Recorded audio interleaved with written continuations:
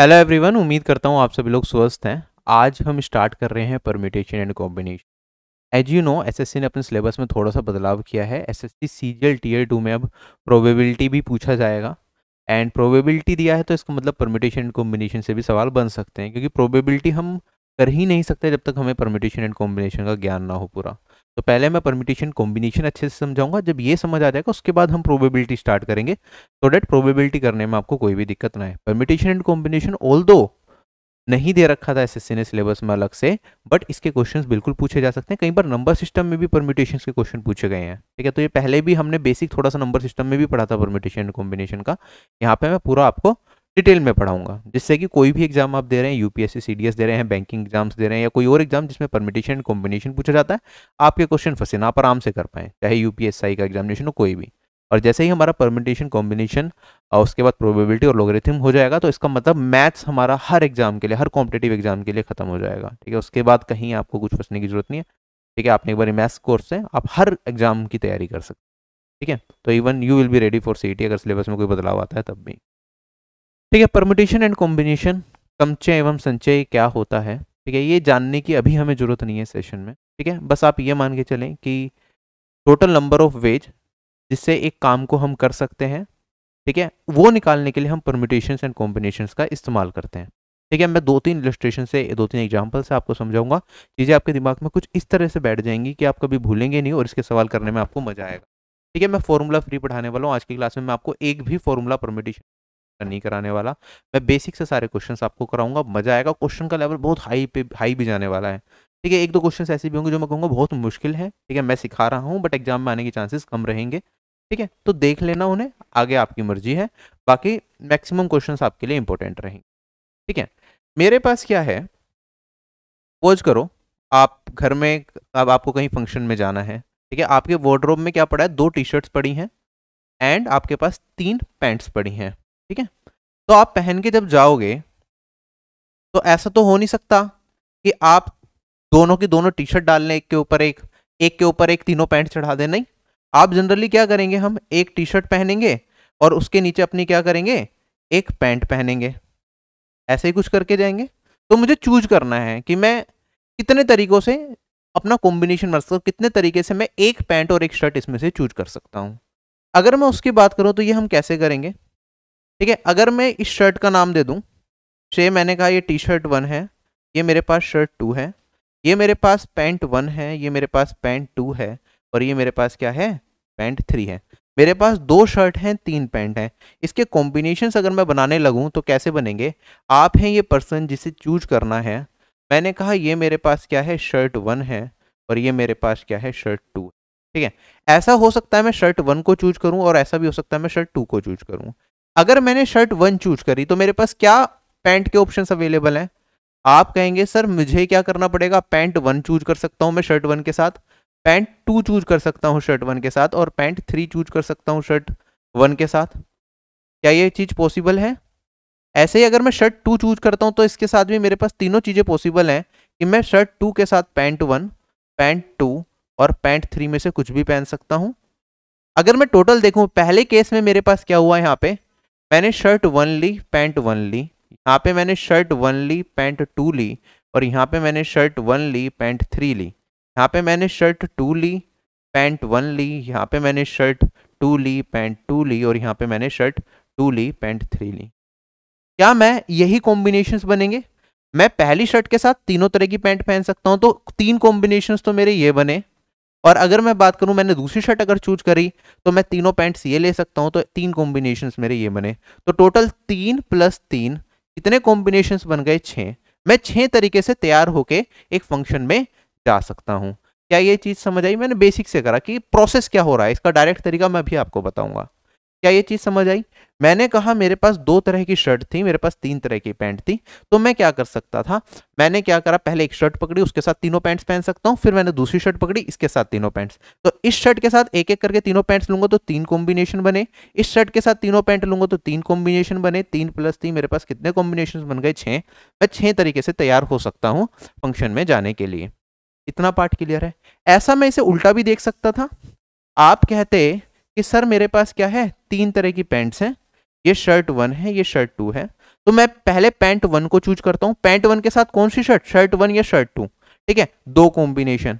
Pant to के साथ shirt one भी पहनी जा सकती है, शर्ट टू भी तो दो कॉम्बिनेशन। और पैंट थ्री के साथ शर्ट वन या शर्ट टू दोनों चूज़ की जा सकती है तो फिर से मेरे पास दो कॉम्बिनेशन। दो प्लस दो प्लस दो। कितने तरीके से? क्या छह कॉम्बिनेशन मेरे पास बन रहे हैं तैयार होने के? और क्या यहाँ पे ये चीज़ फिक्स है कि आपको पैंट भी पहननी है शर्ट भी पहननी क्या ऐसा हो सकता है कि आप खाली शर्ट पहन के चले जाए, बिना पैंट पहले जा रहे हैं वहाँ पे फ़ंक्शन में? या फिर खाली पैंट पहन जाए शर्टलेस घूमेंगे? नहीं, आपको दोनों चीज़ें पहननी है if you want to look decent तो आप शर्ट भी पहनेंगे पैंट भी पहनेंगे तो दोनों चीज़ें मेरे पास क्या है? ज़रूरी है। जब भी इस तरह का सिनेरियो होता है कि मेरे पास दोनों के दोनों इवेंट्स को नेसेसरी होते हैं तो उस केस में जो टोटल कॉम्बिनेशन बनेंगे, जितने तरीके से मैं तैयार हो सकता हूँ, वो होगा मेरे पास शर्ट कितनी थी? दो डिफरेंट टाइप की शर्ट्स थी। पैंट कितने टाइप की थी मेरे पास? तीन डिफरेंट टाइप्स की पैंट्स थी। तो मैं कहूँगा टू इंटू में थ्री हम क्या कर देंगे? मल्टीप्लाई कर देंगे जो जो इवेंट्स है। शर्ट के दो इवेंट पॉसिबल है, दो तरह की शर्ट्स हैं पैंट कितने तरह की है? तीन तरह की है। तो दो इंटू में तीन, मैं कहूँगा मेरे पास कितने आएँगे? छह तरीके से मैं यहाँ पे क्या हो सकता हूँ? तैयार हो सकता हूँ। छह कॉम्बिनेशन मेरे पास ड्रेसेस के बनेंगे। क्या ये चीज़ें बहुत आसानी से समझ आ गई? अगर मैं यहाँ पे एक और सवाल आपके सामने सिमिलर बना दूँ बड़े ध्यान से समझते हुए चलना, एक बार समझ आ गया तो कभी मात नहीं खाओगे इसके क्वेश्चंस में। मैंने कहा यहाँ पे, मेरे पास क्या है? मेरे पास अगर चार तरह की शर्ट्स होती और मेरे पास अगर पाँच तरह की क्या होती? पैंट्स होती तो कितने कॉम्बिनेशंस में बना सकता था? आप कहते shirt one shirt two shirt three shirt four. चारों शर्ट से। पहली शर्ट के साथ भी पाँच पैंट्स पहन सकते हैं सेकंड शर्ट के साथ भी पाँच पैंट्स थर्ड शर्ट के साथ भी पाँचों तरह की पैंट्स और चौथी शर्ट के साथ भी पाँचों तरह की पैंट्स। तो ये कितनी हो गई? पाँच पाँच पाँच पाँच, आप कहेंगे बीस। अदरवाइज़ मैं डायरेक्ट करूँगा तो मैं कहूँगा ये दोनों इवेंट्स क्या हैं? दोनों नेसेसरी इवेंट्स हैं। तो मुझे चार शर्ट पहननी होंगी और पाँच पैंट्स पहननी होंगी। तो टोटल चार और पाँच, बीस कॉम्बिनेशन बीस तरीके से मैं यहाँ पे क्या हो सकता हूँ? तैयार हो सकता हूँ पार्टी में जाने के लिए। बीस कॉम्बिनेशन मेरे पास बनेंगे। क्या ये चीज़ समझ होगी तो बीस तरीके से मैं तैयार हो सकता हूँ। अगर इसी क्वेश्चन में मैं आपसे पूछ लेता आ, कि चलो इसमें थोड़ा सा आगे बढ़ते हैं। आपको क्या करना है? आपको जाना है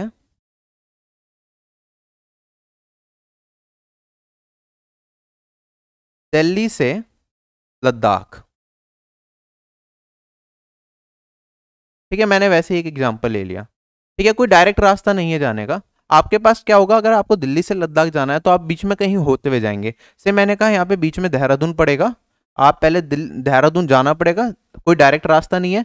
या तो दिल्ली से आप पहले देहरादून जाएँगे, देहरादून से लद्दाख जाएँगे, यही एक रास्ता पॉसिबल है वहाँ तक पहुँचने का। तो हमारे पास मान लो आउटकम्स की मैं बात करूँ। मान लो मुझे दिल्ली से देहरादून जाना है, मैं दो तरीके से जा सकता हूँ। या तो मैं कार से जाऊँगा, या फिर मैं यहाँ पे जाऊँगा बस से।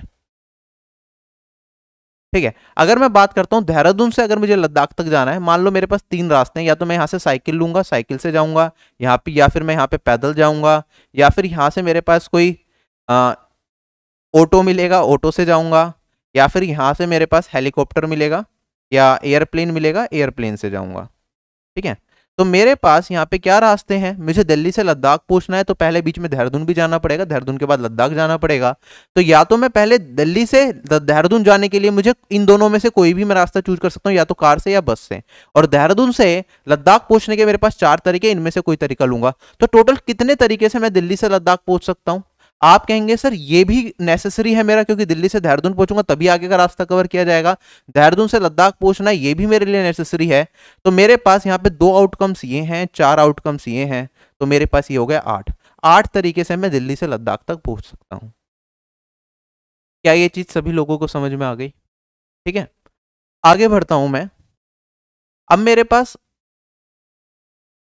ये फंडामेंटल प्रिंसिपल ऑफ़ काउंटिंग कह सकते हैं या फिर हम मल्टीप्लीकेशन प्रिंसिपल कहते हैं। जब हमारे पास क्या हो, जो दोनों के, जो अगर मैं दो चीज़ें ले रहा हूँ, दोनों की दोनों नेसेसरी हो करना, ठीक है तो पहले इवेंट के जितने केसेस बन सकते हैं, दूसरे इवेंट के कितने केसेस बन सकते हैं, सारे के सारे जो भी कंसिडर हमने करें, उन्हें मल्टीप्लाई करेंगे तो टोटल नंबर ऑफ़ हमारे पास इवेंट्स निकल के आ जाएँगे, ठीक है। In an event if an event can occur in m multiple ways following which another event can occur in n different ways, then the total number of occurrences of the event in the given order is m cross n. ठीक है, हमें दो event एक के बाद एक करने हैं। एक एम वेज में हो सकता है, दूसरा एन वेज में हो सकता है। तो टोटल नंबर ऑफ़ वेज जिसमें ये मैं दोनों इवेंट्स करूँगा, वो होंगे एम इंटू में एन ये फंडामेंटल प्रिंसिपल ऑफ़ काउंटिंग या मल्टीप्लीकेशन प्रिंसिपल होता है। इसमें कोई ज़्यादा डीप में जाने की ज़रूरत नहीं, जो मैंने चीज़ें समझाई, बस वही याद रखनी है। जैसे मेरे पास एक और एग्ज़ाम्पल मेरे पास क्या आता है, दो स्कूल बैग हैं, तीन टिफ़िन बॉक्सेस हैं और दो मेरे पास वाटर बॉटल्स हैं, ठीक है? दो डिफरेंट तरह के स्कूल बैग तीन डिफरेंट तरह के टिफ़िन बॉक्सेस और दो डिफरेंट तरह की वाटर बॉटल्स एक बच्चा है, बच्चे को मम्मी को तैयार करके स्कूल भेजना है, ठीक है? तो कितने तरीके से कॉम्बिनेशन वो ले जा सकता है? टिफ़िन बॉक्स बैग और बोतल के। आप कहेंगे, सर, देखो स्कूल जा रहा है तो उसे बैग भी लेके जाना है कंपलसरी है उसे टिफ़िन भी लेके जाना है क्योंकि दिन में भूख भी लगेगी और खाना खाएगा तो उसे प्यास भी लगेगी तो उसे वाटर बोतल की भी ज़रूरत है। या तीनों की तीनों चीज़ें लेके जानी पड़ेगी। स्कूल में छोटे क्लासेस में चेक भी होता था। टीचर मारती भी थी कि अगर बैग नहीं लाए भैया तुम, आ जाओ, रख देंगे गाल पे दो। टिफ़िन नहीं लाए, फिर रख देंगे दो गाल पे। वाटर बोतल भूल गए, रख देंगे। फिर कहेंगे, तुम्हें ये चीज़ तो याद नहीं रहती है कुछ? टीचर्स पहले बच्चों में बहुत डांटते थे। अभी तो पैर खैर, पता नहीं इतना डांटते हैं, नहीं डांटते तो मेरे पास तीनों के तीनों इवेंट्स क्या हैं? कंपलसरी है। मुझे तीनों ही चीज़ें चूज़ करनी है। दो स्कूल बैग दो तरीके से मैं चूज़ कर सकता हूँ, पहला या दूसरा। टिफ़िन मेरे पास तीन तरीके के हैं और मेरे पास वाटर बोतल दो तरीके की है। तो टोटल कॉम्बिनेशन कितना बनेगा अगर मैंने मल्टीप्लाई कर दूँ? दो इंटू तीन छः दूनी बारह। ठीक है? बारह तरीके से मैं चूज़ कर सकता हूँ। अगर आप इसे डायग्राम की फॉर्म में देखना चाहें तो मैंने कहा, पहले मैंने बैग सेलेक्ट करा, या तो बैग वन सेलेक्ट करूँगा, या फिर मैं बैग टू सेलेक्ट करूँगा। उसके बाद मेरे पास टिफन हैं। पहला टिफन दूसरा टिफन तीसरा टिफन बैग वन के साथ चूज़ कर सकता हूँ। बैग टू के साथ भी tiffin one tiffin two tiffin three choose कर सकता हूँ। ठीक है? ये कॉम्बिनेशन बने। फिर उसके बाद मेरे पास जो वाटर बोटल है वाटर बोटल वन या वाटर बोटल टू लूँगा। ठीक है? बैग वन लिया टी वन लिया, उसके बाद water one water one water bottle two ठीक है? बैग वन लिया टिफ़िन टू लिया वाटर बोतल वन वाटर बोतल टू ये चूज़ कर सकता हूँ।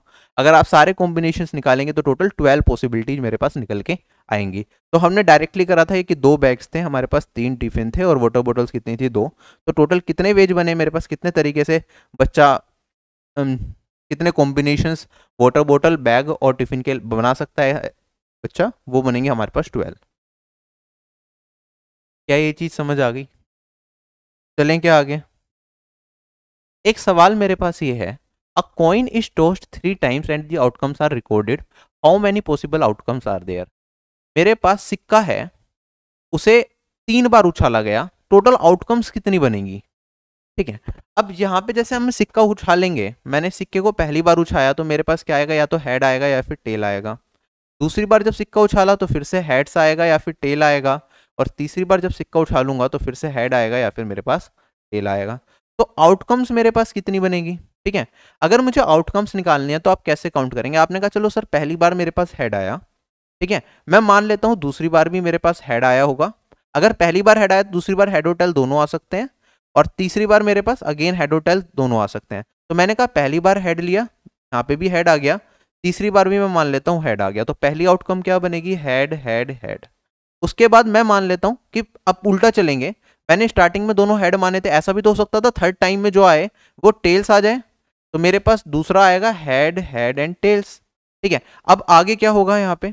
आप कहेंगे, सर, आपने क्या कहा था? पहली बार हेड आ जाए, दूसरी बार भी हेड ले रहे थे। ऐसा हो सकता था कि पहली बार हेड आए और दूसरी बार क्या आ जाए? टेल आ जाए। तो हेड और टेल अब यहाँ पे अगेन तीसरी बार मेरा हेड आ सकता है टेल आ सकता है तो यहाँ पे हेड और हेड टेल और यहाँ पे टेल क्या ये कॉम्बिनेशन बन गया? इसके बाद आगे बढ़ता हूँ। अब मैं स्टार्टिंग से चलता हूँ। मैंने कहा था स्टार्टिंग में मैंने माना था हेड आया, लेकिन ऐसा हो सकता था कि स्टार्टिंग में ही टेल आ जाता। अगर स्टार्टिंग में टेल आ जाता तो आप कहते, सर सेकंड बारी में हेड आ सकता है, उसके बाद फिर से हेड तो टेल हेड हेड ऐसा हो सकता था, पहले टेल आया, फिर हेड आया, फिर दोबारा टेल आ गया। टेल हेड टेल फिर ऐसा हो सकता था कि यहाँ पे मेरे पास पहले टेल आया, फिर टेल आ गया दोबारा से, और यहाँ पे हेड आ गया। और ऐसा हो सकता था टेल टेल और टेल आ गया। क्या ये मेरे पास कॉम्बिनेशंस बन गए? कितने कॉम्बिनेशंस बन गए मेरे पास? आप कहेंगे तीन, चार, पाँच छः सात, आठ। टोटल आठ आउटकम्स निकल के आ सकते हैं। अगर तीन बार मैंने सिक्का उछाला तो मेरे पास टोटल कितने आउटकम्स बनेंगे? मेरे पास आठ बनेंगे। इस तरह के केसेस में हम किस तरीके से करते हैं? आप कहेंगे, सर, जब मैं एक बार सिक्का उछाल रहा हूँ तो कितने पॉसिबल आउटकम्स हैं? दो पॉसिबल आउटकम है, ठीक है? फिर मेरे दोबारा सिक्का उछालूँगा तो फिर दो पॉसिबल आउटकम बनेंगे। फिर मैं सिक्का उछालूँगा तो दो पॉसिबल आउटकम बनेंगे, ठीक है? जब तीन मैंने तीन बार सिक्के को उछाला और मुझे नेट निकालना है कि क्या कॉम्बिनेशन बनेंगे मेरे। तो हम कहेंगे सर यहाँ पे दो है यहाँ पे दो है और यहाँ पे दो है। टोटल कॉम्बिनेशन दो इंटू दो इंटू दो ये हो जाएगा मेरे पास चार दूनी आठ। क्या यहाँ पे आठ ही आया मेरे पास? तो टोटल आठ केसेस मेरे पास बनेंगे। ठीक है? इन आठ केसेस में से भी कोई भी एक केस आपके पास अगर जनरली आप रैंडमली उछालोगे तीन आ, एक सिक्के को तीन बार तो इन तीनों के आठ केसेस में से कोई सा भी एक केस आ सकता है। यही क्वेश्चन आपका प्रोबेबिलिटी में भी बनता है कि हमने क्या करा? एक सिक्के को तीन बार उछाला। What is the probability of getting three heads तो आप कहेंगे, सर, तीन हेड आने की प्रोबेबिलिटी क्या है? इन आठ केसेस में से तीन हेड कितनी बार आएगा? सिर्फ़ एक बार आ रहा है, जो कि यहाँ पे आ रहा है। तो एक की प्रोबेबिलिटी होगी कितने पे? टोटल आठ आउटकम्स हैं तो वन बाय एट ये मेरी क्या हो जाएगी? Probability of getting three heads ये चीज़ हम प्रोबेबिलिटी में पढ़ेंगे। I hope you are getting my point मैं क्या समझाने की कोशिश कर क्लियर है या नहीं है, बिल्कुल आसान भाषा में। आगे बढ़ता हूँ मैं। कहता है, एक डाइस को हमने चार बार उछाला, ठीक है, और जो आउटकम्स हैं वो रिकॉर्ड किए गए। कितने पॉसिबल आउटकम्स हो सकते हैं? ठीक है, अगर मैं डाइस की बात करता हूँ डाइस क्या होता है? एक क्यूब शेप की हमारे पास फिगर होती है। क्यूब के कितने फेसिस होते हैं? वर्क के हमारे पास होते हैं सिक्स फेसिस ठीक है? सिक्स फ्लैट सरफेस सरफेस होते हैं हमारे पास, सिक्स फेसिस हम कहते हैं। इन पे नंबरिंग होती है, एक, दो, तीन, चार, पाँच और छः। तो जब मैं एक बार डाइस उठा लूँगा तो कितने आउटकम्स आएँगे? आप कहेंगे, सर, छः आउटकम्स आएँगे। इसी डाइस को दोबारा उछालूँगा तो इन छः वैल्यूज़ में से फिर से कोई भी एक आ सकता है। फिर मैं डाइस को तीसरी बार उछालूँगा तो इन छह में से कोई एक बार आ सकता है। फिर चौथी बार उछालूँगा डाइस को, इन छह में से कोई भी एक आउटकम आ सकती है। तो total number of possible outcomes कितनी बनेगी? आप कहेंगे, सर, छः इंटू छः इंटू छः इंटू छः। ये होगा सिक्स की पावर फोर जो कि होता है मेरे पास वन ज़ीरो नाइन सिक्स ये मेरा इस सवाल का क्या हो जाएगा? आंसर हो जाएगा। क्या ये चीज़ क्लियर होगी? चलें क्या आगे? ये वन ज़ीरो नाइन सिक्स नहीं है sorry one two nine six होगा। छत्तीस का स्क्वायर है ना?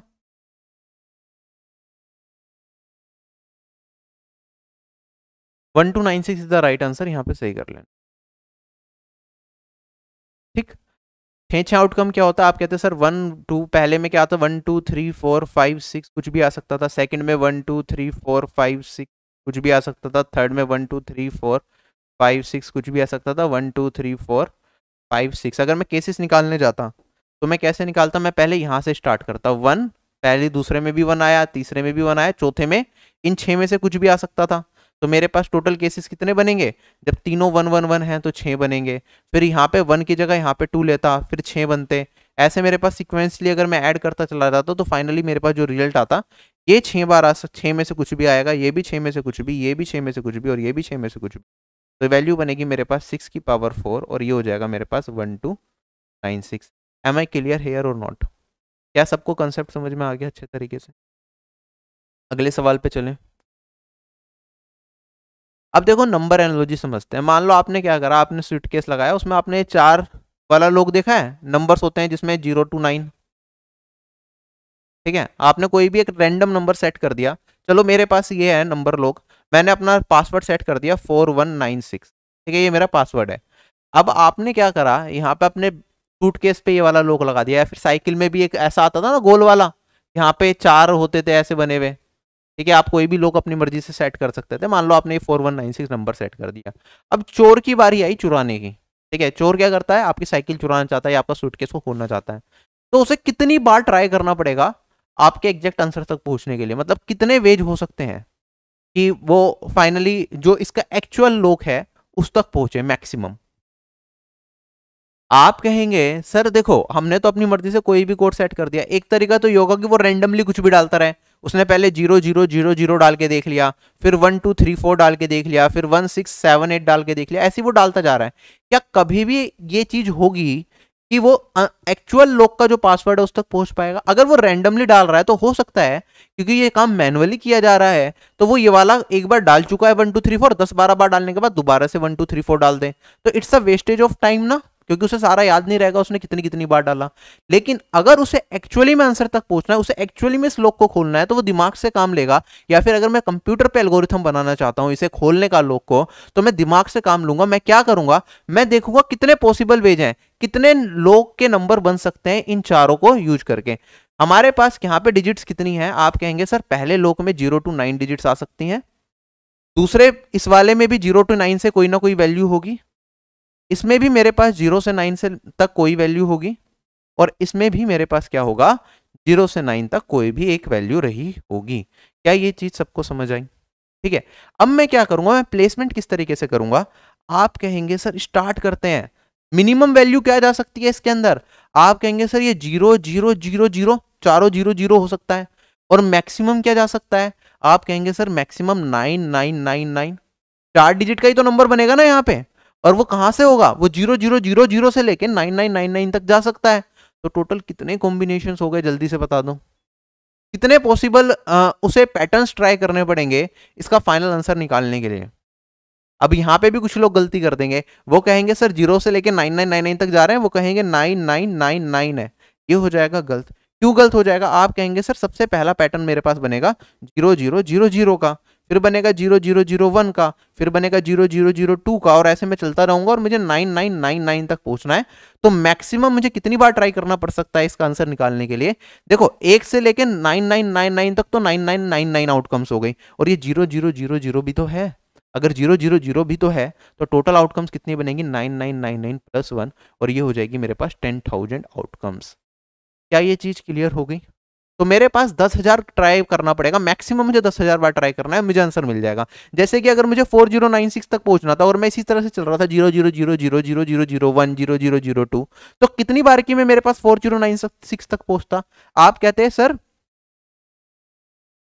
पहले आप ज़ीरो ज़ीरो ज़ीरो से स्टार्ट करते फिर ज़ीरो ज़ीरो ज़ीरो वन आता और इसी सिक्वेंस में चलते चलते फोर वन नाइन सिक्स भी आता तो यहाँ से लेके वन से लेके फोर वन नाइन सिक्स तक जाऊँगा तो four one nine six attempt हो गए और एक ज़ीरो ज़ीरो ज़ीरो वाला अटेम्प्ट भी था तो फोर वन नाइन सेवन। इस वाले अटैम्प्ट के अंदर मैं क्या करूँगा? इस लोग को खोल दूँगा। अगर मैं सिक्वेंस में स्टार्टिंग से चल रहा हूँ। ऐसा भी हो सकता था मैं स्टार्ट करता नाइन नाइन नाइन नाइन से, फिर मैं पीछे जाता नाइन नाइन नाइन एट आता, फिर नाइन नाइन नाइन सेवन आता और इस तरीके से चलते चलते मैं ज़ीरो ज़ीरो ज़ीरो ज़ीरो पे पहुँचता। ठीक है, मैं कहीं से भी स्टार्ट करना मैं हो सकता पाँच हज़ार से पहले नीचे जाता, पीछे जाता, वो डिपेंड करता है कि हम एल्गोरिथम को किस तरीके से लिख रहे हैं। बट फ़िलहाल मैं अगर ये चीज़ बताऊँ तो मैंने कहा कितने वेज होंगे कि इस, मुझे मैक्सिमम कितनी बार ट्राई करना पड़ेगा इस लोक को खोलने के लिए तो मैंने कहा मैक्सिमम दस हज़ार बार ट्राई करना पड़ेगा। क्योंकि मान लो मैं ज़ीरो ज़ीरो ज़ीरो ज़ीरो से स्टार्ट कर रहा हूँ और इसका पासवर्ड है नाइन नाइन नाइन नाइन तो मैं कौन से अटैम्प्ट में यहाँ पे पहुंचूँगा? टेन थाउज़ेंड अटैम्प्ट में मैं यहाँ तक पहुंचूँगा। मैं आपसे पूछूँ कि प्रोबेबिलिटी क्या होगी? अगर मैं रैंडमली यहाँ पे एक नंबर डालूं वो मेरा जो लोक का पासवर्ड है वही हो। आप कहेंगे, sir four one nine six आपने रखा है तो ये तो एक पॉसिबिलिटी है। कितने में से टेन थाउज़ेंड पॉसिबिलिटीज में से। तो अगर प्रोबेबिलिटी को क्वेश्चन बनेगा तो probability of getting four one nine six in first attempt क्या होगा इस केस में? ये होगा वन अपॉन में टेन थाउज़ेंड प्रोबेबिलिटी का सवाल ये हो गया मेरे पास। अब देखो, हर क्वेश्चन को मैं इस तरीके से नहीं करूँगा। अब हमें लॉजिक डेवलप करना है कि कैसे मैं एक बार की में इस क्वेश्चन का आंसर निकालूं। मैं ऐसे रैंडमली ना चेक करूँ। आप कहेंगे, सर, इस तरीके में क्या हो सकता है? देखो, क्या ये कंपलसरी है मेरे लिए कि चारों ही प्लेसेस फिल किए जाएँ, इसमें भी मुझे कुछ डालना है, इसमें भी इसमें भी और इसमें भी। क्या ये चारों इवेंट्स एक साथ मुझे करने पड़ेंगे, तभी मेरा पासवर्ड खुलेगा? चारों में कोई ना कोई नंबर तो मुझे डालना है। ठीक है तो चारों इवेंट्स हो गए कंपलसरी यहाँ पे ज़ीरो से नाइन तक आ सकते हैं तो कितनी वैल्यूज़ आ सकती है यहाँ पे ज़ीरो से नाइन के बीच में? आप कहेंगे, सर ज़ीरो से नाइन के बीच में यहाँ पे दस वैल्यूज़ आ सकती है। Zero, one, two, three, four, five, six, seven, eight, nine. Total nine ten digits हैं तो मैं यहाँ पे दस वैल्यू डाल सकता हूँ। सेम दस वैल्यूज़ में यहाँ पे डाल सकता हूँ सेम दस वैल्यूज़ में यहाँ पे डाल सकता हूँ, और सेम दस वैल्यूज़ में यहाँ पे डाल सकता हूँ। अगर इन सबको मल्टीप्लाई कर दिया जाए तो मेरे पास वैल्यू क्या आएगी? टेन थाउज़ेंड क्या ये चीज़ समझ आ गई? तो हमारे पास यहाँ पे टेन थाउज़ेंड वेज हैं। टेन थाउज़ेंड बार हमें ट्राई करना पड़ेगा। मैक्सिमम जिससे कि मैं इस लोक को खोल पाऊँ। ठीक है?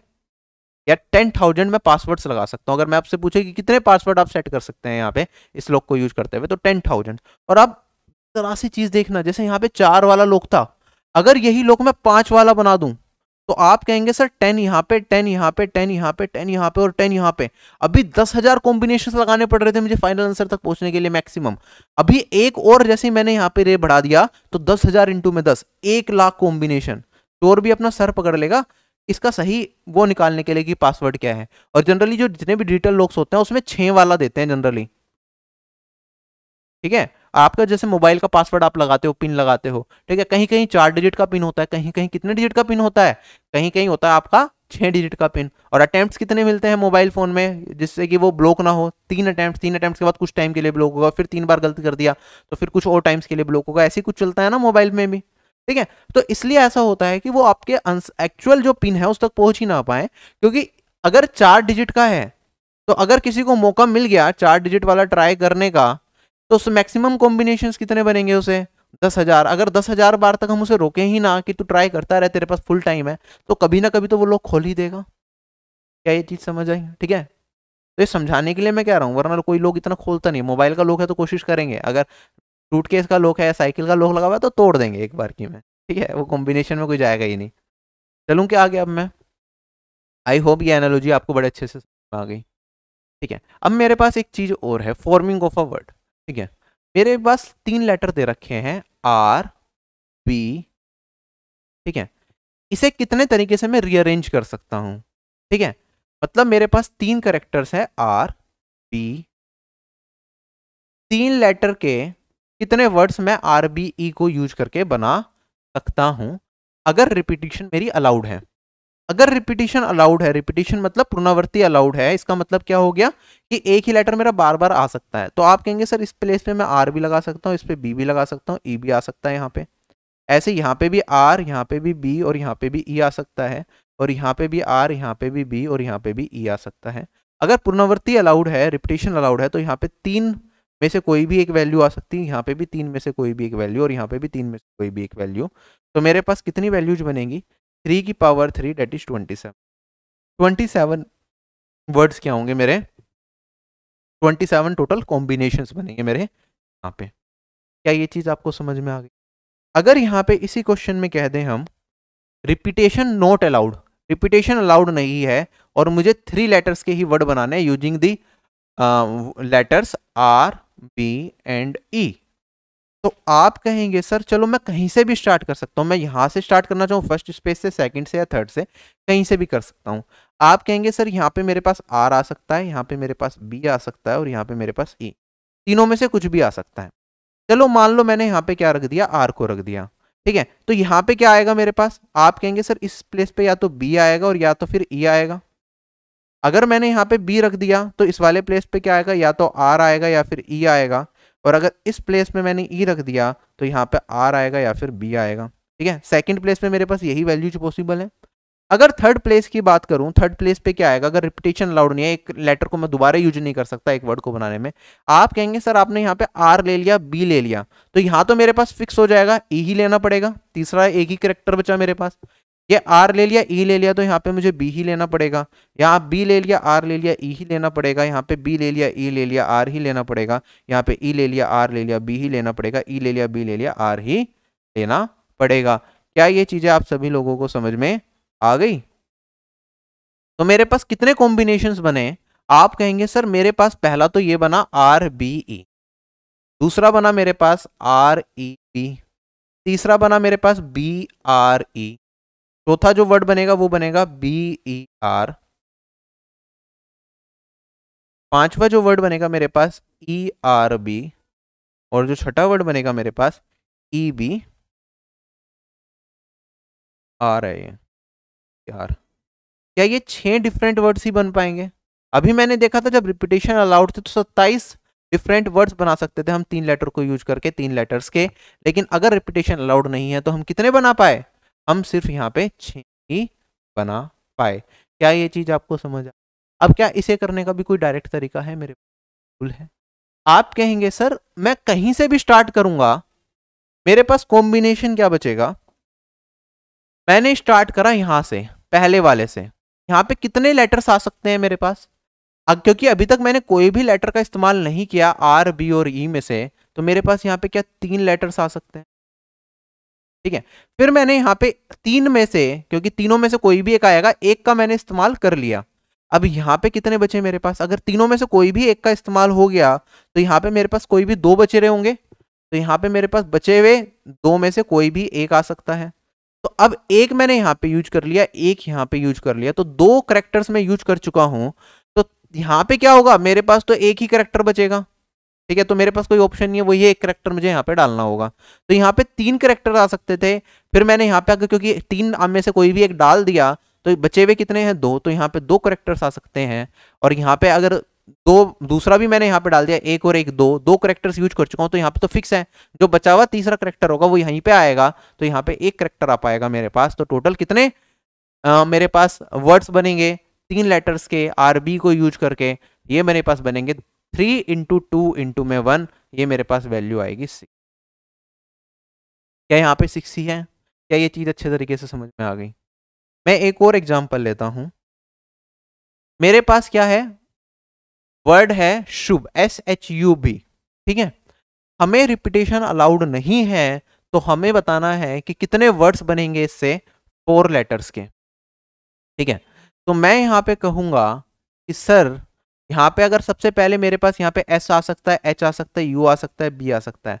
तो मेरे पास चार प्लेसेस चारों में से कोई भी एक करेक्टर में यहाँ पे डाल दूँगा। ठीक है, एक मेरा यूज़ हो गया, बचेंगे कितने? तीन लेटर्स बचेंगे। तो यहाँ पे मेरे पास बचे हुए तीन लेटर्स में से कोई एक आ जाएगा। ठीक है, फिर यहाँ पे एक और डल गया। अब मेरे पास कितने बचेंगे? क्या मेरे पास सिर्फ़ दो करेक्टर्स बचेंगे, दो यूज़ कर लिए? तो यहाँ पे बचे हुए दो में से कोई एक आएगा। तो यहाँ पे एक और यूज़ हो गया। अब मेरे पास कितने करेक्टर बचे? तीन यूज़ कर चुका हूँ, एक बचा है तो यहाँ पे एक ही आएगा। तो मेरे पास टोटल नंबर ऑफ़ केसेस कितने बनेंगे, कितने वर्ड्स मैं बना सकता हूँ? Four into three into two into one ये हो जाएगा मेरे पास ट्वेंटी फोर क्या ये चीज़ सबको समझ आ गई? अगर आप चाहें तो मैं दिखा भी सकता हूँ आपको केसेस कैसे बनेंगे। एक बार और देख लो, क्योंकि अभी हम सीख ही रहे हैं। सीखते टाइम कोई दिक्कत नहीं है। एक बार सीख जाओ तो क्वेश्चन गलत नहीं करना है। मैंने कहा यहाँ पे एस आ सकता है एच आ सकता है यू आ सकता है और बी आ सकता है। अगर मैंने एस ले लिया यहाँ पे तो यहाँ पे क्या आ सकता है? एच यू बी आ सकता है। एच ले लिया तो यहाँ पे एस यू बी आ सकता है। यहाँ पे एस एच और मेरे पास बी बचा हुआ है और यहाँ पे मेरे पास एस एच और यू आ सकता है। तो यहाँ पे मैंने अगर ये एक, ये चार आ सकते थे यहाँ पे, हर एक के साथ कितने एक्स्ट्रा मिल सकते थे? हर एक के साथ मुझे यहाँ पे तीन एक्स्ट्रा मिल सकते थे तो वही तीन लिखा है। यहाँ पे चार में से कोई एक चूज़ करूँगा, ठीक है? तो पहले चार यहाँ पे आ सकते हैं। ठीक है? फिर इन चारों के साथ, हर एक के साथ कितने कितने आ सकते हैं? हर एक के साथ तीन तीन आ सकते हैं। तो चार इंटू में तीन, अगर मुझे दो ही करेक्टर्स यूज़ करने होते तो मेरे पास कितने कॉम्बिनेशन बनते? आप कहते, सर, तीन छः नौ, बारह। बारह कॉम्बिनेशन बनते चार और तीन के। अगर मुझे दो ही करेक्टर्स यूज़ करने होते हैं लेकिन अभी मुझे आगे काम खत्म नहीं हुआ है। अगर मैंने एस को यूज़ कर लिया एच को यूज़ कर लिया तो मेरे पास बचेगा यहाँ पे क्या? थर्ड पे क्या आ सकता है? यू आ सकता है बी आ सकता है। ऐसे यू के साथ देखूँगा तो एच आ सकता है बी आ सकता है। ऐसे यहाँ पे दो दो के कॉम्बिनेशन हो रहे हैं। तो चार से मैं यहाँ पे इसमें चारों में से कोई एक लूँगा। फिर यहाँ पे बचे हुए तीन तीन के कॉम्बिनेशन बचेंगे। तो यहाँ पे मेरे पास तीन करेक्टर्स बचे, कोई भी इन तीनों में से, बचे हुए तीनों में से कोई एक आएगा। फिर यहाँ पे बचे दो में से कोई एक आएगा और यहाँ पे लास्ट में सिर्फ़ एक ही बचेगा। ठीक है? तो मेरे पास टोटल कितने कॉम्बिनेशन बनेंगे, कितने वर्ड्स में बना सकता हूँ? Four into three into two into में वन ये हो गया मेरे पास ट्वेंटी फोर क्या ये चीज़ समझ आ गई?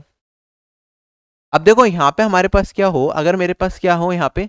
पाँच लेटर्स दे रखे हो आर बी एस एच मान लो ये पाँच करेक्टर्स दे रखे हैं। और मुझे पाँच ही, पाँचों को ही यूज़ करना है। रिपीटेशन अलाउड नहीं है। रिपीटेशन एक बार अलाउड होगी। एक बार रिपीटेशन अलाउड नहीं होगी। अगर मेरे पास बिल्कुल सिमिलर है, ठीक है? पाँच यहाँ पे हैं, पाँच ही यहाँ पे चाहिए मुझे तो मेरे पास जब रिपीटेशन अलाउड होगी तो आप कहेंगे, सर, यहाँ पे भी पाँच करेक्टर्स कोई भी आ जाएगा, पाँच पाँच पाँच आंसर क्या आएगा? पाँच की पावर पाँच. अगर रिपीटेशन अलाउड नहीं है तो यहाँ पे पाँच, चार, तीन, दो, एक, ठीक है? अगर पाँच, चार, तीन, दो, एक को मैं मल्टीप्लाई करता हूँ तो ये क्या होता है? फाइव फैक्टोरियल ही तो होता है ये तो ये आंसर आएगा फाइव फैक्टोरियल क्या ये चीज़ समझ आ गई? ठीक है, जितने प्लेसेस वहाँ पे हैं, जितने करेक्टर्स वहाँ पे, उतने ही करेक्टर्स हमें चाहिए तो हमारे पास ये सिनेरियो चलेगा। ध्यान रखना, अभी मैं जितने भी करेक्टर्स ले रहा हूँ, इनमें सेम करेक्टर नहीं है। आर अलग है डी अलग है, ये सारे के सारे क्या है? डिफरेंट करेक्टर्स हैं। अभी आगे जाके आने वाली क्लासेस में मैं आपको ये भी दिखाऊँगा कि जब मेरे पास करेक्टर्स क्या हो जाएँगे सेम हो जाएँगे डिफरेंट नहीं होंगे। ठीक है? कुछ करेक्टर्स जैसे मान लो यहाँ पे मैं एक और करेक्टर ले लेता से एस तो उस केस में चीज़ें क्या हो जाएँगी? बदल जाएँगी लॉजिक बदल जाएँगे, वो सारी चीज़ें मैं आपको सिखाऊँगा। अब मेरे पास एक और अगला सवाल। मेरे पास क्या था? मेरे पास चार करेक्टर्स हैं एस एच यू पी ठीक है? इन लेटर्स को यूज़ करके मुझे क्या बनाना है? वर्ड बनाना है। थ्री लेटर्स का रिपीटेशन अलाउड नहीं है। तो थ्री लेटर्स का बनाना होगा। आप कहेंगे, सर, यहाँ पे कितने वैल्यू जा सकते हैं? एस आ सकता है एच आ सकता है यू आ सकता है या बी आ सकता है? तो चार वैल्यूज़ यहाँ पे आ सकती हैं। यहाँ पे कितनी वैल्यू जा सकते हैं? क्योंकि मैंने एक यूज़ कर लिया, बची हुई तीन में से कोई एक आएगी तो यहाँ पे तीन वैल्यूज़ पॉसिबल है एक यूज़ करने के बाद।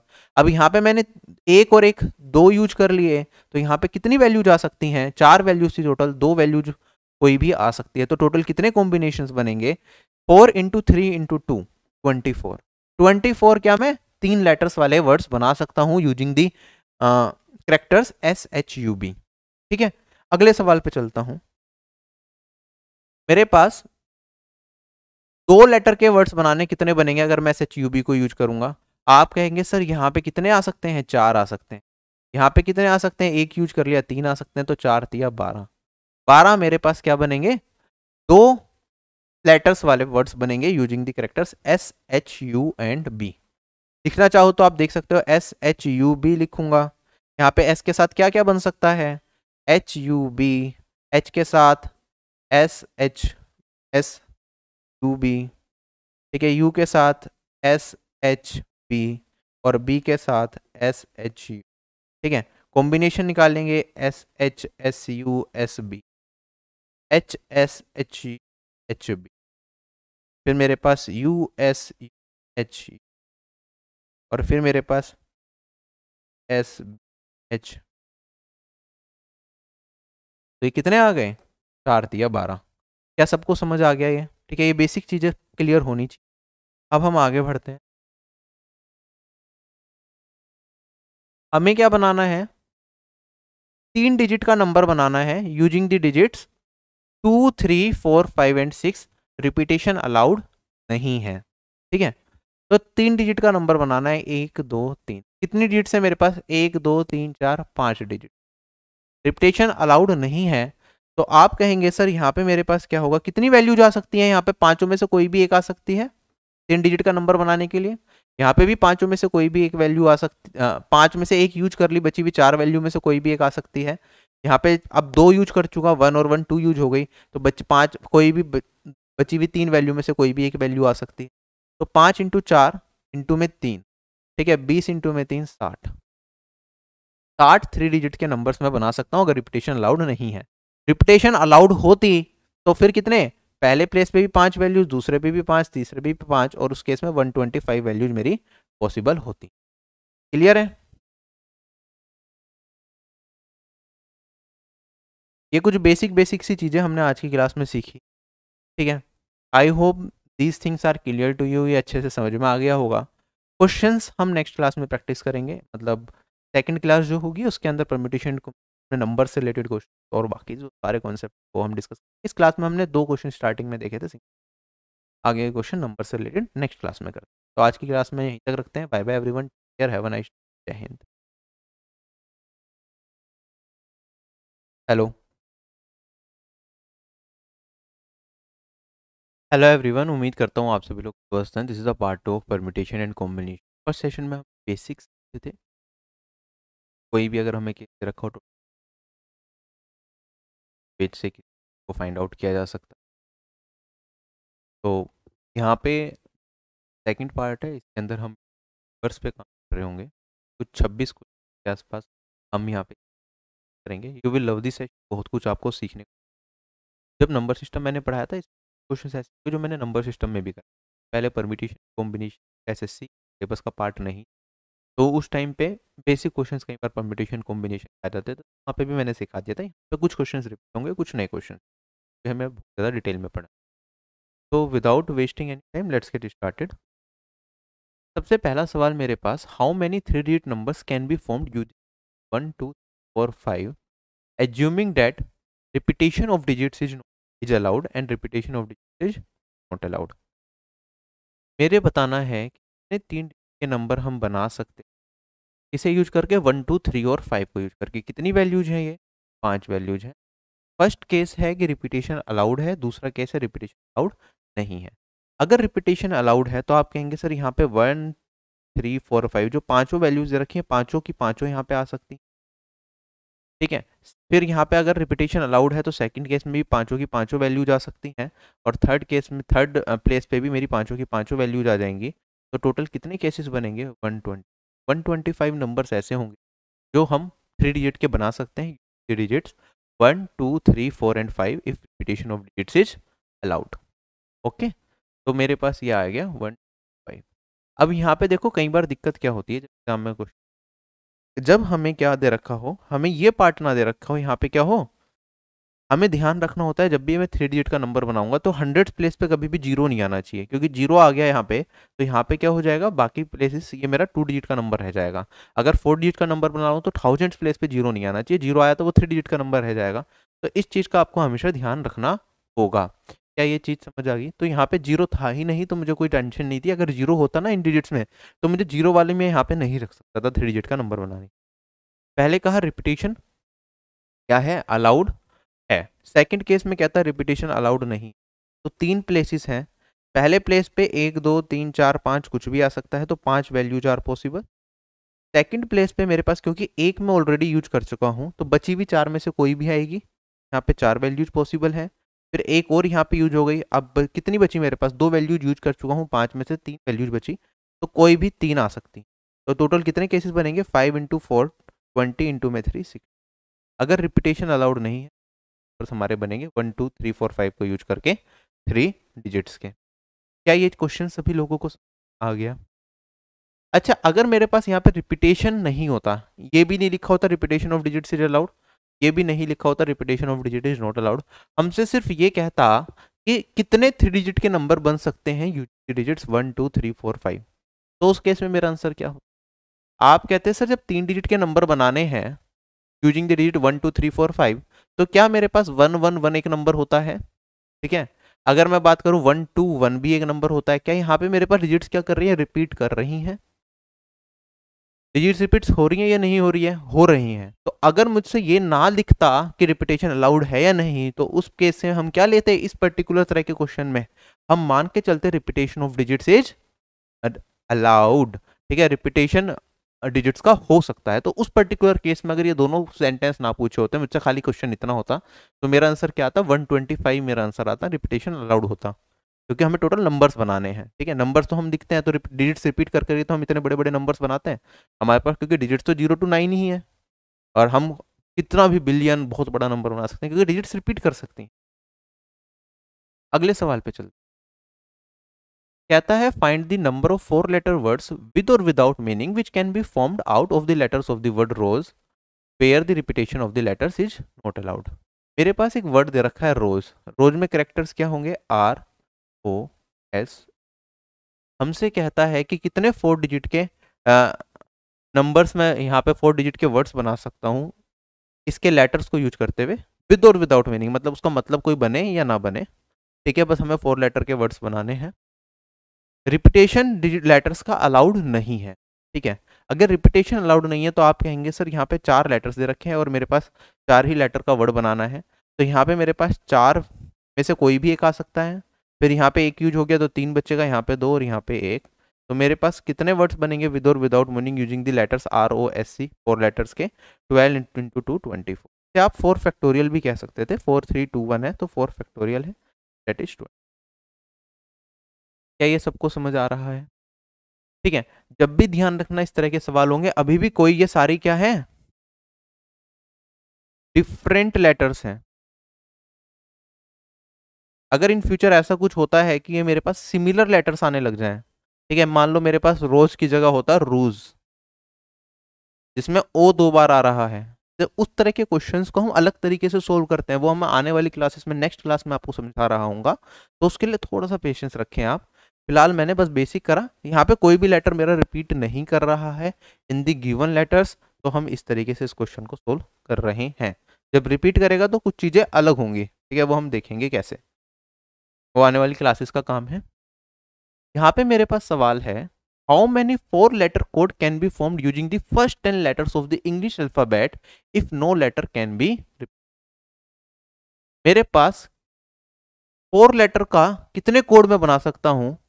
अगर मैं फ़र्स्ट टेन लेटर्स को यूज़ करता हूँ इंग्लिश अल्फ़ाबेट के, ठीक है?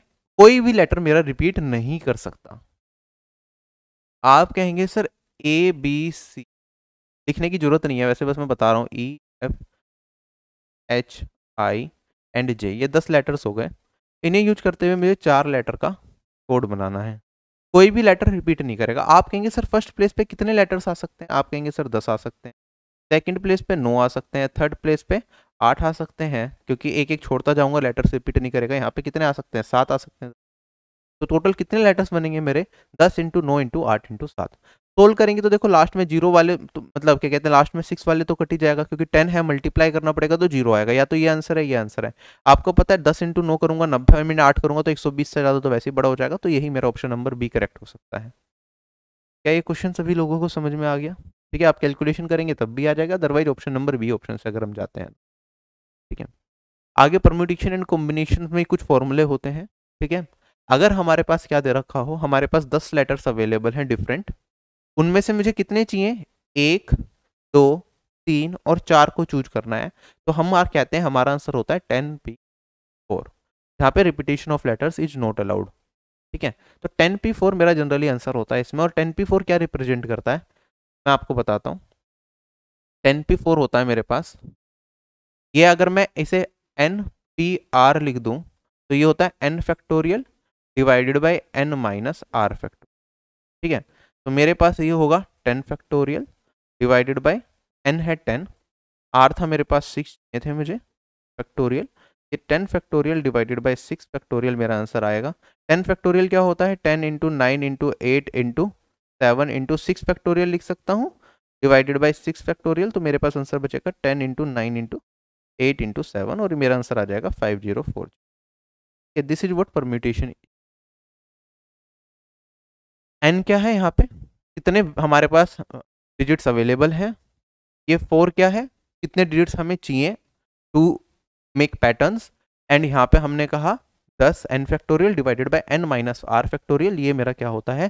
टोटल कॉम्बिनेशन निकल के आते हैं मेरे पास। ये डायरेक्ट फॉर्मूला होता है जो हम कर सकते हैं। ये छोटे छोटे केसेस में तो हमें करने की ज़रूरत नहीं होती। जो बड़ा क्वेश्चन कोई फंसता है तो उस पर्टिकुलर केस में हम लगा सकते हैं। अदरवाइज़ दिस इज़ डायरेक्ट करो, खत्म। ठीक है, मान लो हमारे पास जैसे पिछला क्वेश्चन था, अगर उस पिछले क्वेश्चन में भी मैं यही फॉर्मूला लगाने की करता। यहाँ पे मेरे पास कितने थे? चार करेक्टर चार लेटर्स थे। मुझे कितने डिजिट्स का कोड बनाना था? चार का ही बनाना था, या इन चार डिजिट्स को यूज़ करके, चार डिजिट का ही वर्ड बनाना था तो आप कहते चार दे रखे हैं। और चार ही मेरे पास प्लेसेस हैं जो फिल करने हैं तो four P four four P four क्या होता? है four factorial divided by four minus four factorial या था four factorial divided by zero factorial zero factorial याद रखना हमेशा वन होता है, और फोर फैक्टोरियल कितना होता है? ट्वेंटी फोर मेरा आंसर आ गया ट्वेंटी फोर तो हम इसे ऐसे भी देख सकते क्लियर है? चलूँ क्या मैं आगे? ठीक है फॉर्मूला बहुत ही कम यूज़ करेंगे हम क्वेश्चन में, हम बेसिक से ही ज़्यादातर क्वेश्चंस कर रहे होंगे अपने। कहता है, कितने पाँच डिजिट के टेलीफोन नंबर्स होंगे जो हम बना सकते हैं using the digits zero to nine अगर प्रत्येक नंबर मेरा ज़ीरो सिक्स सेवन से स्टार्ट होता है और no digit appears more than once कोई भी डिजिट एक बार से ज़्यादा नहीं यूज़ होती। मुझे पाँच डिजिट के टेलीफोन नंबर बनाने हैं और हर एक नंबर मेरा सिक्सटी सेवन से स्टार्ट होगा। सिक्सटी सेवन से स्टार्ट हुआ तो दो डिजिट तो ब्लॉक हो गई मेरे पास बची कितनी? तीन प्लेस। ठीक है? ज़ीरो टू नाइन यूज़ करना है तो टोटल टेन डिजिट्स थी। टेन डिजिट्स में से दो डिजिट ऑलरेडी यूज़ हो चुकी हैं। कितनी डिजिट बची? आठ। तो आठ में से यहाँ पे कोई भी डिजिट आ सकती है। फिर यहाँ पे एक और यूज़ हो गई तो बची सात। यहाँ पे सात में से कोई भी, फिर बची छः। यहाँ पे छः में से कोई भी। तो मेरा आंसर क्या होगा? सेवन इंटू एट इंटू में सिक्स। अगर मैं यूनिट डिजिट से करना चाहूँ, कहीं भी टेन आएगा क्या? नहीं आएगा, ये तीनों ऑप्शन कट गए option number three thirty six ही मेरा आंसर होगा। क्योंकि टेन बनाने के लिए फाइव और टू चाहिए फाइव का मल्टीपल तो यहाँ पे इन तीनों में कुछ है ही नहीं। राइट तो ये मल्टीप्लाई करके थ्री थर्टी सिक्स मेरा इस क्वेश्चन का आंसर होगा। बेसिक से मल्टीप्लाई भी कर सकते थे, बहुत simple calculation are you getting मैंने क्या समझाया है यहाँ पे आपको? तो क्वेश्चन के लिए दिमाग खुला होना बहुत ज़रूरी है। ओपन माइंड से ही आप ये परमिटेशन कॉम्बिनेशन कर सकते हैं, वरना नहीं होगा। मैंने फ़र्स्ट क्लास में बहुत बेसिक चीज़ें आपको सिखाई थी, इसी वजह से, जिससे कि आपको यहाँ पे दिक्कत ना है कहता है, कितने थ्री डिजिट के नंबर ऐसे हैं, जिनकी सारे की सारे डिजिट्स क्या हैं? ओड हैं। ये सीरियल 2017 का क्वेश्चन है। थ्री डिजिट के नंबर जिसकी सारे की सारे डिजिट क्या हो? ओड हो। ठीक है? ओड डिजिट्स कौन कौन सी होती हैं? वन थ्री फाइव सेवन और नाइन ही होती है हमारे पास। थ्री डिजिट का नंबर बताना है। आप कहेंगे, सर, जब नंबर्स की हम बात कर रहे होते हैं नॉर्मल नंबर्स बनाते हैं तो रिपीटेशन अलाउड होता है, क्योंकि रिपीट्स डिजिट्स रिपीट कर करके ही तो नंबर बनते हैं। जैसे कि मैंने बताया वन वन वन एक नंबर हो सकता है वन थ्री वन एक नंबर हो सकता है, यहाँ पे वन वन रिपीट कर रहा है तो रिपीटेशन इज़ जनरली अलाउड अगर हम थ्री डिजिट्स के नंबर्स बना रहे हैं। अगर क्वेश्चन में नहीं लिखा कि रिपीटेशन अलाउड नहीं है तो। अब मेरे पास यहाँ पे थ्री डिजिट के नंबर बनाने कितने? एक, दो, तीन, चार, पाँच। क्या यहाँ पे पाँचों वैल्यूज़ आ सकती हैं? बिल्कुल आ सकती हैं। ठीक है? ज़ीरो नहीं आ सकता, बस हंड्रेड प्लेस पे हमें ये ध्यान रखना है। बाकी सारी वैल्यूज़ आ सकती हैं तीन डिजिट का नंबर बनाने के लिए। तो पाँच वैल्यूज़ यहाँ पे हैं। पाँच ही वैल्यूज़ मेरी यहाँ पे आ सकती हैं, यही वन थ्री फाइव सेवन और नाइन और यही पाँच values one three five seven और नाइन यहाँ पे आ सकती हैं। तो five into five into five one twenty five one twenty five will be my answer ठीक है? अगर ओड जिसकी साइड डिजिट्स ओड्स हो, ऐसे नंबर पूछ लें थ्री डिजिट के। अब मेरे पास अगला सवाल। How many three digit numbers are there in which all the digits are even कितने तीन डिजिट के नंबर ऐसे हैं जिसमें सारे की सारी डिजिट क्या हो? इवन हो। तो वो कैसे करेंगे? आप कहेंगे, सर इवन डिजिट्स बंद होती है मेरी। Zero two four six and eight तीन डिजिट का नंबर बताना है। अब यहाँ पे देखो, क्या यहाँ पे हंड्रेड प्लेस पे कभी ज़ीरो आ सकता है? यहाँ पे ज़ीरो नहीं आ सकता। क्यों नहीं आ सकता? क्योंकि ज़ीरो रख दोगे तो ये टू डिजिट का नंबर बनेगा। मेरे पास यहाँ पे क्या आ सकता है? Two four six and eight आ सकता है। ठीक है? तो यहाँ पे मेरे पास कितनी वैल्यूज़ आ सकती है? यहाँ पे मेरे पास सिर्फ़ चार वैल्यूज़ आ सकती है। यहाँ पे कितनी आएगी? यहाँ पे zero two four six and eight पाँचों वैल्यूज़ यहाँ पे भी zero two four six and eight पाँचों वैल्यूज़ आ सकती हैं। तो मेरे पास यहाँ पे पाँच वैल्यूज़ और यहाँ पे मेरे पास पाँच वैल्यूज़ तो चार इंटू पाँच, बीस इंटू में पाँच। हंड्रेड क्या ये मेरा इस सवाल का उत्तर होगा? तो ओड सारी डिजिट्स हों, उसके कितने केसेस बन रहे थे? थ्री डिजिट के नंबर्स के 125 इवन होंगी तो कितने बनेंगे? 100 बनेंगे। ऐसे ही अगर आप चार डिजिट का पूछ ले तो आप सोल्व कर सकते हैं। चार डिजिट का, अगर मेरे से पूछता है यहीं पे चार डिजिट के नंबर बताओ, जिसमें सारे की सारी डिजिट्स क्या हो? ओड तो आप कहेंगे, सर फ़र्स्ट प्लेस पे पाँच वैल्यूज़ सेकंड पे भी पाँच थर्ड पे भी पाँच और फोर्थ पे भी पाँच वैल्यूज़ आएँगी और फाइव की पावर फोर ये सिक्स ट्वेंटी फाइव मेरा आंसर देगा। अगर इवन पूछता तो आप कहते हैं, सर यूनिट प्लेस पे ज़ीरो नहीं सॉरी थाउजेंड्स प्लेस पे ज़ीरो नहीं आएगा तो यहाँ पे सिर्फ़ चार वैल्यू जा सकती हैं। यहाँ पे पाँच, यहाँ पे पाँच और यहाँ पे पाँच। एक सौ पच्चीस इंटू में चार कर दूँगा तो ये वाली वैल्यू मेरे पास पाँच सौ। अगर फोर डिजिट्स का पूछता मेरे पास नंबर बिल्कुल सेम क्वेश्चन ऐसी फाइव डिजिट्स का बना लेते सिक्स डिजिट्स का बना लेते तो भी कर सकते हैं, कोई दिक्कत नहीं है, ठीक है? अब मैं आगे बढ़ता हूँ। अब देखो, ये दो मैंने सवाल बनाए आपके लिए, ठीक है? इसमें एक और क्वेश्चन फ्रेम कर सकता है, जो मेरे दिमाग में अभी आ रहा है। मैं यहीं पे आपके लिए खुद ही लिखता हूँ। How many three digits three digit numbers are possible where all the digits, all the three digits are neither odd, nor, even. अब ये वाला सवाल अगर डायरेक्टली पूछ ले तो अपने आप में बहुत मुश्किल सवाल आपको लगेगा कि मुझे बताने हैं तीन डिजिट के ऐसे कितने नंबर्स पॉसिबल हैं जिसकी सारी की सारी डिजिट्स ना तो ओड हो, ना ही सारी की सारी डिजिट्स इवन हो। मतलब जो नंबर्स हो वो इवन और ओड डिजिट के कॉम्बिनेशन में होने चाहिए। इस तरह के केसेस को कैसे करेंगे? अगर आप डायरेक्टली निकालने की कोशिश करें तो आप डायरेक्टली नहीं कर सकते। इसमें मैं कहूँगा कि जो मेरा आंसर होगा, वो क्या होगा? टोटल थ्री डिजिट्स के नंबर जो बनेंगे मेरे पास, उसमें से मैं वो नंबर घटा दूँगा जो मेरे पास ऑल थ्री डिजिट्स ओड और इसी में से मैं एक और घटाऊँगा ऑल थ्री डिजिट्स इवन अगर मैं सोल्व करूँ टोटल थ्री डिजिट के नंबर कितने होते हैं? आप कहेंगे, सर, ये हंड्रेड से स्टार्ट होता है और ये मेरे पास जाता है नाइन नाइन नाइन तक। कितने नंबर हो गए हंड्रेड से अगर नाइनटी नाइन नाइन नाइन तक जाऊँगा मैं। तो आप कहेंगे, सर, ये वाले जो मेरे पास नंबर्स निकल के आए ना, ये होते हैं मेरे पास नाइन हंड्रेड नंबर ठीक है? नाइन हंड्रेड आप निकाल सकते हैं। ये अर्थमेटिक प्रोग्रेशन का सीक्वेंस बनेगा। वन ज़ीरो ज़ीरो है, one zero one one zero two. तो वो टोटल नंबर ऑफ़ टर्म्स कितनी होती हैं? Last term minus first term nine nine nine. Minus first term is one zero zero divided by common difference कितने का होता है? वन का होता है plus one. Last term minus first term divided by common difference plus one, ये हमारा number of terms count करने का फॉर्मूला होता है। अगर अर्थमेटिक प्रोग्रेशन में सीक्वेंस हो तो you can calculate nine nine nine plus one that is ten thousand minus hundred that is nine hundred. ठीक है? तो हमारे पास यहाँ पे नाइन हंड्रेड क्या होते हैं मेरे पास? थ्री डिजिट के नंबर होते हैं। ऐसे अगर टू डिजिट के नंबर मेरे से पूछे, टोटल कितने होंगे?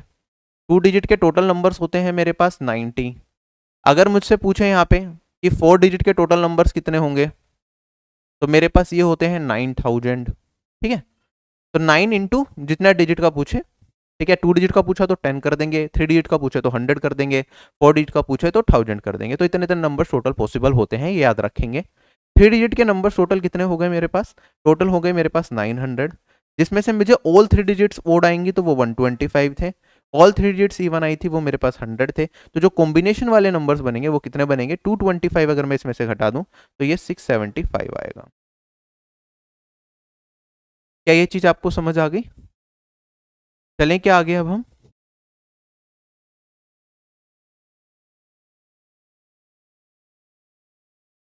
कहता है, कितने टू डिजिट के इवन नंबर्स में बना सकता हूँ using the digits one two three four and five if the digits can be repeated ठीक है?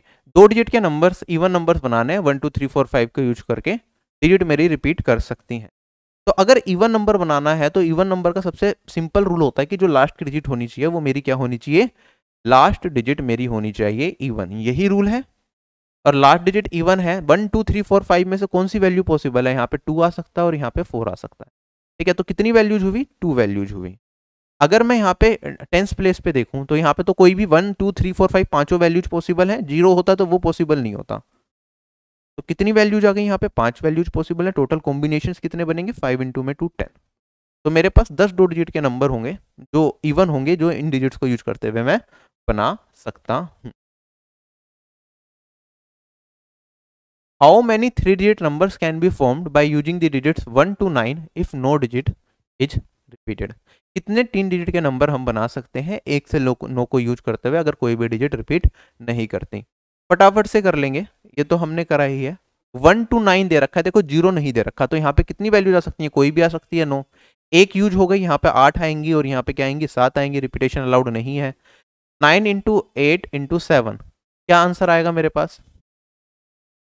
एट सेवन जब फिफ्टी सिक्स इंटू में नाइन फाइव ज़ीरो फोर मेरा इस सवाल का उत्तर आएगा। चारों ऑप्शंस गलत हैं यहाँ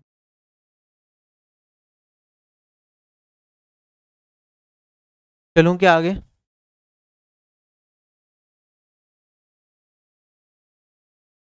How many four digit numbers are there with no digit repeated कितने फोर डिजिट के नंबर्स ऐसे हैं जिसमें कोई भी डिजिट रिपीट नहीं करती। तो ज़ीरो टू नाइन मेरी कोई भी डिजिट्स होंगी फोर डिजिट के नंबर निकालने हैं। यहाँ पे ज़ीरो नहीं आ सकता, बाकी की नो वैल्यूज़ में से कोई भी नो वैल्यू बाकी नो वैल्यूज़ आ सकती हैं वन टू नाइन अब यहाँ पे मेरे पास zero two ten, zero two nine कोई भी वैल्यू यहाँ पे भी ज़ीरो टू नाइन कोई भी वैल्यू और यहाँ पे भी ज़ीरो टू नाइन कोई भी वैल्यू तो यहाँ पे पॉसिबल कितनी है? दस दस दस वैल्यूज़ में से कोई भी पॉसिबल है। बट जो मैंने एक डिजिट यहाँ पे यूज़ कर दी थाउजेंड्स प्लेस पे, क्योंकि हमें जो फिक्स क्राइटेरिया दे रखा है फोर डिजिट का नंबर तब बनेगा जब यहाँ पे क्या होगा? थाउजेंड्स प्लेस पे सिर्फ़ नो वैल्यू जा सकते हैं, ज़ीरो नहीं आ सकता। तो जो, जहाँ पे कंडीशन हमारी लग रही है, पहले हम वो प्लेस फिल करते हैं, उसके बाद आगे हम क्वेश्चन को सोल्व करना स्टार्ट करते हैं। इस चीज़ का हमेशा याद रखेंगे। जैसे अगर इवन नंबर की बात करें कि मुझे इवन नंबर्स बनाने हैं तो सबसे पहले मैं क्या पकड़ूँगा? लास्ट डिजिट को पकड़ूँगा। लास्ट डिजिट मुझे क्या करूँगा? सबसे पहले उसे इवन बनाऊँगा। उसके बाद मैं आगे पार्ट को सोल्व करूँगा। आगे के डिजिट्स प्लेस करूँगा। ऐसे ही अगर मुझे फोर डिजिट का नंबर चाहिए तो सबसे पहले जो थाउजेंड्स प्लेस है, उसे मैं फिल करूँगा। क्योंकि यहाँ पे कंडीशन मेरी मीट करेगी कि नंबर फोर डिजिट का बनेगा या थ्री डिजिट का बनेगा। पहले ये कंडीशन फॉलो होगी, उसके बाद आगे सोल्व किया जाता है। अब मैंने यहाँ पे रखा कि मेरे पास भैया यहाँ पे नाइन डिजिट्स आ सकती हैं। क्योंकि रिपीटेशन अलाउड नहीं है तो यहाँ पे कितने डिजिट्स आएँगे? आप कहेंगे, सर, दस डिजिट्स पॉसिबल थी, एक यूज़ हो गई है तो यहाँ पे नाइन आ सकती हैं। फिर यहाँ पे एक और यूज़ हो गई, दो यूज़ हो गई, दस में से दो घटाऊँगा तो आठ आ सकती हैं। फिर तीन यूज़ हो गई हैं, दस में से तीन घटाऊँगा तो सात आ सकती हैं। This will be my answer अगर आपको याद हो, अभी मैंने थोड़ी देर पहले सोल्व किया कि मेरे पास इस क्वेश्चन का आंसर क्या आएगा? नाइन इंटू में एट इंटू में सेवन अभी पिछले क्वेश्चन में हमने देखा था कि ये वाली वैल्यू मेरे पास फाइव ज़ीरो फोर आई थी राइट आ, इससे पिछले में देखा था किसमें देखा था? अभी आया था ना? ये कैलकुलेशन मुझे याद थी देखो यहाँ पे ये रहा। ठीक है? ये मेरे पास जब वैल्यू हमने सोल्व किया था तो ये फाइव ज़ीरो फोर आया था। तो अगर ये मेरे पास फाइव ज़ीरो फोर है और उसमें मैं फाइव ज़ीरो फोर में नाइन से मल्टीप्लाई करूँगा तो आंसर क्या आएगा? नाइन फोर जो थर्टी सिक्स नाइन फाइव जो फोर्टी तो फोर फाइव थ्री सिक्स मेरे पास ऐसे नंबर्स बनेंगे जिसमें कोई भी डिजिट रिपीट नहीं करेगी और ये सारे के सारे नंबर्स क्या होंगे? चार डिजिट के होंगे। अब इसी में एक और सवाल बना सकते हैं। अगर एग्जामिनर अच्छा सवाल पूछना चाहेगा, ठीक है? आप बता दो फोर डिजिट के नंबर्स जिसमें आप बता दो फोर डिजिट के नंबर्स जिसके अंदर एटलीस्ट वन डिजिट रिपीट करें। कम से कम एक डिजिट मेरी क्या कर दे? रिपीट कर दें। तो अगर एक डिजिट रिपीट करने वाला बताना है मिनिमम एक डिजिट एक या उससे ज़्यादा डिजिट रिपीट करे तो आप कहेंगे, सर, अगर मैं डायग्राम के थ्रू बताऊँ तो या तो मेरे पास कोई ना कोई एक डिजिट रिपीट करेगी one digit repeat at least one digit repeat कम से कम एक डिजिट तो इसमें एक डिजिट रिपीट कर सकती है, दो कर सकती हैं, तीन डिजिट रिपीट कर सकती हैं, ठीक है, जो भी है। और प्लस अगर मैं कर दूँ no digit repeat at least plus no digit repeat तो जो इन दोनों का सम होगा, ये मेरा बराबर होगा टोटल फोर डिजिट नंबर्स के। यही होगा। सीधा सीधा बात है कि मेरे पास या तो डिजिट रिपीट करेंगी या फिर नहीं करेंगी। अगर रिपीट करने वाली और ना रिपीट करने वाली मैंने दोनों को ऐड कर दिया तो टोटल नंबर्स मेरे पास निकल के आएँगे फोर डिजिट के नंबर तो मेरे पास टोटल फोर डिजिट के नंबर्स कितने होते हैं? मैंने अभी आपको बताया कि ये होते हैं नाइन थाउज़ेंड ठीक है? इसमें से कितने वैल्यूज़ ऐसी थी, जिसमें कोई भी डिजिट रिपीट नहीं कर रही थी, वो वैल्यूज़ थी मेरे पास फोर फाइव थ्री सिक्स अगर ये मैं घटा दूँ तो मेरे पास at least one digit repeat ये मेरे पास आंसर आ जाएगा। तो अगर मैं ज़ीरो में से घटाऊँगा तो ये वाली वैल्यू मेरे पास सिक्सटी फोर आएगी और ये एट्टी नाइन में से फोर्टी फाइव घटाऊँगा तो four four this will be my answer I hope this question is clear to all of you बताएँ।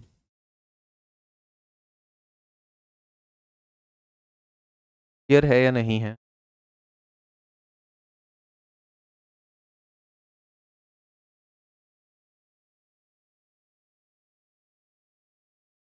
अगला सवाल how many four digit numbers can be form using the digits zero one two three four कितने चार digit के number ऐसे हैं जो zero one two three four को यूज़ करके बनाए जा सकते हैं? तो अगर खाली हमसे रिपीटेशन के बारे में बात नहीं करी, इसका मतलब क्या है? रिपीटेशन अलाउड होगा। ठीक है? क्योंकि टोटल चार डिजिट के नंबर हमसे पूछे गए हैं।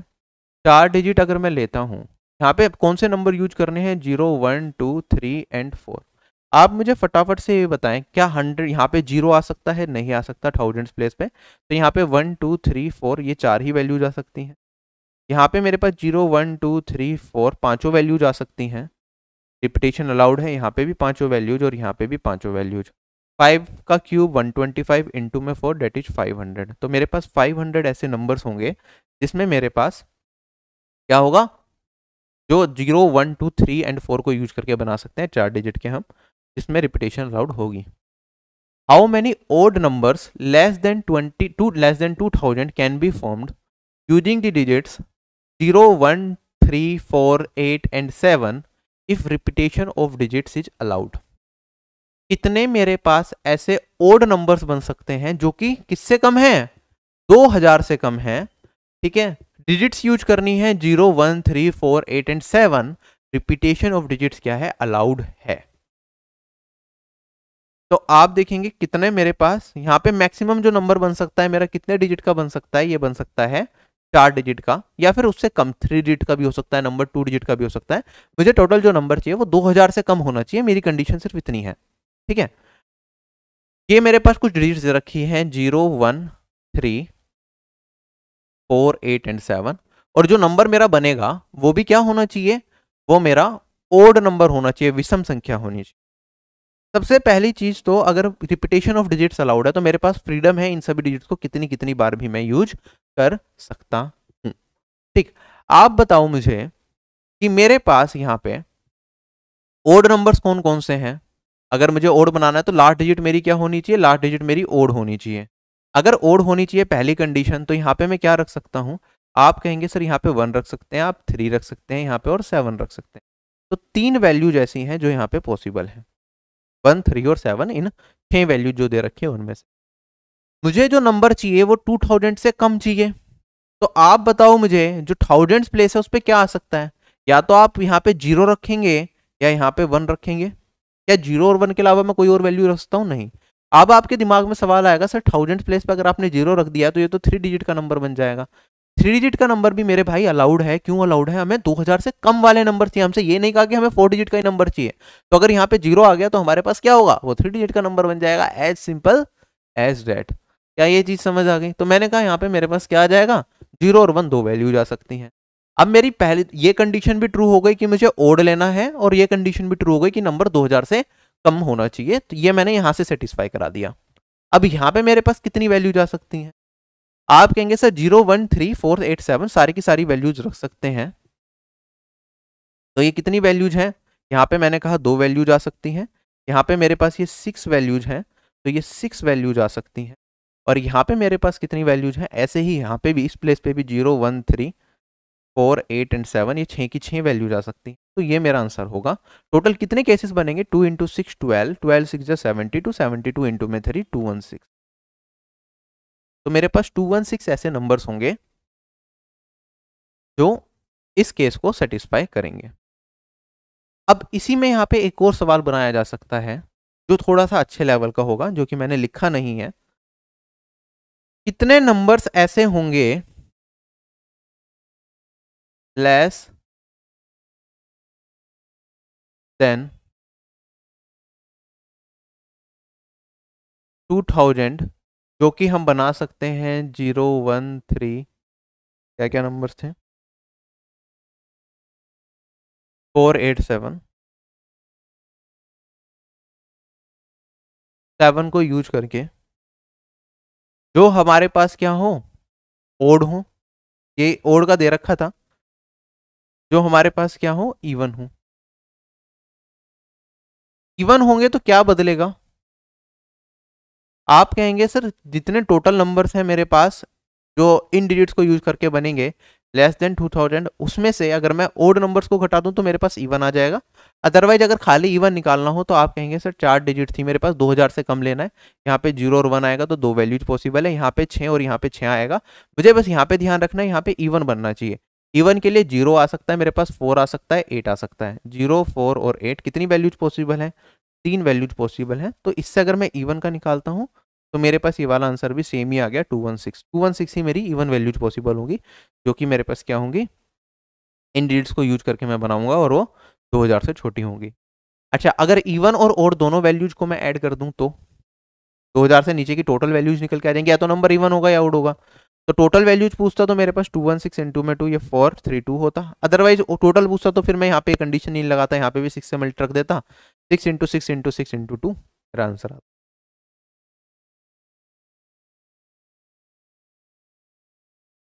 कहता है, कितने डिजिट के नंबर बनाए जा सकते हैं which are divisible by three जो तीन से विभाजित होते हैं, जिसका टू क्या हो? फ़र्स्ट डिजिट हो, और फोर क्या हो? उसका थर्ड डिजिट हो।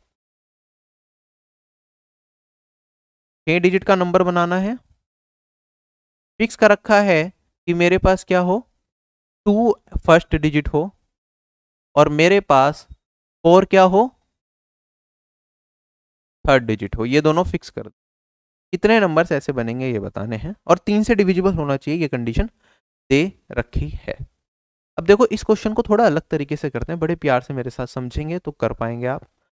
डिविजिबिलिटी रूल ऑफ़ थ्री कहता है, divisibility rule of three sum of digit मेरी क्या होनी चाहिए? Sum of digit should be divisible by three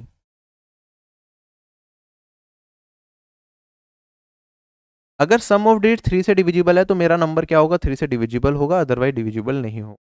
तो मेरे पास अभी यहाँ पे मुझे नहीं पता क्या क्या डिजिट्स आएँगे। आपको पता है यहाँ पे ज़ीरो टू नाइन कोई भी डिजिट मैं रख सकता हूँ। नंबर छः डिजिट का ही रहेगा, क्योंकि फ़र्स्ट प्लेस जो है मेरा ये वाला, ये फिक्स हो गया है। यहाँ पे ज़ीरो नहीं है, दे रखा है।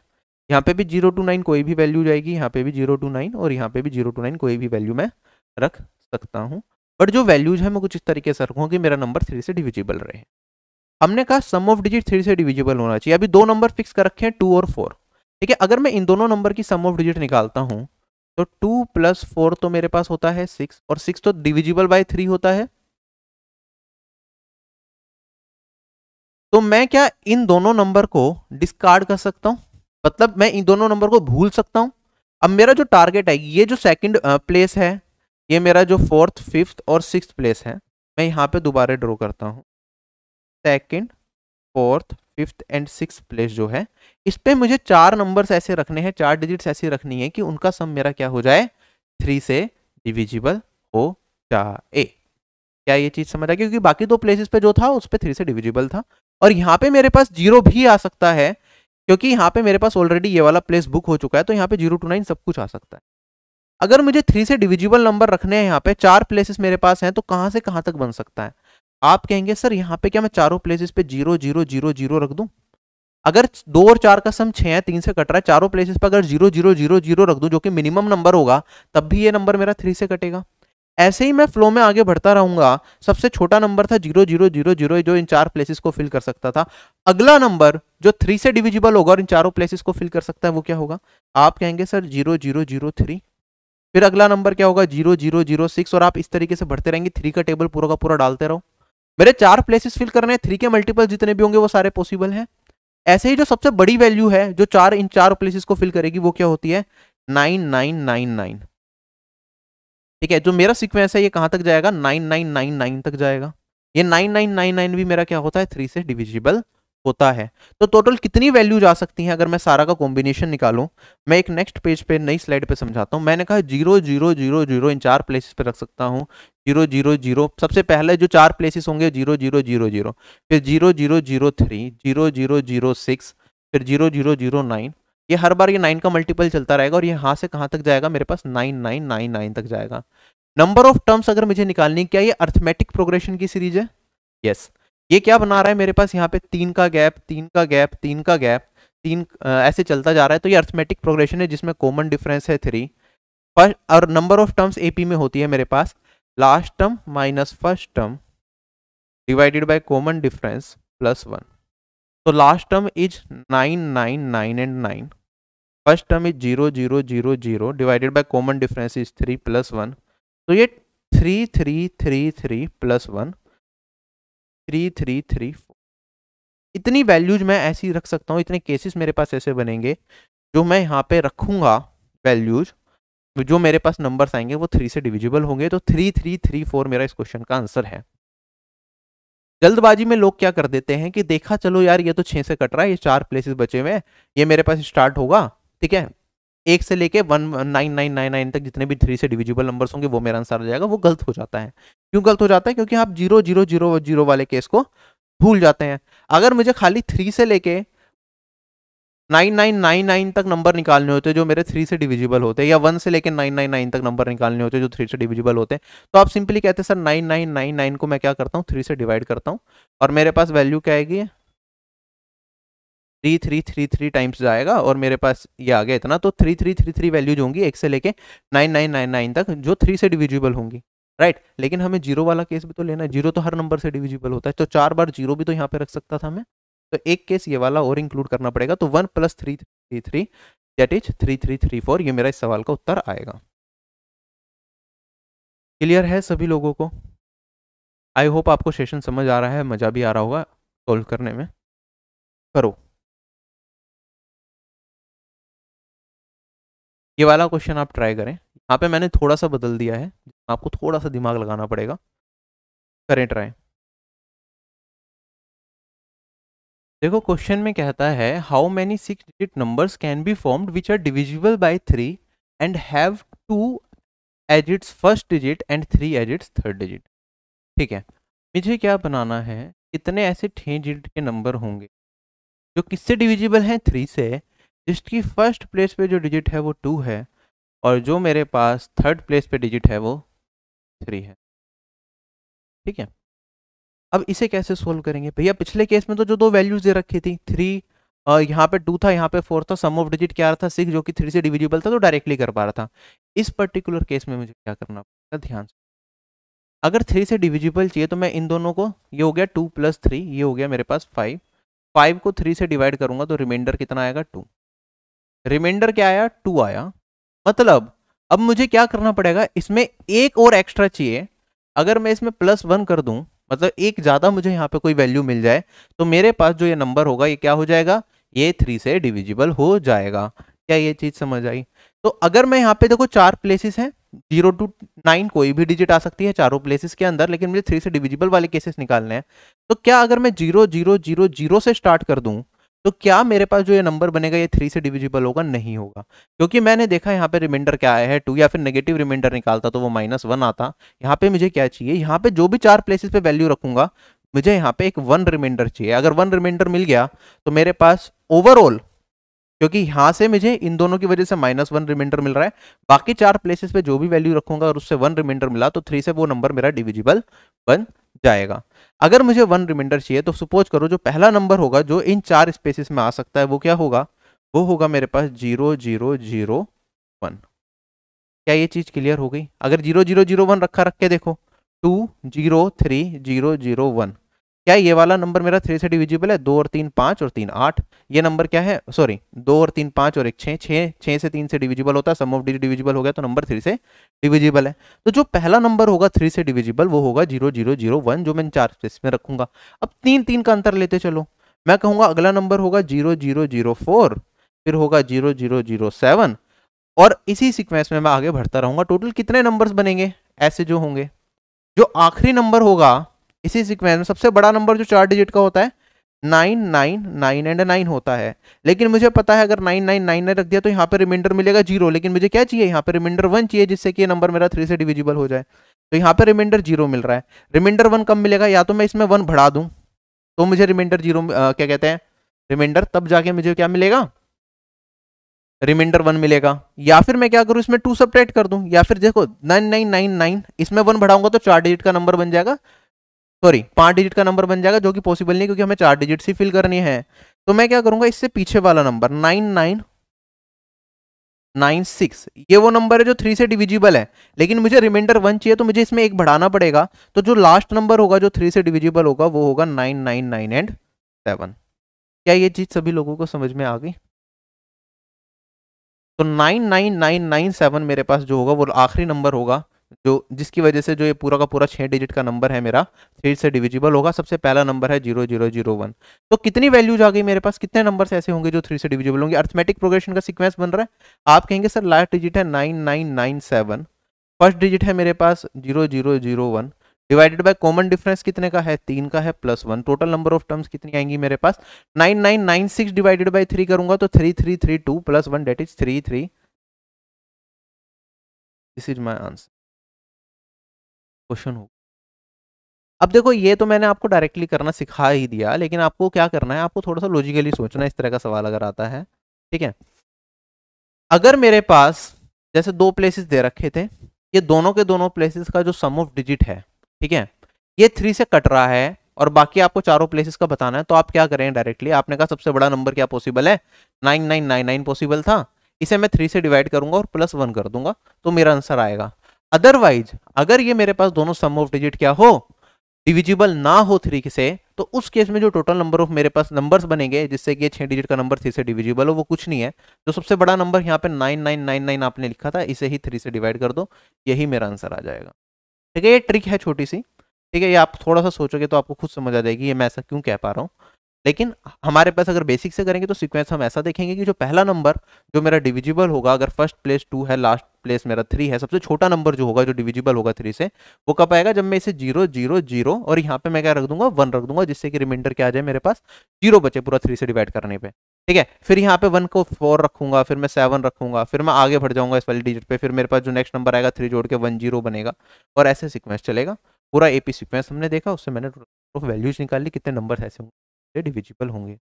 समझ आ गया? अब ऐसे मैंने ये थ्री का बताया, आपसे आपका क्या पूछ सकते हैं? नाइन का पूछ सकते हैं फोर का पूछ सकते हैं ट्वेल्व का पूछ सकते हैं अलग अलग लॉजिक लगाने पड़ेंगे आपको डिविजिबिलिटी पे। कुछ भी सवाल बनाया जा सकता है परमिटेशन एंड कॉम्बिनेशन यूज़ जैसे कि मेरे पास अगला सवाल है ये।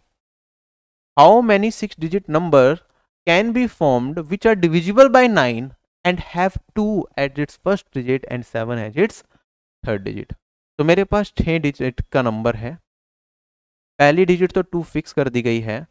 मेरे पास थर्ड डिजिट सेवन फिक्स कर दी गई है। तो यहाँ पे कितने नंबर्स ऐसे पॉसिबल हैं जो मेरे नाइन से डिविजिबल होंगे? नाइन का डिविजिबिलिटी रूल कहता है कि सम ऑफ़ डिजिट डिविजिबल होना चाहिए किससे? नाइन से। अगर मैं इन दोनों नंबर का सम ऑफ़ डिजिट निकालता हूँ जो मुझे गिवन है टू प्लस सेवन क्या होता है? नाइन ये तो नाइन से डिविजिबल है। अगर ये नाइन से डिविजिबल है तो इसे छोड़ते हैं। बचे हुए जो चार नंबर हैं, इनका सम ऑफ़ डिजिट मेरा नाइन से डिविजिबल होना चाहिए। और यहाँ पे आपको पता है फ़र्स्ट प्लेस पे ज़ीरो आ सकता है, क्योंकि यहाँ पे मेरे पास जो, यहाँ पे जो चार स्पेस बचे हैं, खाली वाले, ये एक्चुअली में फ़र्स्ट प्लेस पे नहीं है। फ़र्स्ट प्लेस पे मेरा टू है तो यहाँ पे ज़ीरो टू नाइन कोई भी डिजिट यहाँ पे भी zero two nine zero two nine और यहाँ पे भी ज़ीरो टू नाइन कोई भी डिजिट आ सकती है। तो मेरे पास वो फ्रीडम है। तो सबसे पहली वैल्यू क्या रखूँगा कि सम ऑफ़ डिजिट मेरा क्या हो जाए? नाइन से डिविजिबल हो जाए। आप कहेंगे, सर, इस प्लेस पे ज़ीरो रखेंगे, इधर भी ज़ीरो इधर भी ज़ीरो और इधर भी ज़ीरो ठीक है, क्या मेरा नंबर नाइन से डिविजिबल होगा? बिल्कुल होगा। फिर मैं क्या करूँगा? नाइन का टेबल लिखना स्टार्ट कर दूँगा। फिर मेरे पास ज़ीरो ज़ीरो ज़ीरो नाइन आएगा। फिर ज़ीरो ज़ीरो वन एट आएगा और हम ऐसे चलते रहेंगे और लास्ट में क्या होगा? चार डिजिट का सबसे बड़ा number nine nine nine nine आपको पता है नाइन नाइन नाइन नाइन ये अपने आप में क्या होगा? नाइन से डिविजिबल होता है। टोटल नंबर्स कितने बनेंगे? अगर मैं यहाँ से देखता नाइन के टेबल से नाइन इंटू वन है ये, और आप देखेंगे ये वाली वैल्यू कितनी है? नाइन नाइन नाइन नाइन ये इंटू में नाइन इंटू में वन वन वन वन है। तो यहाँ पे इतनी वैल्यूज़ कितनी हो गई? आप डायरेक्टली कह सकते हैं one one one one values तो ये हैं और एक केस मेरे पास ज़ीरो ज़ीरो ज़ीरो ज़ीरो वाला है तो ये एक केस और जुड़ेगा। तो one plus one one one one that is one one one two वरना एपी वाला फॉर्मूला लगा सकते हैं। आप जैसे करना चाहो। तो टोटल वैल्यूज़ कितनी होंगी मेरे पास? कितने ऐसे नंबर्स बनेंगे छः डिजिट के, जिसकी फ़र्स्ट प्लेस टू होगी थर्ड डिजिट प्लेस सेवन होगा और वो नंबर मेरा सेवन नाइन से डिविजिबल होगा, वो होगा वन वन वन टू क्या क्वेश्चन सभी लोगों को अच्छे तरीके से समझ में आ गया? ओरली करने वाला क्वेश्चन है बट एक बार लॉजिक क्लियर होना चाहिए। ऐसे ही अब मेरे पास एक और सवाल दे दिया। कितने छह डिजिट के नंबर ऐसे होंगे जो नौ से डिविजिबल होंगे? टू फ़र्स्ट प्लेस पे है और थ्री मेरा क्या है? थर्ड प्लेस पे है। तो मैंने कहा यहाँ पे टू रखूँगा। खाली फिर यहाँ पे थ्री रखूँगा फिक्स है। छह डिजिट का नंबर बन गया। कितने पॉसिबल होंगे? आप कहेंगे, सर टू और थ्री क्या बनता है? ये तो सम करूँगा तो फाइव आएगा। मुझे नाइन से डिविजिबल नंबर चाहिए तो मुझे यहाँ पे किसकी रिक्वायरमेंट है? मुझे यहाँ पे रिमाइंडर फोर की रिक्वायरमेंट है। अगर मुझे फोर और मिल गया तो मेरे पास जो नंबर होगा नाइन से डिविजिबल हो जाएगा। ठीक?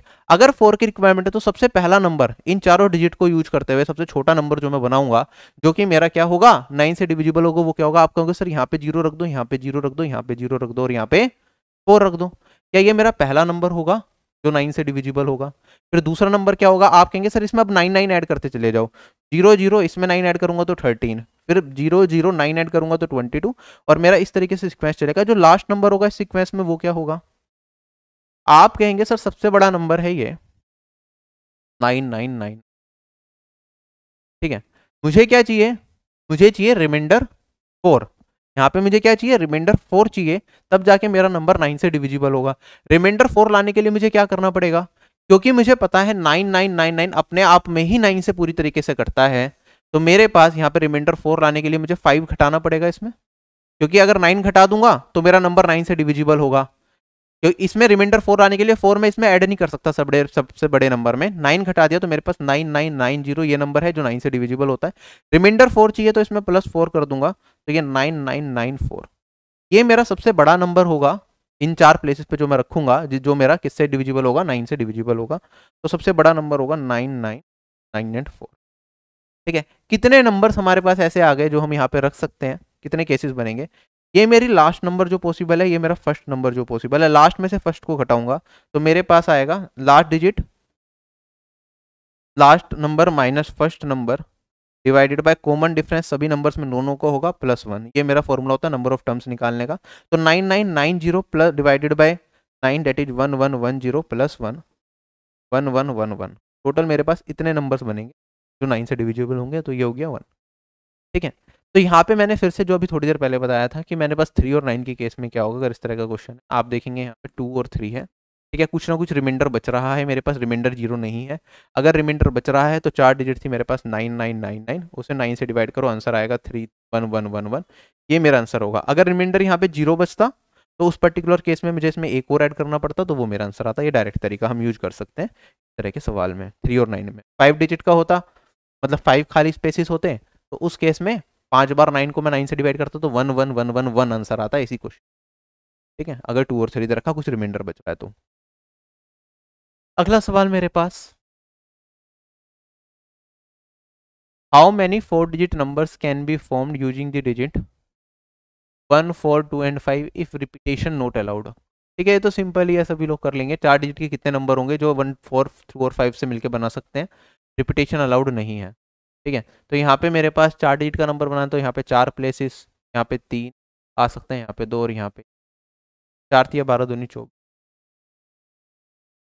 यही तो आंसर है मेरा। ठीक है? ये पहले डालना चाहिए था ये सिक्वेंस थोड़ा सा अलग हो गया। अगले सवाल पे चलते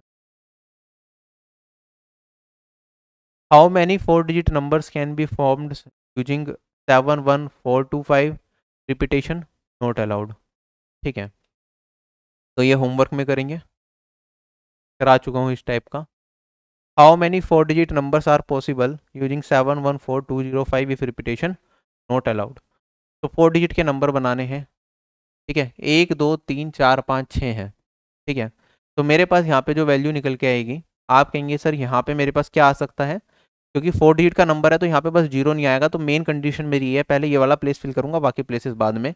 एक, दो, तीन छः नंबर हैं, ज़ीरो नहीं आएगा तो पाँच नंबर यहाँ पे कोई भी आ सकते हैं। एक नंबर मैं यहाँ पे यूज़ कर चुका हूँ तो बचे कितने नंबर पाँच नंबर यहाँ पे पाँचों में से कोई भी एक नंबर आ सकता है तो पाँच, फिर दो यूज़ हो गए तो चार और यहाँ पे तीन। तो twenty five four three hundred चार डिजिट के मेरे पास टोटल थ्री हंड्रेड नंबर्स बन सकते हैं इन डिजिट्स को यूज़ करके, अगर रिपीटेशन अलाउड नहीं कहता है कितने नंबर हम बना सकते हैं? हज़ार से लेके पाँच हज़ार के बीच में। Using the digits zero one three five and six if repetition is not allowed हज़ार से लेके पाँच हज़ार के बीच में बनाने हैं रिपीटेशन अलाउड नहीं है। ठीक। क्या क्या नंबर्स हैं? Zero one three five and अब देखो, हज़ार से पाँच हज़ार कहाँ से डिसाइड होगा, कौन सी डिजिट डिसाइड करेगी? मेरा नंबर हज़ार से बड़ा है और पाँच हज़ार से छोटा है। आप कहेंगे थाउज़ेंड प्लेस वाले डिजिट ठीक है? मैं क्या क्या रख सकता हूँ? रिपीटेशन अलाउड नहीं है, ये चीज़ ध्यान रखेंगे। क्या मैं यहाँ पे पाँच रख सकता हूँ? नहीं रख सकता। ठीक है? बिटवीन पूछा है वैसे भी तो इसमें हज़ार भी इंक्लूडेड नहीं है फाइव थाउज़ेंड भी इंक्लूडेड नहीं है। मेरा नंबर पाँच हज़ार से छोटा होना चाहिए और हज़ार से थोड़ा सा बड़ा होना चाहिए। ठीक है तो यहाँ पे मैं फाइव नहीं रख सकता। क्या मैं यहाँ पे ज़ीरो रख सकता हूँ? नहीं रख सकता, क्योंकि मेरा नंबर हज़ार से छोटा हो जाएगा ज़ीरो होते ही थ्री डिजिट का बन जाएगा। ठीक है, क्या मैं यहाँ पे वन रख सकता हूँ? रख सकता हूँ। क्या यहाँ पे थ्री रख सकता हूँ? रख सकता हूँ। क्या सिक्स रख सकता हूँ? नहीं सिक्स रखूँगा तो ये नंबर मेरा कितने का हो जाएगा? ये मेरा सिक्स डिजिट का, वो क्या कहते हैं, पाँच हज़ार से बड़ा हो जाएगा। तो यहाँ पे कितनी वैल्यूज़ पॉसिबल है? एक और एक दो। आगे बढ़ते हैं। ठीक है टोटल कितनी डिजिट थी? एक, दो, तीन, चार, पाँच थी। पाँच में से मैंने दो यहाँ पे यूज़ कर ली। मतलब दो कोई भी एक आएँगी तो एक वैल्यू यूज़ कर चुका हूँ बची है मेरे पास कितनी? चार वैल्यू। ठीक है? यहाँ पे मैं कोई सी भी चार वैल्यूज़ रख सकता हूँ रख सकता हूँ। ठीक है? फिर अब मेरे पास दो यूज़ हो गए कितनी वैल्यूज़ बची? तीन। ती, ती, तीन यूज़ हो गए कितनी वैल्यूज़ बची? दो। तो ये मेरा आंसर होगा। चार थी या बारह दूनी चौबीस दूनी अड़तालीस। नंबर ऐसे बनेंगे जहाँ पे रिपीटेशन अलाउड नहीं होगी जो कि मैं बना सकता हूँ। Zero one three five and six को यूज़ करते। चले आगे। कहता है n is the total number of five digit numbers which are divisible by four and the numbers are formed using the digits one two three four five and six no digit is repeated in the number what is the value of n? n क्या है? Total numbers हैं five digit के, जो कि चार से divisible हैं। ठीक है? और ये बनाए गए हैं डिजिट्स को यूज़ करते हुए one two three four five and six हमें बताना अगर कोई भी डिजिट रिपीट नहीं कर सकती तो टोटल कितनी वैल्यूज़ एनिबल हैं? ठीक है? यहाँ पे चार से डिविजुअल पूछा है। डिविजिबिलिटी रूल ऑफ़ फोर की अगर मैं बात करूँ तो ये कहता है last two digits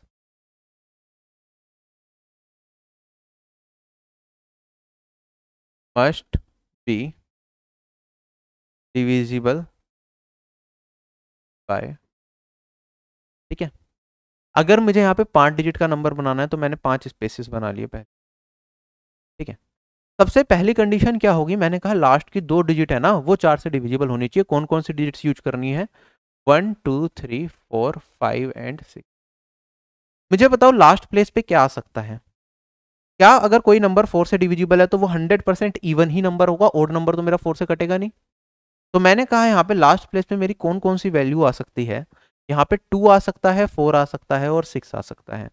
या तो टू आएगा या फिर फोर आएगा, यहाँ पे सिक्स आएगा। लास्ट प्लेस के बारे में मुझे ये पता चला। लेकिन मेरा जो रूल है, उसमें क्या था? लास्ट टू डिजिट फोर से कटनी चाहिए तो मुझे यहाँ पे भी देखना पड़ेगा कि यहाँ पे कौन सी वैल्यूज़ आ सकती हैं। बाकी इन तीनों प्लेसेस पे कुछ भी आता रहे, मुझे उससे घंटा फ़र्क नहीं पड़ता है। ठीक है? क्या ये चीज़ आपको समझ आ गई? अगर मैं यहाँ पे इसे सोल्व करता हूँ, मैंने कहा यहाँ पे टू आ सकता है फोर आ सकता है सिक्स आ सकता है, तीन केसेस बनेंगे, तीनों केसेस मैं यहाँ पे आपको दिखा रहा हूँ। मैंने यहाँ पे रखा ये, ठीक है, चार प्लेसेस बनाए, ठीक है, ये दो प्लेसेस मेरे लिए इंपॉर्टेंट है, मैंने एक केस में रखूँगा टू एक, दो, तीन, एक केस में रखूँगा फोर और एक एक, दो, तीन, ये मेरे पास है फिक्स यहाँ पे रखूँगा मैं सिक्स क्या यही हो सकता है यूनिट डिजिट ये तीन तरह के केसेस हैं। अब आगे बात करते हैं। जब मेरे पास यहाँ पे ये क्या दे दिया फोर दे दिया ये यहाँ पे टू दे दिया। तो यहाँ पे कौन सी प्लेस आ सकती है? आप फोर का अगर टेबल आपको याद होगा टू कब आता है लास्ट डिजिट में? आप कहेंगे, सर फोर थ्री जा ट्वेल्व ट्वेल्व के केस में मेरे पास यहाँ पे टू आता है। उसके बाद जो आगे मैं फोर का टेबल भरता रहूँगा, आगे टू डिजिट्स में जितने भी नंबर्स बनेंगे, आप कहेंगे, सर, फिर आएगा थर्टी टू यहाँ पे मेरे पास अगर टू है तो यहाँ पे थ्री आएगा। फिर यहाँ पे टू रखूँगा तो नेक्स्ट नंबर होगा, जो फोर से डिविजिबल होगा फिफ्टी टू फिर होगा सेवेंटी टू और फिर होगा मेरे पास नाइनटी टू नाइन तो आप देखेंगे, जब जब मेरे पास यहाँ पे टू आया है तो मेरे पास जो यहाँ पे सेक जो टेंथ प्लेस पे डिजिट आई है, वो क्या आई है? ओड आई है। आई है या नहीं आई है? ओड आई है। ठीक है? ऐसे ही मैंने रखा जब फोर अगर मैंने लास्ट डिजिट रखी फोर तो पहला नंबर जिसकी लास्ट डिजिट फोर हो टू डिजिट का हो, आप कहेंगे, सर लास्ट में लेना है ना तो ज़ीरो फोर क्या ज़ीरो फोर मेरा फोर से कटेगा कटेगा। अभी टू डिजिट का नंबर नहीं है, क्योंकि एक्चुअली हमारे पास ये फाइव डिजिट का नंबर है, इसलिए ज़ीरो फोर को मैं कंसिडर कर रहा हूँ कि यहाँ पे कुछ तीन वैल्यू हो। लास्ट की दो डिजिट मेरी चार से कटनी चाहिए, ज़ीरो फोर आ गया तो ये चार से कट जाएगा।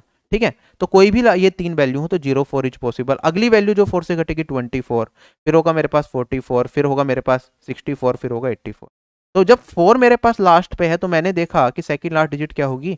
अगर इवन होगी तो मेरा नंबर फोर से घटेगा आगे बढ़ता हूँ। फिर है मेरे पास सिक्स सिक्स के केस में फिर से ये होगा, आप देखेंगे जो पहला नंबर जिसकी यूनिट डिजिट सिक्स है, जो फोर से घटे, वो होगा सिक्सटीन फिर थर्टी सिक्स फिर आपके पास फिफ्टी सिक्स फिर आपके पास सेवेंटी सिक्स और फिर आपके पास नाइन्टी सिक्स यहाँ पे सिक्स के केस में भी मेरे पास जो यहाँ पे वैल्यू जाएँगी, वो सारी की सारी कोड ही पॉसिबल है। इसके अलावा कुछ पॉसिबल है ही नहीं। क्या ये कंसेप्ट समझ में आ गया? अगर ये कंसेप्ट समझ आ गया तो क्वेश्चन खत्म वाला है हमारा। ठीक इसके बाद मैं आपको एक चीज़ और बताता हूँ यहाँ ये चीज़ आपको मैनुअली करने की ज़रूरत नहीं है। आपको ये चीज़ पता होनी चाहिए, वो कैसे पता करते हैं हम? जब भी मैं फोर का टेबल लिखता हूँ, फोर के टेबल में हमेशा ट्वेंटी के गैट गैप के बाद यूनिट डिजिट क्या होती है? रिपीट होती है। जैसे कि मैंने लिखा फोर का table, four, eight, ten, twelve, sorry, sixteen और ट्वेंटी। अब ट्वेंटी आ गया मेरे पास। ट्वेंटी के गैप के बाद अब यूनिट डिजिट मेरी फिर से रिपीट करेगी। Twenty four, twenty eight, thirty two, thirty six, forty. फिर ट्वेंटी का गैप आ गया यहाँ पे बीस तक चला गया मैं। फिर यहाँ पे फिर से रिपीट करना होगा, फोर्टी फोर। यूनिट डिजिट मेरी हर बीस बीस के गैप के बाद क्या करती है? रिपीट करती है फोर के टेबल के अंदर। एट के टेबल में फोर्टी के गैप के बाद रिपीट करती है। ये सारी चीज़ें हम नंबर सिस्टम में पढ़ते ही हैं। ठीक है? तो मेरे पास हमेशा क्या होगा? हमेशा, अगर यहाँ पे मुझे पता है कि फोर से कोई भी डिजिट डिविजिबल होगी तो जो यूनिट्स प्लेस पे डिजिट्स आएँगी मेरे पास, वो क्या आएँगी? जो यूनिट प्लेस पे डिजिट्स आएँगी, वो इवन आएँगी। इवन कौन कौन सी हो सकती है? Zero six two four eight और एट ये आ सकती है। ठीक है? अगर मैं देखता हूँ यहाँ पे, क्योंकि बीस बीस के गैप के बाद चल रही हैं। अगर ये मेरे पास फोर है या एट है फोर और एट नेचुरली मेरा किससे कटता है? फोर से कट जाता है। अगर ये नेचुरली फोर से कटता है, जैसे फोर हो गया एट हो गया और ज़ीरो हो गया ये तीनों डिजिट अगर खाली लास्ट डिजिट को देखूँ मैं, ये इंडिपेंडेंटली फोर एट और ज़ीरो ये फोर से डिविजिबल है, अपने आप में ज़ीरो हर से डिविजिबल तो मेरे पास जो इसके जो फ़र्स्ट प्लेस पे यहाँ पे जो डिजिट आएगी, जो यहाँ पे डिजिट आएगी, जो यहाँ पे डिजिट आएगी, अगर मुझे पूरा टू डिजिट का नंबर फोर से डिविजिबल करना है, ये हमेशा इवन आएगी, क्योंकि ट्वेंटी का गैप है। प्लस ट्वेंटी इंटू में वन ट्वेंटी इंटू में टू ट्वेंटी इंटू में थ्री करूँगा तो हमेशा मेरे पास जो ये वाली डिजिट बनेगी ना, ये इवन बनेगी। तो ये मेरे पास इवन होगा हमेशा। एट के केस में भी हमेशा इवन होगा ज़ीरो के केस में भी हमेशा इवन ठीक है? अगर मेरे पास यहाँ पे जो लास्ट डिजिट होती है, वो टू होती है या सिक्स होती है? टू और सिक्स अपने आप में क्या होगा? फोर से कटेगा नहीं। अगर अपने आप में फोर से ये कट नहीं रहा तो यहाँ पे जो मेरी विजिट्स होंगी इस प्लेस पे, ये मेरा टू और सिक्स फोर से डायरेक्टली नहीं कटता तो ये वाली वैल्यूज़ मेरे पास क्या होती हैं? हमेशा कोड होती हैं। ठीक है? पहली वैल्यू वन टू होगी, फिर थर्टी टू होगी, फिर फिफ्टी होगी, फिर मेरे पास सेवेंटी टू होगी, फिर नाइन्टी ये सारी वैल्यूज़ होंगी जो मेरी फोर क्या समझ आ गया। अगर लास्ट डिजिट मेरी फोर से कटती है तो उसके पहले वाली जो वैल्यू होगी मेरे पास, वो क्या होगी? मेरे पास इवन होगी हमेशा, तभी मेरा नंबर फोर से डिविजिबल होगा। और अगर लास्ट डिजिट मेरे पास क्या है फोर से नहीं कट रही है तो उस पर्टिकुलर केस में जो उसके बराबर वाली डिजिट होगी, जो सेकंड लास्ट डिजिट होगी, वो हमेशा क्या होगी? मेरे पास ओड होगी, तब जाके मेरा नंबर फोर से कटेगा। ये चीज़ हम अगर मुझे ये कंसेप्ट पूरे तरीके से क्लियर है तो मैं अपने क्वेश्चन पे वापस आ सकता हूँ। थोड़ा अच्छा क्वेश्चन तो मैंने कहा, ये मेरा टू था। टू फोर से मेरा डायरेक्टली नहीं कटता। तो जो यहाँ पे मेरे पास मैं वैल्यू रख सकता हूँ, वो वैल्यू क्या होंगी मेरे पास? ये मेरे पास सारी की सारी ओड वैल्यूज़ ले, यहाँ पे। ये फोर मैंने रखा है यहाँ पे तो ये क्या होगा? फोर तो मेरा टू से कटता है सॉरी फोर से कटता है तो यहाँ पे सिर्फ़ इवन वैल्यू जाएँगी और ये सिक्स है फिर यहाँ क्या ये चीज़ आप सभी लोगों को समझ में आगे बढ़ जाऊँ इस सवाल में मैं? आप कहेंगे, सर, यहाँ पे ओड वैल्यू जाएँगे। मुझे कौन कौन से नंबर्स यूज़ करने थे? One two three four five और सिक्स करने थे। रिपीटेशन भी यहाँ पे अलाउड नहीं है। तो वहाँ पे मैं टू ऑलरेडी यूज़ कर चुका हूँ। अगर टू यूज़ कर लिया है, मुझे उसके आगे क्या चाहिए? ओड वैल्यू चाहिए। तो वन आ सकता है थ्री आ सकता है और फाइव आ सकता है। क्या क्या आ सकता है मेरे पास? यहाँ पे वन थ्री एंड फाइव अगर वन थ्री फाइव आ सकता है, ऐसे ही यहाँ पे अगर सिक्स है तो अगेन मेरे पास यहाँ पे ओड वैल्यू वन थ्री और फाइव आ सकता है। तो कितनी कितनी वैल्यूज़ हैं जो पॉसिबल हो गई मेरे पास? तीन वैल्यूज़ यहाँ पे पॉसिबल हैं। तीन वैल्यूज़ मेरे पास यहाँ पे पॉसिबल हैं जो आ सकती हैं। सॉरी यहाँ पे नहीं, इस वाले केस को भी हमने देखा नहीं। तीन वैल्यूज़ यहाँ पे पॉसिबल अगर मैं यहाँ पे इवन वाला केस देखूँ तो इवन वाले केस में मैंने फोर को फिक्स करा है। अगर फोर फिक्स है तो यहाँ पे इवन वैल्यूज़ आएँगी। इवन वैल्यूज़ कौन कौन सी हैं? ठीक है फोर तो हम वहाँ पे यूज़ कर सके रिपीटेशन लाउड नहीं है तो दोबारा फोर नहीं लेंगे, बचा टू और सिक्स तो यहाँ पे मेरे पास कौन कौन सी वैल्यू यहाँ पे टू और यहाँ पे मेरे पास सिक्स आ सकता है। तो कितनी वैल्यूज़ यहाँ पे आ सकती है? यहाँ पे मेरे क्या इतनी चीज़?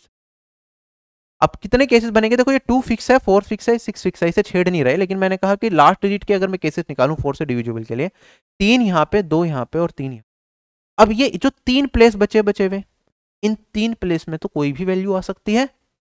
कोई भी वैल्यू हो, मेरा नंबर क्या होगा? फोर से तो डिविजिबल होगा ही होगा। अगर फोर से डिविजिबल होगा ही होगा तो मैं कितने डिजिट्स यूज़ कर चुका हूँ? एक और एक दो। टू डिजिट्स मैं सब में इनमें यूज़ कर चुका हूँ। टोटल डिजिट्स कितने थे मेरे पास? एक, दो, तीन, चार, पाँच छह डिजिट थे। दो डिजिट यूज़ हो गए तो बचे हुए कितने? चार डिजिट ठीक है? तो मेरे पास यहाँ पे क्योंकि ज़ीरो नहीं है और जो भी नंबर बनेंगे फाइव डिजिट के ही बनेंगे क्योंकि ज़ीरो नहीं है तो मेरा दिमाग लगाने की ज़रूरत नहीं है। कोई डिजिट कहीं भी आ सकता है तो मैं कह सकता हूँ बचे हुए चार प्लेस चार डिजिट में से कोई एक डिजिट यहाँ पे आएगी। फिर एक और यूज़ कर लिया तो तीन डिजिट्स बचेंगी और फिर एक और यूज़ कर लिया तो मेरे पास दो डिजिट ठीक है, यहाँ पे भी चार, यहाँ पे भी तीन और यहाँ पे भी दो, यहाँ पे चार, यहाँ पे तीन। क्या कुछ ऐसा ही होगा? तो टोटल मेरे पास कितने केसेस बने? आप कहेंगे फोर थ्री जो ट्वेल्व टू जो ट्वेंटी फोर यहाँ पे ट्वेंटी फोर इंटू में थ्री है। फिर केसेस ये वाले बनेंगे मेरे पास ट्वेंटी फोर और यहाँ पे टू है। ट्वेंटी फोर इंटू में टू केसेस ये बनेंगे और यहाँ पे ट्वेंटी फोर इंटू में थ्री केसेस ये बनेंगे। आप चाहें तो यहाँ पे ट्वेंटी फोर को कॉमन ले लेंगे। Three plus two five plus three eight twenty four into में एट करूँगा तो ये मेरे पास आ जाएगा one nine one ninety two. One ninety two ऐसे नंबर्स होंगे जो पाँच डिजिट के होंगे, जो one, two, three, four, five और सिक्स को मिला के बने होंगे और वो सारे के सारे नंबर्स में डिजिट रिपीट नहीं कर रही होगी और वो सारे के सारे फोर से डिविजिबल होंगे। अपने आप में एक बेहतर क्या सबको समझ आया? ये एक अच्छे लेवल का सवाल है जो एग्ज़ाम में आपका टाइम थोड़ा सा कंज्यूम कर सकता है, जिसमें आपके कंसेप्चुअल क्लियरिटी चेक होगी पूरी। इसी का एक और अच्छा वर्जन भी बना सकते हैं। अभी जो नेक्स्ट क्वेश्चन है मैं सभी लोगों को रिकमेंड नहीं करूँगा कि सभी लोग जो नेक्स्ट क्वेश्चन मैं कराने जा रहा हूँ सोल्व करें। ठीक है, ये थोड़ा अच्छा लेवल का क्वेश्चन है, इसमें ट्वेल्व का डिविजिबिलिटी पे बनाया गया है ये सवाल। ठीक है, बहुत ही मुश्किल रेयर चांस होगा आपके एग्ज़ाम में पूछा जाए बट कंसेप्चुअल क्लैरिटी के लिए मैं आपको करा रहा हूँ कि ऐसा भी आ जाए तो आप छोड़े ना क्वेश्चन को। अदरवाइज़ इफ़ यू फील कि you are weak in mathematics and you don't need to do this अभी के लिए तो आप इसे स्किप कर दें क्वेश्चन को। ठीक है, क्योंकि अभी स्किप करेंगे तो रिवीजन में भी आप यूज़ नहीं करेंगे तो आपका काफ़ी सारा टाइम बचेगा और चांसेस थोड़े से कम रहेंगे इस क्वेश्चन का, नहीं, क्योंकि बहुत ज़्यादा कंसेप्ट ठीक है, सीजीएल में बहुत ही लाइक ऐसा कुछ। तो you can skip this one और आप इसके आगे के क्वेश्चन जो मैं कराऊँ वो सोल्व करें। ठीक है, बाकी लोग जिन्हें लगता है मैथ्स में बहुत ज़्यादा कॉन्फिडेंस है और बहुत अच्छा कर रहे हैं, वही इस क्वेश्चन को देखें, क्योंकि इसमें कंसेप्ट ज़्यादा लगने वाले कहता है कि एन एक नंबर है पाँच डिजिट का, जो 12 से डिविजिबल है जो नंबर्स बनेंगे, वो two three four five six and seven को यूज़ करके बनेंगे। आगे कहता है कि कोई भी डिजिट नंबर में रिपीट नहीं होगी और हमें बताना है एन की वैल्यू क्या होगी, कितने वैल्यू पॉसिबल है एन की अगर मैं 12 का डिविजिबिलिटी रूल देखूँ तो 12 क्या होता है? 12 होता है थ्री इंटू में फोर तो यहाँ पे ये यह नंबर मेरा थ्री से भी कटना चाहिए और यहाँ पे मेरा जो नंबर है फोर से भी कटना चाहिए। फोर का डिविजिबिलिटी रूल कहता है लास्ट की जो टू डिजिट्स हैं वो मेरी कटनी चाहिए फोर से थ्री का डिविजिबिलिटी रूल कहता है तो सम ऑफ़ डिजिट है, वो मेरा कटना चाहिए किससे? थ्री से। तो दोनों को ही अब हमें ध्यान में रखना पड़ेगा दो कंडीशन अपने आप में बड़ी। अब मैं इसे सोल्व करता देखो भाई। कितने नंबर का मुझे एन क्या बनाना है? यहाँ पे छह डिजिट्स दे रखी हैं। मुझे पाँच डिजिट का नंबर बनाना है तो सबसे पहले पाँच प्लेस सबसे पहली चीज़ जो मैं कंसिडर करूँगा इसमें, ठीक है? सबसे पहली चीज़ जो मुझे कंसिडर करनी है कि भैया ये ट्वेल्व से कटेगा मतलब फोर से कटेगा फोर से कटेगा तो मतलब जो लास्ट डिजिट हो, क्या होगी? इवन होगी। अगर लास्ट डिजिट मेरे पास इवन होगी तो लास्ट डिजिट में क्या क्या आ सकता है यहाँ आप कहेंगे, सर टू आ सकता है फोर आ सकता है सिक्स आ सकता है। कहीं ना कहीं से तो हमें स्टार्ट करना ही पड़ेगा ना क्वेश्चन तो लास्ट डिजिट में मेरे पास ये तीन आ सकती है। मेरे पास कुछ केसेस निकल के आएँगे। ठीक है? इसके बाद फिर मैं देखूँगा कि अगर चलो ये सर लास्ट डिजिट मेरे पास तीन होती है, मैं तीन केसेस फटाफट से बना लेता हूँ। मैंने कहा यहाँ पे मैंने टू को फिक्स कर दिया, यहाँ पे मैंने फोर को फिक्स किया और यहाँ पे यहाँ पे मेरे पास चार प्लेसेस अभी बचे हुए हैं। मैंने एक सबसे बेयर मिनिमम कंडीशन से कुछ स्टार्ट करना कि लास्ट डिजिट मेरे पास यही होंगी, इसके अलावा कुछ नहीं होगा तो तीनों अलग अलग केसेस मैंने इसके बाद मुझे पता है जब ये मेरे पास टू है डायरेक्टली फोर से नहीं करता फोर का डिविजिबिलिटी रूल लगाता हूँ तो लास्ट की दो डिजिट देखते हैं।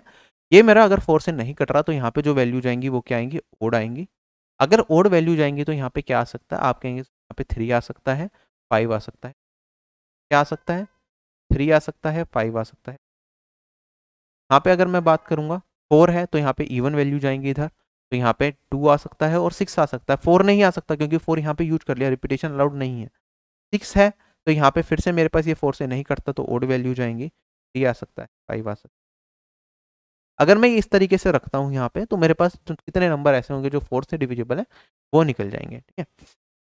केसेस क्लियर हो रहे हैं ये वाले। इतना पार्ट क्लियर है। तो यहाँ पे अगर फोर का डिविजिबिलिटी रूल यूज़ करता तो मेरा इतने में काम चल जाता, लेकिन मुझे क्या लगाना है यहाँ पे? जो मेरा नंबर होना चाहिए, थ्री का डिविजिबल थ्री से भी डिविजिबल होना चाहिए।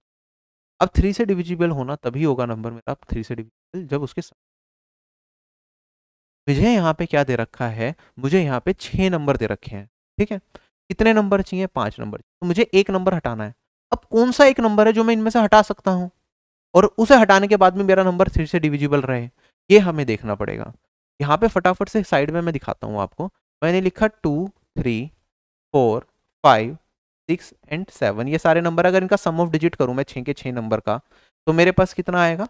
पाँच, चार, नौ, चौदह, बीस, सत्ताईस तो मेरा डिविजिबल बाई थ्री है। मतलब ये पूरा का पूरा अगर छः के छः डिजिट को यूज़ करके कोई मैं नंबर बनाऊँगा तो वो सारे नंबर्स मेरे क्या होंगे? थ्री से डिविजिबल होंगे। अगर मुझे इनमें से एक डिजिट हटानी है, जिसके बाद भी मेरा नंबर क्या हो जाए? थ्री से डिविजिबल हो जाए तो कौन सी डिजिट हटा सकता हूँ? आप कहेंगे, सर, वही डिजिट आपको इसमें से हटानी पड़ेगी, जो खुद से थ्री से डिविजिबल है। मान लो इसमें से मैं क्या करूँ? मैं टू को हटा दूँ। अगर टू को हटा दे, इन पाँच डिजिट को यूज़ करूँगा, क्या नंबर मेरा थ्री से डिविजिबल होगा? नहीं होगा। ट्वेंटी फाइव रह जाएगा। वो थ्री से कटेगा नहीं। तो मैं टू को नहीं हटा सकता। एक डिजिट जो मुझे हटानी पड़ेगी। क्या मैं थ्री को हटा सकता हूँ? बिल्कुल हटा सकता हूँ। क्योंकि अगर थ्री को हटाया मैंने तो बनेगा सम ऑफ़ डिजिट चौबीस, जो थ्री से कट मतलब मेरा कट जाएगा। तो ओवरऑल मैं यहाँ पे देखूँगा, जो थ्री के मल्टीपल वाले डिजिट्स हैं, अगर मैं उस डिजिट को एलिमिनेट करता हूँ तो मेरे पास बाकी डिजिट का जो सम होगा, वो थ्री से हमेशा डिविजिबल रहेगा। तो मैं कौन कौन से डिजिट को हटा सकता हूँ यहाँ से? एक तो मैं थ्री को हटा सकता हूँ फोर नहीं हटा सकता फाइव नहीं हटा सकता, एक मैं सिक्स हटा सकता हूँ। तो जब भी मैं पाँच डिजिट का नंबर बनाऊँगा, उनमें से हमेशा या तो थ्री गायब होगा मेरा, या फिर सिक्स गायब होगा, तभी मेरे पास जो नंबर बनेगा बची हुई पाँच डिजिट से, वो मेरा थ्री से डिविजिबल ये चीज़ मुझे यहाँ पे कैच करना क्योंकि रिपीटेशन अलाउड नहीं ठीक है? तो अब मेरे पास यहाँ पे क्या हो गया? अगर मैं इस क्वेश्चन को सोल्व करने जाता हूँ, ठीक है, यहाँ पे मेरे पास दो केसेस बन रहे हैं, एक तो ये वाला केस है, एक ये वाला केस है, ठीक है। अगर मैं इसमें देखता हूँ, जब मेरे पास यहाँ पे टू है, यहाँ पे मैं एलिमिनेट करूँगा एक केस में किसको? यहाँ पे सेम चीज़ मेरे पास इधर भी आएगी, पहले मैं एलिमिनेट करता हूँ यहाँ पे थ्री को। अगर मैं थ्री को एलिमिनेट करता हूँ तो ये मेरा थ्री हट जाएगा। तो यहाँ पे कितनी वैल्यूज़ आ सकती हैं? आप कहेंगे, सर, पाँच और सात दो वैल्यूज़ यहाँ पे आ सकती और मेरे पास यहाँ पे कितनी एक डिजिट और एक डिजिट दो डिजिट मैं यूज़ कर चुका हूँ। बची कितनी डिजिट है मेरे पास? तीन डिजिट बची हैं क्योंकि थ्री को तो यूज़ करना ही नहीं है। तो यहाँ पे इस प्लेस पे कितनी वैल्यू जा सकती है? थ्री इस प्लेस पे कितनी वैल्यू जा सकती है? दो। और इस प्लेस पे कितनी वैल्यू आ सकती है? बस एक। क्या कुछ ऐसा ही होगा? क्योंकि थ्री तो यूज़ करना ही नहीं है। अगर मैं थ्री यूज़ नहीं कर रहा तो मेरे पास कितने वैल्यूज़ बचेंगी यहाँ पे? टोटल पाँच वैल्यूज़ है, पाँच ही मुझे फिल करनी है, कोई भी एक्स्ट्रा वैल्यू मेरे पास नहीं है। ठीक है अब मेरे पास यहाँ पे थ्री नहीं है जब मैं थ्री को कंसिडर नहीं कर रहा हूँ इस वाले केस में तो ये थ्री हट गया यहाँ से भी और थ्री मेरा यहाँ से भी हटेगा यहाँ पे चार फिक्स है यहाँ पे कितनी वैल्यू जा सकती है टू और सिक्स तो दो वैल्यूज़ यहाँ पे पॉसिबल है तो एक और एक दो डिजिट मैं यूज़ कर चुका हूँ पाँच है तो यहाँ पे तीन और यहाँ पे और अगर मैं यहाँ पे देखता हूँ थ्री को कंसिडर नहीं करना है तो यहाँ पे कितनी वैल्यूज़ दो वैल्यू जा सकती है यहाँ पे फिर से तीन और यहाँ पे क्या ये कुछ ऐसे ही रहे। ठीक तो मेरे पास यहाँ पे जब मैंने थ्री को यूज़ नहीं करा, मैंने इन चार, पाँच डिजिट्स को यूज़ करते हुए टोटल कित केसेस निकाले तो आप कहेंगे one into two into three six two twelve पहला ट्वेल्व फिर दूसरा भी ट्वेल्व ही जा रहा है मेरा सिक्स इंटू टू ट्वेल्व और यहाँ पे भी ट्वेल्व अगर मैं यहाँ पे थ्री को यूज़ नहीं करता हूँ तो मेरे पास छत्तीस ऐसे नंबर्स बनेंगे, जो कि बची हुई पाँच डिजिट को यूज़ करके मैं बना सकता हूँ, जो कि बारह से डिविजिबल और मेरे पास कोई भी डिजिट रिपीट नहीं कर अगर मैंने यहाँ पे क्या करा था, यहाँ पे मैंने थ्री को एलिमिनेट किया था। अब मैं फटाफट से यहाँ पे सिक्स को एलिमिनेट करता हूँ। मैंने कहा मेरे पास है टू फिर मेरे पास है यहाँ पे फोर फिर फाइव है, फिर मेरे पास थ्री भी है थ्री को रखते हैं। सिक्स को मैं एलिमिनेट कर रहा हूँ और मेरे पास है यहाँ पर इन पाँच डिजिट को यूज़ करके मुझे नंबर्स बनाने हैं, ठीक है? तो मेरे पास केसेस फिर से वही बनेंगे एक, दो, तीन, चौथे डिजिट पांचवी डिजिट मेरे पास फिक्स होगी, जो कि टू होगी। यहाँ पे मैं देता हूँ टू फिर एक सिक्स फोर होगी और एक यहाँ पे एक, दो एक, दो, ठीक है। अब सिक्स मुझे अगर यूज़ करना ही नहीं है तो ये वाला केस तो मेरा पूरा ऑटोमेटिकली कैंसिल हो गया यूनिट डिजिट पे सिक्स फिक्स कर ही नहीं सकता मैं। तो ये केस मेरा क्या हो गया डिस्कार्ड हो गया, ठीक है। अगर मेरे पास यहाँ पे टू है तो यहाँ पे क्या आएगा? यहाँ पे कोई ओड वैल्यू आएगी। ओड वैल्यू क्या क्या आ सकती है मेरे पास? सेवन आ सकता है थ्री आ सकता है फाइव आ सकता है। तो क्या यहाँ पे मेरे पास तीन वैल्यूज़ ठीक है? एक डिजिट दो डिजिट दो डिजिट यूज़ कर चुका हूँ। टोटल कितनी? पाँच डिजिट है तो यहाँ पे तीन डिजिट यहाँ पे दो डिजिट आ सकती है। अगर मैं यहाँ पे चार रखता हूँ तो यहाँ पे मुझे इवन वैल्यू रखनी पड़ेगी। इवन वैल्यू क्या होगी? देखो सिक्स हट चुका है। फोर ऑलरेडी यूज़ कर चुका हूँ तो बचेगा टू तो टू ही आ सकता है यहाँ पे तो कितनी वैल्यू बचेगी यहाँ? पे सिर्फ़ टू आ सकता है तो एक वैल्यू यहाँ पे थ्री रखा था मैंने तो कौन कौन सी वैल्यू थी ये? ओड वैल्यू रखनी थी तो थ्री आ सकता था फाइव आ सकता था। तो एक वैल्यू बची। दो डिजिट्स में यूज़ कर चुका हूँ, बची कितनी? तीन। यहाँ पे तीन आ सकती हैं, यहाँ पे दो आ सकती हैं। अगर टोटल कॉम्बिनेशन में निकालूँ यहाँ पे तो one into two into three six six three जा एट्टीन तो यहाँ पे एट्टीन आएगा।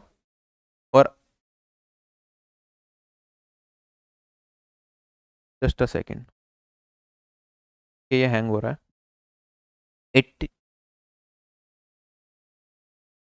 मैं यहाँ पे करूँगा। तो यहाँ पे मेरे पास कितना आएगा? एट्टीन आएगा।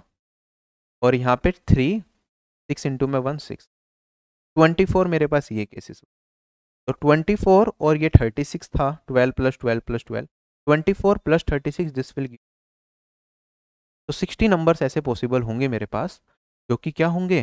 जो कि ट्वेल्व से डिविजिबल होंगे। Two, three, four, five, six, seven को यूज़ करके बनेंगे, रिपीटेशन डिजिट अलाउड नहीं one of the best question. मुश्किल से मुश्किल क्वेश्चन। अगर बहुत ज़्यादा दिमाग आपसे एग्जामिनर चाहता है लगाना तो इस तरह का सवाल। ठीक है? आई होप अगर ये क्वेश्चन आपको समझ आ गया तो कॉन्फिडेंस आपका अलग ही लेवल पे होगा इस टाइम पे।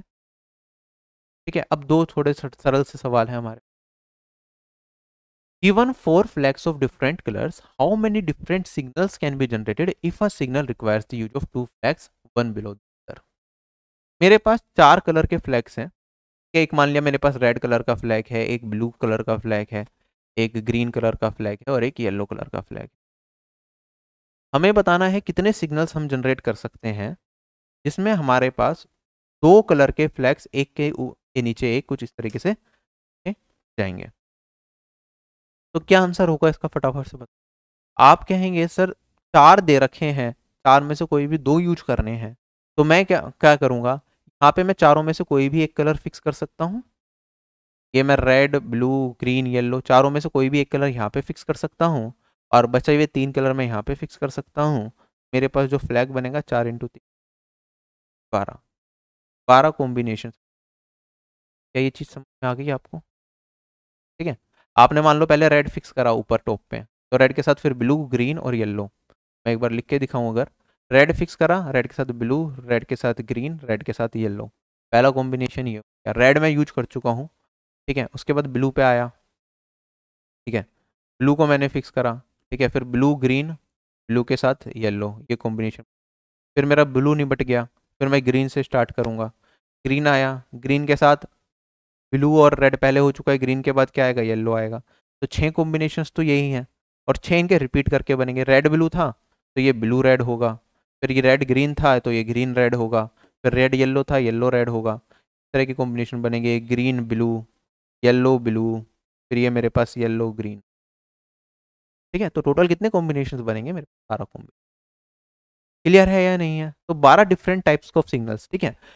आप ध्यान रखेंगे इस चीज़ का रेड और ब्लू सिग्नल और ये ब्लू और रेड, अगर मैं कपड़े को इस तरीके से अरेंज करता हूँ, ये अलग सिंगल को सिग्नल को रिप्रेजेंट करेगा और ये अलग सिग्नल को रिप्रेजेंट करेगा।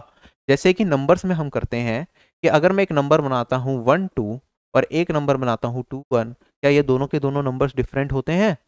बिल्कुल डिफरेंट होते हैं। उसी तरीके से मैं डिफरेंट सिग्नल्स बनाऊँगा। तो ये रेड ब्लू और ब्लू रेड ये अलग होंगे। तो मैंने कहा यहाँ पे चार कुछ भी आ सकते हैं और बचे हुए तीन में से यहाँ पे कुछ भी आएगा। फोर इंटू में थ्री ट्वेल्व मेरे कॉम्बिनेशन इसी पे एक अच्छा सा सवाल मैं आपको समझाता हूँ। कहता है, हमें पाँच फ्लैग्स दे रखें given five flags of different colours how many different signals can be generated if each signal requires the use of three flags one below the other मेरे पास पाँच डिफरेंट कलर के फ्लैग्स हैं। कितने डिफरेंट सिग्नल्स हम बना सकते हैं? अगर मेरे पास हर एक सिग्नल में तीन कलर होंगे, एक के नीचे। आप कहेंगे, सर, यहाँ पे मैं क्या कर सकता हूँ? पाँच डिफरेंट कलर्स के हैं तो यहाँ पे पाँच डिफरेंट पाँचों में से कोई भी एक आ सकता है। यहाँ पे बचे हुए पाँच पाँच में से एक यूज़ हो गया, बचे हुए चार में से कोई एक आएगा। फिर एक यूज़ हो गया, बचे हुए तीन में से कोई एक आएगा। टोटल कितने कॉम्बिनेशन बनेंगे? फाइव इंटू फोर इंटू में थ्री ट्वेंटी थ्री सिक्स एक क्वेश्चन का मेरा आंसर ये आज की क्लास का हमारे पास एक आखिरी सवाल है। आई होप आपको पसंद आए। ये सवाल, कहता है find the number of different signals that can be generated by arranging at least two flags in order one below the other on a vertical staff if five different flags are available अच्छा question है। कहता है कि कितने signals हम generate कर सकते हैं? अगर मैं दो फ्लैग्स को ऑर्डर में रखूँ, एक के नीचे एक, और by arranging at least two flags कम से कम दो फ्लैग्स को ऑर्डर में रखे हैं, एक के नीचे एक। एक वर्टिकल स्टाफ पे if five different flags are available मेरे पास क्या है? पाँच डिफरेंट कलर के फ्लैग्स अवेलेबल हैं। ठीक है आप आप मान के चलें, पाँच डिफरेंट कलर के मेरे पास कपड़े अवेलेबल हैं। जैसे मैंने कहा रेड ब्लू ग्रीन येलो और पर्पल, ठीक है? पाँच कलर हैं। अब मुझे यहाँ पे एक वर्टिकल स्टाफ पे लगाने हैं सिग्नल्स बनाने हैं। तो सिग्नल क्या बनेगा? कहा है एटलीस्ट दो फ्लैग की मुझे रिक्वायरमेंट है। जब मैं सिग्नल बनाऊँगा, ये पोस्ट पे अगर मैं लगा रहा हूँ तो आप कहेंगे, सर, मान लो, या तो मैं सिग्नल ऐसा बनाऊँगा जिसमें दो कलर होंगे, ठीक है? कलर वन, कलर टू, ठीक है? एक फ्लैग ये लगाया, एक फ्लैग ये बनाया तो मेरे पास ऐसा सिग्नल बन सकता है। एटलीस्ट दो रखने हैं, लेकिन ऐसा भी तो हो सकता है कि मेरे पास तीन वाला बन जाए। Colour one, colour two, colour three ऐसे भी फ्लैग्स में सिग्नल्स बना सकता हूँ।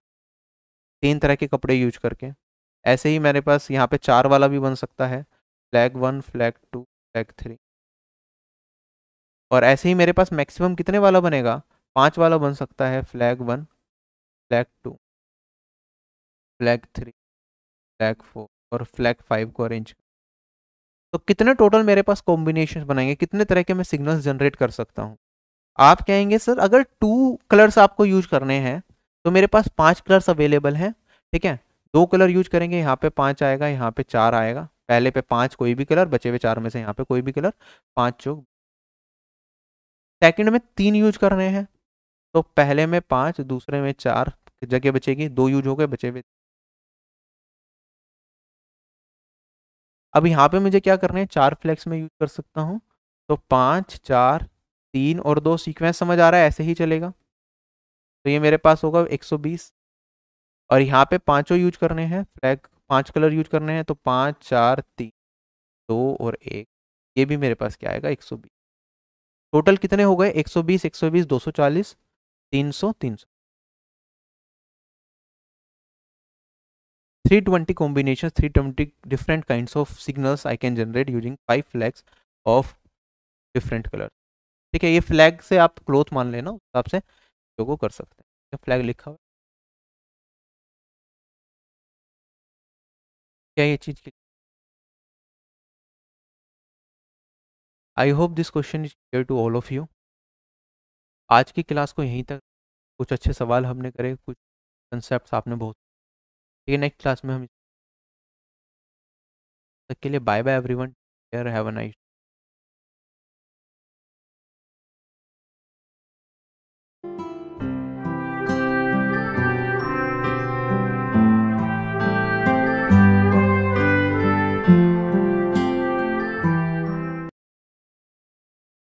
hello everyone उम्मीद करता हूँ आप सभी लोग स्वस्थ हैं।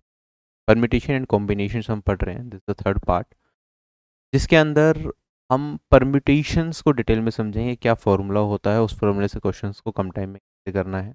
अभी तक हमने बेसिक क्वेश्चंस कर थे परमिटेशन के, जिसमें मैंने कोई फॉर्मूला आपको नहीं बताया था हम डायरेक्टली जो भी चीज़ें आ रही थी, मैं मैनुअली आपको एक एक केस निकाल के समझा रहा था और हम बेसिक मल्टीप्लिकेशन करके अपने क्वेश्चन का आंसर निकाल रहे थे।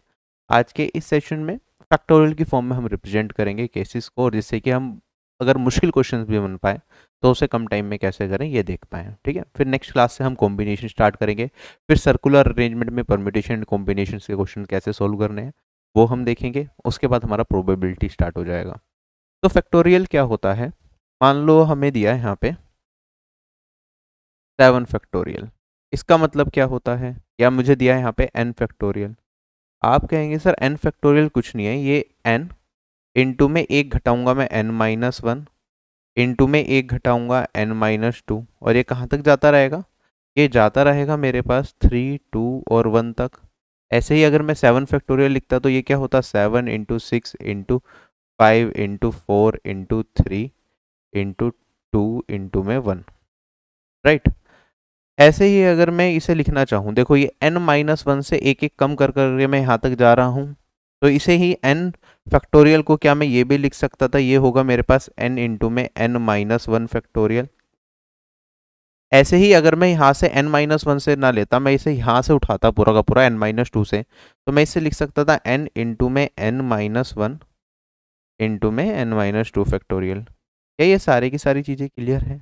ठीक है ये सारी चीज़ें हम पहले भी पढ़ चुके हैं और आपको ये सब पता है। फैक्टोरियल रिप्रेजेंटेशन आपको आनी चाहिए, तभी आप आगे की चीज़ें समझ में आएगी।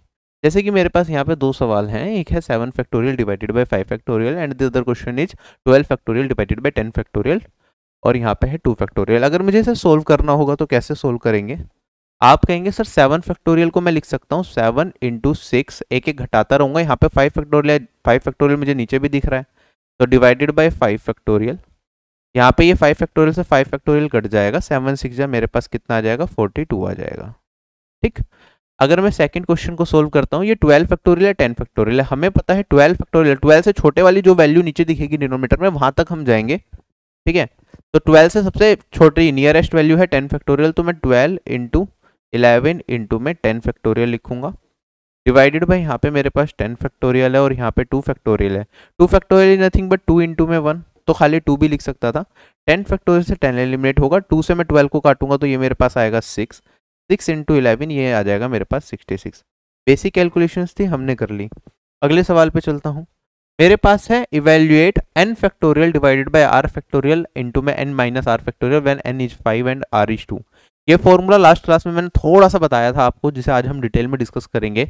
अगर मैं इसे सोल्व करूँ एन की जगह मैंने फाइव रखा तो ये आएगा five factorial divided by r है मेरे पास टू तो टू फैक्टोरियल और ये मेरे पास एन माइनस आर बिल्कुल एग्जैक्टली ये फॉर्मूला नहीं था थोड़ा सा डिफरेंट था, वो हम देखेंगे। फाइव माइनस टू फैक्टोरियल तो मेरे पास ये five factorial divided by two factorial into में थ्री फैक्टोरियल या तो मैं कैसे कर सकता हूँ? क्योंकि सिंपल कैलकुलेशन फाइव फैक्टोरियल मुझे पता है वन ट्वेंटी होता है टू फैक्टोरियल मुझे पता है टू होता है और थ्री फैक्टोरियल सिक्स होता है तो मैं काट दूँगा टेन आ जाएगा।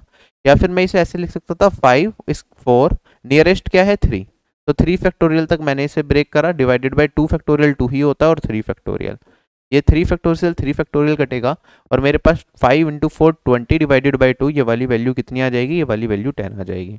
क्या ये चीज़ सबको समझ में आ रही है? फैक्टोरियल के फॉर्म में कैसे कैलकुलेशंस करते हैं? एक और सवाल मेरे पास। ये है one upon eight factorial plus one upon nine factorial equals to x upon ten factorial मुझे एक्स का मान निकालना होगा तो कैसे निकालेंगे? आप कहेंगे, सर, यहाँ पे क्या करना पड़ेगा? सबसे छोटे वाला पकड़ लो डिनोमिनेटर में। आठ है, नौ है, दस है। सबसे छोटे वाला है एट फैक्टोरियल तो एट फैक्टोरियल को एडिटीज रखेंगे, बाकी में चेंजेस करेंगे। नाइन फैक्टोरियल को क्या मैं लिख सकता हूँ? नाइन इंटू एट फैक्टोरियल लिख सकता हूँ।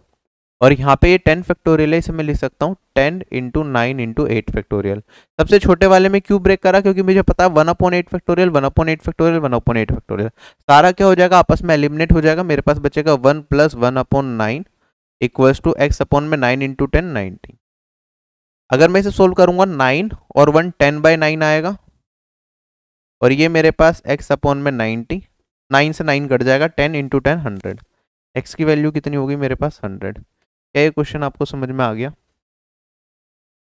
ठीक है तो इस तरीके से हम सिंप्लीफाई कर देते हैं अपने क्वेश्चंस को। आगे बढ़ते हैं। अब हम आते हैं परमिटेशन है क्या बेसिकली ठीक है परमिटेशन कॉम्बिनेशन पढ़ रहे हैं। हमें ये पता है कि हम बेसिकली यहाँ पे काउंट कर रहे होते हैं नंबर ऑफ़ वेज ठीक है तो परम्यूटेशन की अगर डेफिनेशन की बात करें permutation is an arrangement in a definite order of a number of objects taken some or all at a time ठीक है परम्यूटेशन क्या होता है? कुछ मेरे पास ऑब्जेक्ट्स गिवन होंगे, उसे हम कितने वेज में अरेंज कर सकते हैं, ठीक है? अब वो ऑब्जेक्ट्स में, हो सकता है हम सारे के सारे ऑब्जेक्ट एक साथ लें, हो सकता है हम कुछ ऑब्जेक्ट्स एक साथ लें, ठीक है? एक एग्ज़ाम्पल से मैं आपको समझाने की कोशिश करता हूँ, ठीक है? मेरे पास क्या है? पाँच नंबर है two three four five and six ठीक है? इनसे मुझे तीन लेटर का क्या बनाना है? तीन करेक्टर्स का एक नंबर बनाना है, ठीक है? तो कितने वेज हो सकते हैं? कितने ऐसे वर्ड्स बन सकते हैं? या कितने ऐसे नंबर्स बन सकते हैं? तीन डिजिट वाले, वो हमें बताने होंगे। तो ये क्या होंगे? इसके जितने भी केसेस बनेंगे, वो सारे इसके परम्यूटेशन होंगे, ठीक है? अगर मैं बात करता हूँ, अब मेरे पास यहाँ पे कितने हैं? एक, दो तीन, चार, पाँच वैल्यूज़ हैं, यहाँ पे कितने स्पेसेस हैं? तीन हैं। तो हमने ये पढ़ा था कि सर यहाँ वा, इस वाले स्पेस पे जो फ़र्स्ट प्लेसेस पे कितनी वैल्यूज़ आ सकती हैं? पाँच में से पाँचों आ सकती हैं क्योंकि ज़ीरो नहीं है यहाँ पे। यहाँ पे कितनी आ सकती हैं? क्योंकि एक मैंने यहाँ पे रख दी तो यहाँ पे मेरे पास चार आ सकती हैं, अगर रिपीटेशन अलाउड ना हो। और यहाँ पे मेरे पास कितनी आ सकती हैं? तीन आ सकती हैं अगर रिपीटेशन अलाउड ना हो। अगर हमें नॉर्मल नंबर्स ही बनाने थे थ्री डिजिट के तो उस पर्टिकुलर केस में हमारे पास रिपीटेशन भी अलाउड होगी। आप ये कह सकते थे, सर टू यहाँ पे भी आ सकता है थ्री फोर फाइव सिक्स पाँचों के पाँचों यहाँ पे भी आ सकते हैं। यहाँ पे भी मेरे पास पाँचों वैल्यूज़ आ सकती है, यहाँ पे भी मेरे पास पाँचों वैल्यूज़ आ सकती हैं। तो परम्यूटेशन मेरे दो तरीके के निकल के आएँगे। पहला परम्यूटेशन जब रिपीटेशन मेरी क्या हो? अलाउड हो। ठीक है तो उसमें मैंने कहा five into five into five ये क्या हो गया? फाइव की पावर थ्री और एक दूसरा केस निकल के आया, जब मेरे पास रिपीटेशन क्या हो? अलाउड ना हो। रिपीटेशन नॉट अलाउड उस पर्टिकुलर केस में मैंने कहा, ये five into four into three ये मेरे पास ट्वेंटी इंटू में थ्री ये सिक्सटी निकल के आया। तो हमारे पास दो तरीके से परमुटेशन निकलेंगे। एक बार जब रिपीटेशन अलाउड होगी, एक बार रिपीटेशन नहीं अलाउड होगी। कई बार क्वेश्चन में मेंशन होगा रिपीटेशन अलाउड है या नहीं है। कई बार हमें क्वेश्चन को पढ़ के अपने लॉजिक से समझना पड़ेगा रिपीटेशन अलाउड है या नहीं है। ये दोनों चीज़ें हमने देखी थी। ठीक है? अब यहाँ पे अगर मैं बात करता हूँ, यहाँ पे हमारे पास क्या थे? पाँच डिफरेंट टाइप के ऑब्जेक्ट्स थे। जो ये पाँचों चीज़ें हम ले रहे थे two three four five six ये क्या है? हमारे फाइव डिस्टिंक्ट ऑब्जेक्ट्स हैं। ठीक है? जिन्हें हमें यूज़ करके अपने केसेस निकालने हैं। ठीक है?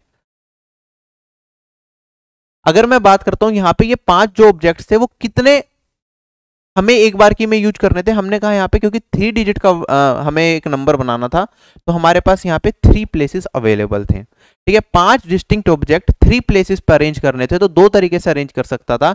मतलब जो मेजर तरीके से मैं स्प्लिट कर सकता था एक वो केस होगा जब रिपीटेशन अलाउड होगी एक वो केस होगा जब रिपीटेशन अलाउड नहीं होगी। अगर रिपीटेशन अलाउड हुई तो मैंने कहा यहाँ पे मेरे पास तीन प्लेसेस हैं ठीक है मेरे पास क्या है पाँच डिस्टिंक्ट ऑब्जेक्ट्स हैं तो मेरा आंसर क्या आया? फाइव की पावर थ्री तो जितने डिस्टिंक्ट ऑब्जेक्ट्स होंगे मेरे पास और जितने प्लेसेस में अरेंज करने होंगे, मैंने कहा अगर मेरे पास डिस्टिंक्ट ऑब्जेक्ट्स हैं एन और उसे मुझे आर प्लेसेस पर अरेंज करना है तो एन की पावर आर मेरे टोटल केसेस बनेंगे। ठीक है? सेकंड केस मेरे पास क्या निकल के आया? जब मेरे पास रिपीटेशन अलाउड नहीं है तो मेरे पास क्या हुआ? मैंने कहा मेरे पास क्या है? एन डिस्टिंक्ट ऑब्जेक्ट्स हैं, जिसे मुझे आर डिस्टिंक्ट प्लेसेस पे क्या करना है? अरेंज करना है तो उस पर्टिकुलर केस में जो मेरा आंसर आया, वो आया five into four into three कोई और कंडीशन नहीं दी होनी चाहिए तो मेरे पास ये आया सिक्सटी आंसर अब इसे अगर मैं रिप्लेस करना चाहूँ तो क्या मैं five into four into three को ऐसे लिख सकता हूँ? Five into four into three into two into में वन मैंने टू इंटू में वन एक्स्ट्रा ऐड कर दिया और मैं इसे डिवाइड कर दूँ टू इंटू वन से. तो मेरे पास क्या आंसर बनेगा? क्या ये सेम ही चीज़ है? आप कहेंगे, सर, ये ऊपर तो फाइव फैक्टोरियल आ गया और नीचे मेरे पास क्या आ गया? ये टू फैक्टोरियल आ गया. ठीक है? क्या टू फैक्टोरियल को मैं लिख सकता हूँ? Five factorial divided by five minus three factorial ठीक है? अब अब ध्यान से देखें फाइव फैक्टोरियल और फाइव माइनस थ्री फैक्टोरियल क्या है? हमने कहा था यहाँ पे क्या है मेरे पास? पाँच प्लेस पाँच ऑब्जेक्ट्स हैं। एक, दो, तीन, चार, पाँच। तो ये तो मेरा एन हो गया एन फैक्टोरियल ठीक है? फाइव मेरे पास क्या है? एन है। और मेरे पास यहाँ पे थ्री प्लेसेस थे। तीन प्लेसेस पे मैं इन ऑब्जेक्ट्स को रख सकता था, जिससे मेरे अरेंजमेंट्स निकल के आता है अलग अलग तो ये है आर तो n factorial divided by n minus r factorial ये मुझे क्या देता है? इस पर्टिकुलर केस में आंसर देता है, जब रिपीटेशन अलाउड नहीं होती। जब रिपीटेशन अलाउड होती है तो एन की पावर आर मुझे क्या देता है? टोटल परम्यूटेशन के केसेस दे देता है। अगर मैं बात करता हूँ, ये n factorial divided by n minus r factorial को हम रिप्रेजेंट करते हैं एन पी आर से। क्या ये चीज़ क्लियर हो गई? तो this is our permutation it is an arrangement in a definite order of a number of objects taken some or all at a time ठीक है? अब यहाँ पे सम क्यों कहा? क्योंकि हमारे पास क्या है? ऑब्जेक्ट्स हैं, पाँच। अब इनमें से हमने कितने को लिया? तीन को लिया, क्योंकि तीन प्लेसेस अवेलेबल है। अगर हम पाँचों के पाँचों लेते तो taken all at a time हो जाता हमारा। क्या ये चीज़ क्लियर हो गई? और कोई और कंडीशंस नहीं गिवन हो तब हम ये फॉर्मूला लगाते हैं। कंडीशन गिवन हो उसी हिसाब से हमारे फॉर्मूले में वेरिएशंस भी आते रहेंगे। मल्टीपल केसेस अभी धीरे धीरे हम देखेंगे इसके। ठीक है?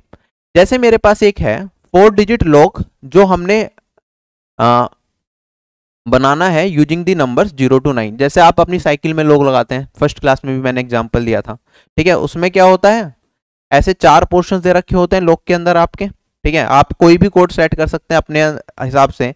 यहाँ से ज़ीरो टू नाइन कोई भी वैल्यू आएगी, ज़ीरो टू नाइन कोई भी वैल्यू ज़ीरो टू नाइन कोई भी वैल्यू ज़ीरो टू नाइन कोई भी वैल्यू तो क्या आप यहाँ पे कोई भी वैल्यू सेट कर सकते हैं? ठीक है तो कितने पॉसिबल केसेस पॉसिबल हैं? ठीक है? हमने पढ़ा था कि, सर, ऐसा कर सकते हैं, मैं चारों में ज़ीरो ज़ीरो ज़ीरो ज़ीरो रख सकता हूँ और मैं जा सकता हूँ two nine nine nine nine. तो टोटल नंबर ऑफ़ वैल्यूज़ कितनी निकल के आई थी? हमारे पास टेन थाउज़ेंड निकल के आई थी। तो मतलब टेन थाउज़ेंड वैल्यूज़ में से मैं कोई भी एक वैल्यू अपना इस लोक का पासवर्ड रख सकता हूँ। ठीक है? तो मेरे पास यहाँ पे क्या है? चार प्लेसेस हैं। टेन डिस्टिंक्ट ऑब्जेक्ट्स हैं। कितने ऑब्जेक्ट्स हैं डिस्टिंक्ट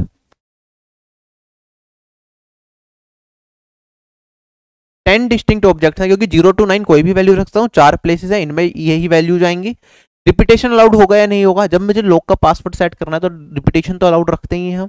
तो रिपीटेशन यहाँ पे क्या होगा? अलाउड होगा। तो मेरा आंसर क्या होगा? एन की पावर आर तो एन की पावर आर का मतलब क्या है? मेरे पास यहाँ पे टेन है।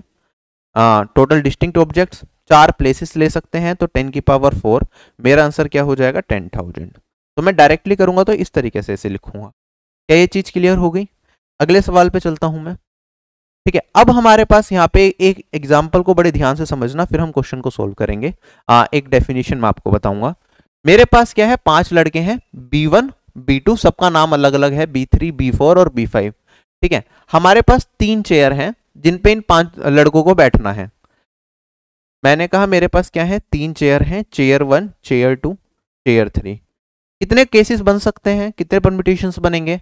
आप कहेंगे, सर, सबसे पहली बात, क्योंकि यहाँ पे अब क्या होगा रिपीटेशन अलाउड नहीं होगी। ऐसा तो हो नहीं सकता। मेरा बी वन एक टाइम पे इस पे भी बैठ जाए और बॉय वन इस टाइम पे इस पे भी बैठ जाए। नॉट पॉसिबल क्योंकि बी वन तो एक ही लड़का है, वो एक टाइम पे एक ही चेयर पे बैठेगा। तो ऐसा नहीं हो सकता एक बार की मैं दो चेयर एक लड़का ऑक्यूपाई करके बैठ जाए। तो रिपीटेशन यहाँ पे अलाउड नहीं है, ये लॉजिकली हमें समझ आ रहा है। आप कहेंगे, सर, यहाँ पे कितने प्लेसेस अवेलेबल हैं? तीन प्लेसेस अवेलेबल हैं। कितने लड़के हैं? पाँच लड़के हैं। तो पाँच ऑब्जेक्ट हैं थ्री प्लेसेस अवेलेबल हैं। फाइव पी थ्री से मैं अपना आंसर निकालूँगा। मैं कहूँगा five factorial divided by five minus three factorial और आंसर आएगा five factorial divided by two factorial this will be five into four into three नीचे वाले तक जाना है इंटू में two factorial divided by two factorial मेरा आंसर आ जाएगा यहाँ पे। फाइव फोर जो ट्वेंटी इंटू थ्री सिक्सटी ठीक है, ये फॉर्मूले से करा। बेसिक से आपको पता है कि सर यहाँ पे पाँचों में से पहले किसी एक लड़के को बैठा देंगे तो यहाँ पे पाँच केसेस बनेंगे मेरे पास। पाँचों में से कोई एक बैठेगा, एक बैठ चुका है। बचे हुए चार में से कोई एक बैठेगा यहाँ पे, और फिर बचे हुए तीन में से कोई एक बैठेगा, पाँच इंटू चार इंटू तीन। साठ क्या दोनों की दोनों सेम ही चीज़। है अभी आपको ये लग रहा होगा कि ये सर ये क्यों लिख रहे हो? ऐसे ही कर देते हैं। कोई दिक्कत नहीं थी। देखो क्वेश्चन पढ़ते पढ़ते अगर आपको ये चार्ट ना बनाना पड़े, आपको डायरेक्टली लिखना हो तो आप एन फाइव पी थ्री पाँच मेरे पास क्या है? डिस्टिंक्ट ऑब्जेक्ट्स हैं। मेरे पास कितने स्पेसिस हैं? तीन प्लेसेस हैं जिसके अंदर मुझे इन पाँच लड़कों को बिठाना है। तो मेरे पास फाइव पी थ्री इसका आंसर आएगा। डायरेक्टली मैं ये लिखूँगा। That is five factorial divided by five minus three factorial ये मेरा क्वेश्चन का आंसर आ गया।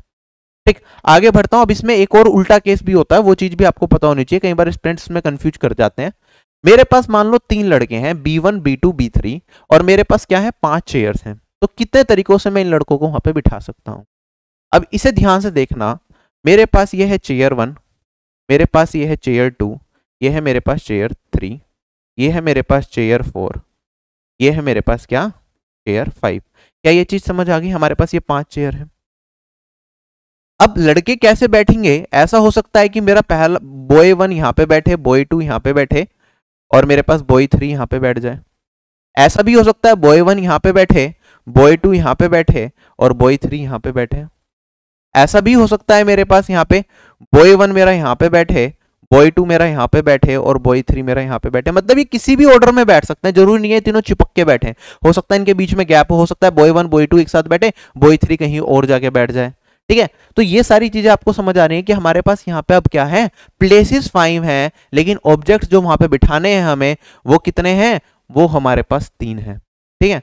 तो यहाँ पे ये केस थोड़ा सा डिफरेंट हो गया, लेकिन आंसर सेम ही तरीके से आएगा।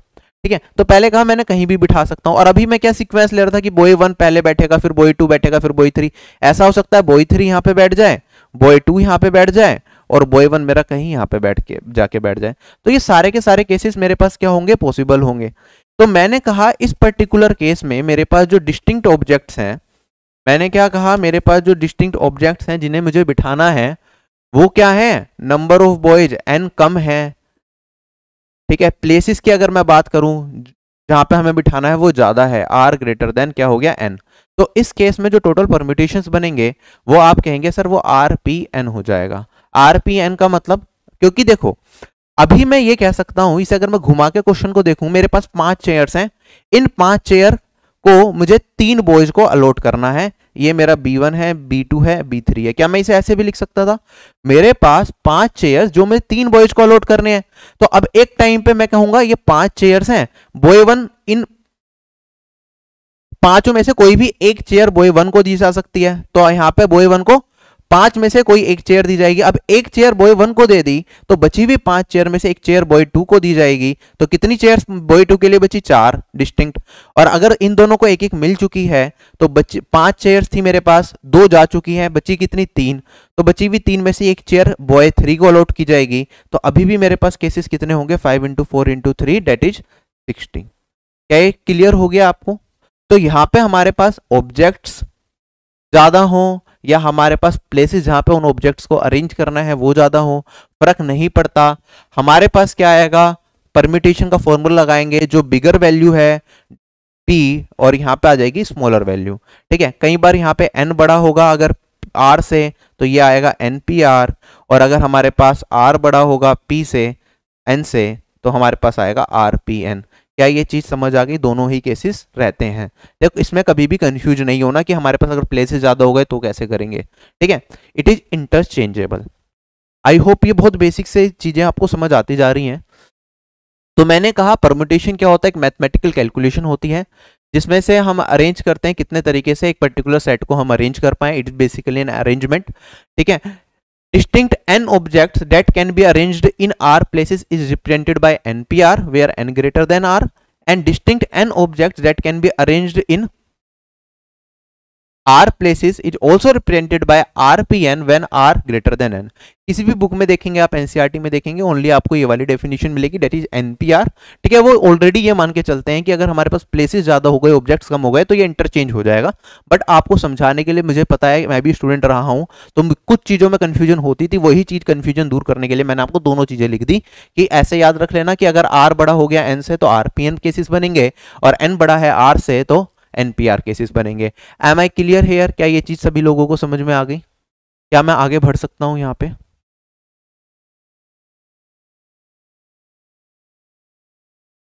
ठीक है, ये कुछ डेफिनेशंस वगैरह हैं जिस पे हमें जाने की ज़रूरत नहीं है। बेसिक आपको कंसेप्ट समझ आ गया।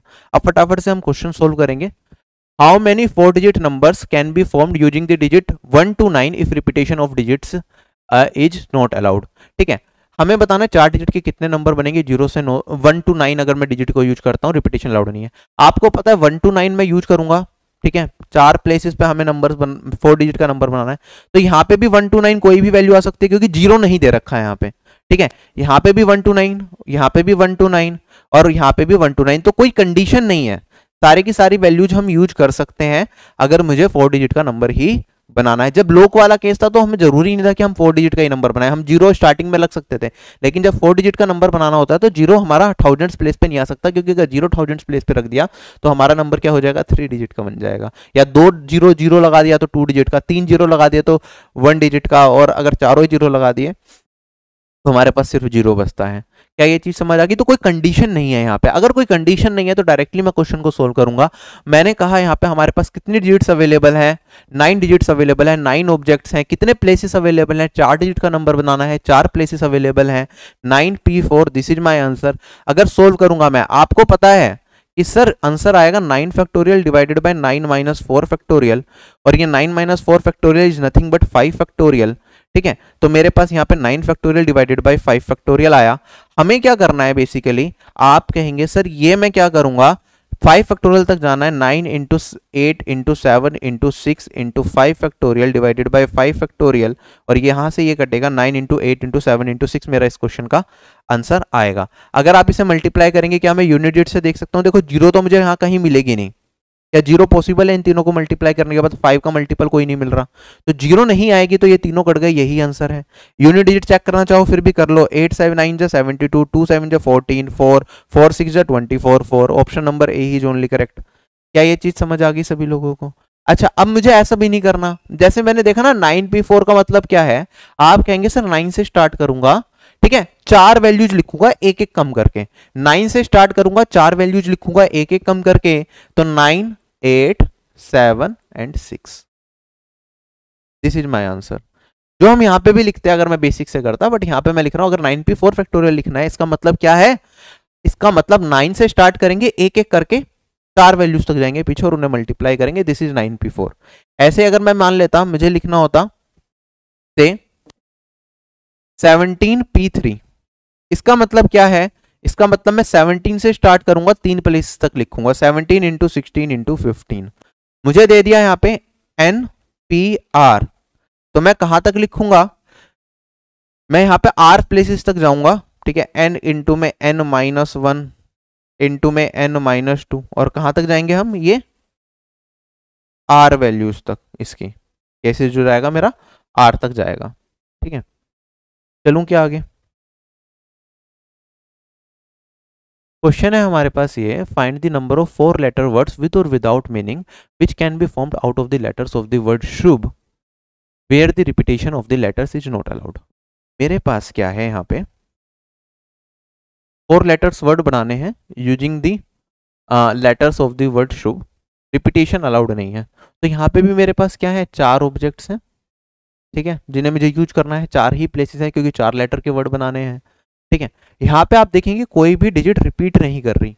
तो ये सारे के सारे ऑब्जेक्ट्स क्या हैं? डिस्टिंक्ट है। एस अलग है एच अलग है यू अलग है बी अलग है। जो भी अभी तक हम यूज़ कर रहे हैं, उसमें ये चीज़ ज़रूरी होती है कि जितने भी हमारे ऑब्जेक्ट्स हों, वो सारे के सारे क्या हों? डिस्टिंक्ट हो। तो क्या ये डिस्टिंक्ट है? बिल्कुल डिस्टिंक्ट है। अगर ये डिस्टिंक्ट हो गए तो फटाफट से आप बताएँ चार ऑब्जेक्ट है, चार प्लेसेस पे हमें लेना है। ये मेरे पास क्या आएगा? Four P four. Four P four का मतलब चार से स्टार्ट करेंगे, चार वैल्यू जाएँगी तीन, दो, एक। तो ये हो जाएगा फोर। फैक्टोरियल ही बन जाएगा ये, और फोर फैक्टोरियल होता है ट्वेंटी फोर ठीक है? तो अगर आप इस चीज़ को यहाँ पे अगर मुझे फोर पी फोर समझ आया तो मैं क्या, ये कह सकता हूँ कि एन पी एन क्या होगा? आप कहेंगे, सर, ये n factorial divided by n minus n factorial और ये n factorial divided by n minus n zero factorial zero factorial is nothing but one तो ये n factorial divided by one तो ये एन फैक्टोरियल ही आ जाता है अगर एन पी एन हो। चार ऑब्जेक्ट्स चार प्लेसेस तो कितना आंसर आएगा? रिपीटेशन लाउड नहीं है तो एन फैक्टोरियल क्या ये चीज़ क्लियर हो गई? छोटे छोटे से कंसेप्ट हैं अब क्या आता है मेरे पास? How many four letter code can be formed using the first seven letters of the English alphabet if no letter can be repeated हमें क्या करना है? चार लेटर का कोड बनाना है। First seven letters alpha, English alphabet के use करने हैं। कोई लेटर रिपीट नहीं करेगा। तो हमारे पास कितने हैं? सात। किए कितने हमें? चार। आंसर क्या आएगा? सेवन। चार लेने हैं। Seven, six, five and four. Solve कर लेंगे thirty, one twenty. One twenty into seven, eight forty. खत्म। चलें आगे। अगला सवाल हमारे पास। Which of the following words can be written in 120 page इनमें से कौन सा वर्ड ऐसा है जिसे हम 120 पेज में रिप्रेजेंट कर सकते हैं? ठीक है, सबसे पहली चीज़ तो आप ये समझेंगे 120 पेज का मतलब क्या है? 120 होता है 5 फैक्टोरियल के बराबर। कुछ वैल्यूज़ आप याद रख लो अगर याद नहीं है। Zero factorial is one one factorial is one अच्छा कुछ लोगों का ये भी डाउट रहता, सर ज़ीरो फैक्टोरियल वन कैसे हो गया? तो वो भी एक बार देख लो। ठीक है? अगर मैं वन फैक्टोरियल निकालता हूँ तो ये क्या होगा? वन इंटू में ज़ीरो फैक्टोरियल एक एक पीछे जाते रहेंगे। और यहाँ पे हमारे पास one equals to one into zero factorial zero factorial क्या आ जाएगा? वन ठीक है? कोई मेजर चीज़ नहीं है, ऐसे छोड़ सकते हैं आप। हम ज़ीरो फैक्टोरियल को वन मान लें, बस ये रख, याद रखेंगे। Two factorial is two three factorial is six four factorial is twenty four five factorial is हमारे पास ये होता है वन ट्वेंटी सिक्स फैक्टोरियल तक जनरली हमें पता होना चाहिए सेवन ट्वेंटी। अगर आप सेवन फैक्टोरियल भी निकालेंगे तो यहाँ पे आप इसकी वैल्यू भी निकाल सकते हैं, फाइव ज़ीरो फोर ज़ीरो। ठीक है? ये हमारा सेवन फैक्टोरियल। अगर आप याद करना चाहें तो इसमें आपके ऊपर है एट फैक्टोरियल, नाइन फैक्टोरियल और टेन फैक्टोरियल की वैल्यूज़ भी याद कर सकते हैं। एट फैक्टोरियल क्या करेंगे? सेवन फैक्टोरियल जो है, इसमें एट से मल्टीप्लाई कर देंगे। तो ज़ीरो, एट फोर जो thirty two, three carry forward हो जाएगा और ये हो गया फोर थ्री। ठीक है? इसके बाद नाइन फैक्टोरियल में इससे नाइन से मल्टीप्लाई कर देंगे।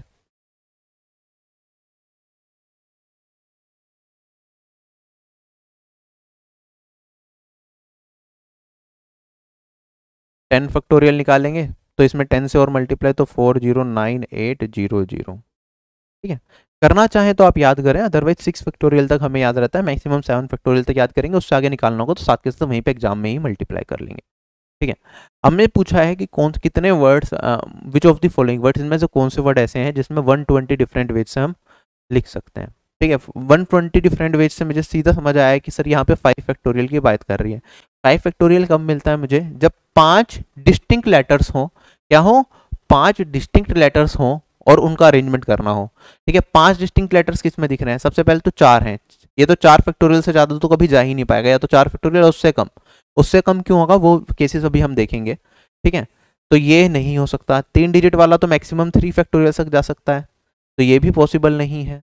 स्टिल ये फाइव पाँच लेटर्स वाला है, ये मेरा आंसर हो सकता है। स्टेबल ये छः वाला है, ये मेरा आंसर हो सकता है। ये वोटर ये पाँच वाला है, ये मेरा आंसर हो सकता है। तो मेरे पास तीन ऑप्शन बचे। डेट इज़ या तो डी या बी या फिर ए अगर मैं ए को देखता हूँ तो मेरे पास क्या है? एक, दो, तीन, चार, पाँच छः छः लेटर्स हैं। छः के छः डिस्टिंक्ट लेटर्स हैं। कोई रिपीट तो नहीं कर रहा ना इसमें। S T A B L E सारे के सारे अलग हैं। अगर डिस्टिंक्ट है तो इसका आंसर तो सिक्स फैक्टोरियल आएगा। ठीक है? तो ये मेरा six factorial seven twenty seven twenty ways होंगे।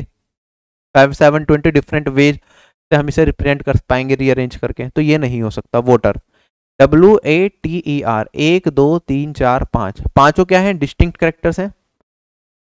तो हमारे पास फाइव फैक्टोरियल ये आ गया वन ट्वेंटी तो यही आंसर होगा। और हमारे पास यहाँ पे भी पाँच है S T I double L यहाँ पे क्या होगा? एस टी आई एल और एल तो ये दोनों क्या कर रहे हैं? रिपीट कर रहे हैं। रिपीट करने की वजह से कुछ केसेस क्या होंगे हमारे? नहीं काउंट किए जाएँगे। वो अब हम अभी थोड़ी देर में देखेंगे तो ये हमारा आंसर नहीं होगा। ठीक है? तो इस तरीके से हमने देख लिया। तो सबसे मेन चीज़ जो नोट करने वाली ये थी कि 120 डिफरेंट वेज में अगर रिप्रेजेंट करना है तो जो हमारा वैल्यू होगी, जो नंबर ऑफ़ करेक्टर्स होंगे वर्ड के अंदर, वो हमारे फाइव या फाइव से ज़्यादा होंगे, उससे कम में पॉसिबल नहीं है। ठीक है? आगे मैं बढ़ता हूँ। अब हमसे पूछा कि how many different ways can the letters of the word simple can be arranged ठीक है सिंपल की अगर मैं बात करूँगा, एक, दो, तीन, चार, पाँच, छः। छः लेटर्स हैं, सारे के सारे अपने आप में डिफरेंट हैं। ठीक है? अगर छः हैं और सारे के सारे अपने अपने आप में डिफरेंट है तो मेरे पास छः और छः प्लेसेस में आएँगे अगर अरेंज करना है तो सिक्स पी सिक्स मतलब सिक्स फैक्टोरियल और सिक्स फैक्टोरियल का मतलब सेवन ट्वेंटी अब कुछ लिखना नहीं, कुछ मल्टीप्लाई नहीं करना डायरेक्ट आंसर लिखना है that is seven twenty none of these is will be my answer चलूँ क्या आगे मैं? अगला सवाल। In how many ways with और without meaning can be made from the letters of the word Monday assuming that no letter is repeated ठीक है, कोई भी लेटर रिपीट ना करे। अगर मैं मंडे को भी देखता हूँ, आप यहाँ पे जब भी इस तरह का कोई वर्ड दिखे तो आप देखो यहाँ पे क्या कोई रिपीट कर रहा है? एम एन डिफरेंट है, फिर ओ भी अलग है टी ए वाई सारे के सारे डिफरेंट है, कोई भी रिपीट नहीं कर रहा है। तो अभी तक हमारा रिपीटेशन वाला केस आया नहीं बिल्कुल सिंपल अलग अलग डिस्टिंक्ट ऑब्जेक्ट्स हैं डिस्टिंक्ट लेटर्स हैं, उन पे हम काम कर रहे हैं। Four letters are used at a time अगर चार लेटर एक टाइम पे यूज़ होंगे तो आप कहेंगे, सर आंसर होगा six P four six P four का मतलब सिक्स इंटू में फाइव इंटू फोर इंटू में थ्री चार लेने हैं मुझे ऊपर के। ठीक है? अगर मैं इसे सोल्व करूँगा तो आप कहते, सर टू इंटू वन और लिख लेते और डिवाइड कर देते टू इंटू वन ये मैंने क्यों करा? क्योंकि मुझे पता है ये तो सेवन ट्वेंटी होता है डिवाइडेड बाई टू ये थ्री सिक्सटी आ जाएगा। ठीक? अगर मैं बात करूँ all letters are used at a time सारे लेटर्स यूज़ करेंगे तो ये तो सिक्स फैक्टोरियल और ये मेरे पास सेवन ट्वेंटी हो जाएगा। Third all letters are used but first letter is a vowel सारे लेटर यूज़ किए जाएँगे but first letter is a vowel अब यहाँ पे क्या हो गया? यहाँ पे मेरा केस आ गया। एक स्पेसिफिक कंडीशन दे दी। अब मेरे पास मंडे के अंदर कितने वोवल हैं? एक और एक दो। ठीक है? तो यहाँ पे छह स्पेसेस बना सकता हूँ सारे करेक्टर्स यूज़ करने क्योंकि हमें एक दो तीन चार पाँच छः यहाँ पे या तो ओ आएगा यहाँ पे ये आएगा तो यहाँ पे कितने प्लेसेस आ सकते हैं दो आ सकते हैं ठीक है इन दोनों में से ही कोई एक आएगा बाकी हमारे पास इस प्लेस पे कितने बचेंगे क्योंकि मैं इनमें से एक को यूज़ यहाँ पे कर लूँगा टोटल है कितने छः हैं तो यहाँ पे पाँच यहाँ पे चार यहाँ पे तीन यहाँ पे दो और यहाँ पे एक ठीक है? तो आप देखेंगे ये वाला पोर्शन क्योंकि इन पाँचों स्पेसिस पे कोई भी कंडीशन नहीं थी तो यहाँ पे मैं अगर पाँच स्पेसिस को देखता हूँ, मेरे पास पाँच ही, क्योंकि एक तो यहाँ पे करेक्टर यूज़ हो जाएगा, पाँच करेक्टर हैं, पाँच स्पेसिस यहाँ पे थे तो आप फाइव पी फाइव भी कह सकते थे, या फिर फाइव फैक्टोरियल डायरेक्टली लिख सकते थे आपसे और यहाँ पे मेरे पास क्या है? दो पे दो आ सकते हैं, या तो ए आएगा, या दो आएगा तो दो केसेस यहाँ पे बनेंगे। तो टू इंटू में फाइव फैक्टोरियल ये हो जाएगा वन ट्वेंटी फाइव इंटू में two that is two fifty क्या ये चीज़ समझ आ गई सभी लोगों को? क्लियर है ना भाई? सिंपल है, मुश्किल नहीं है। अलग सवाल पे चलता हूँ।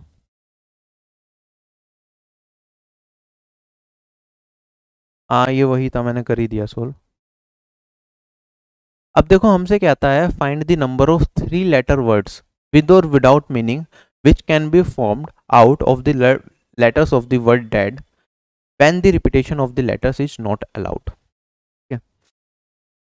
Dead मेरे पास कितने लेटर्स हैं?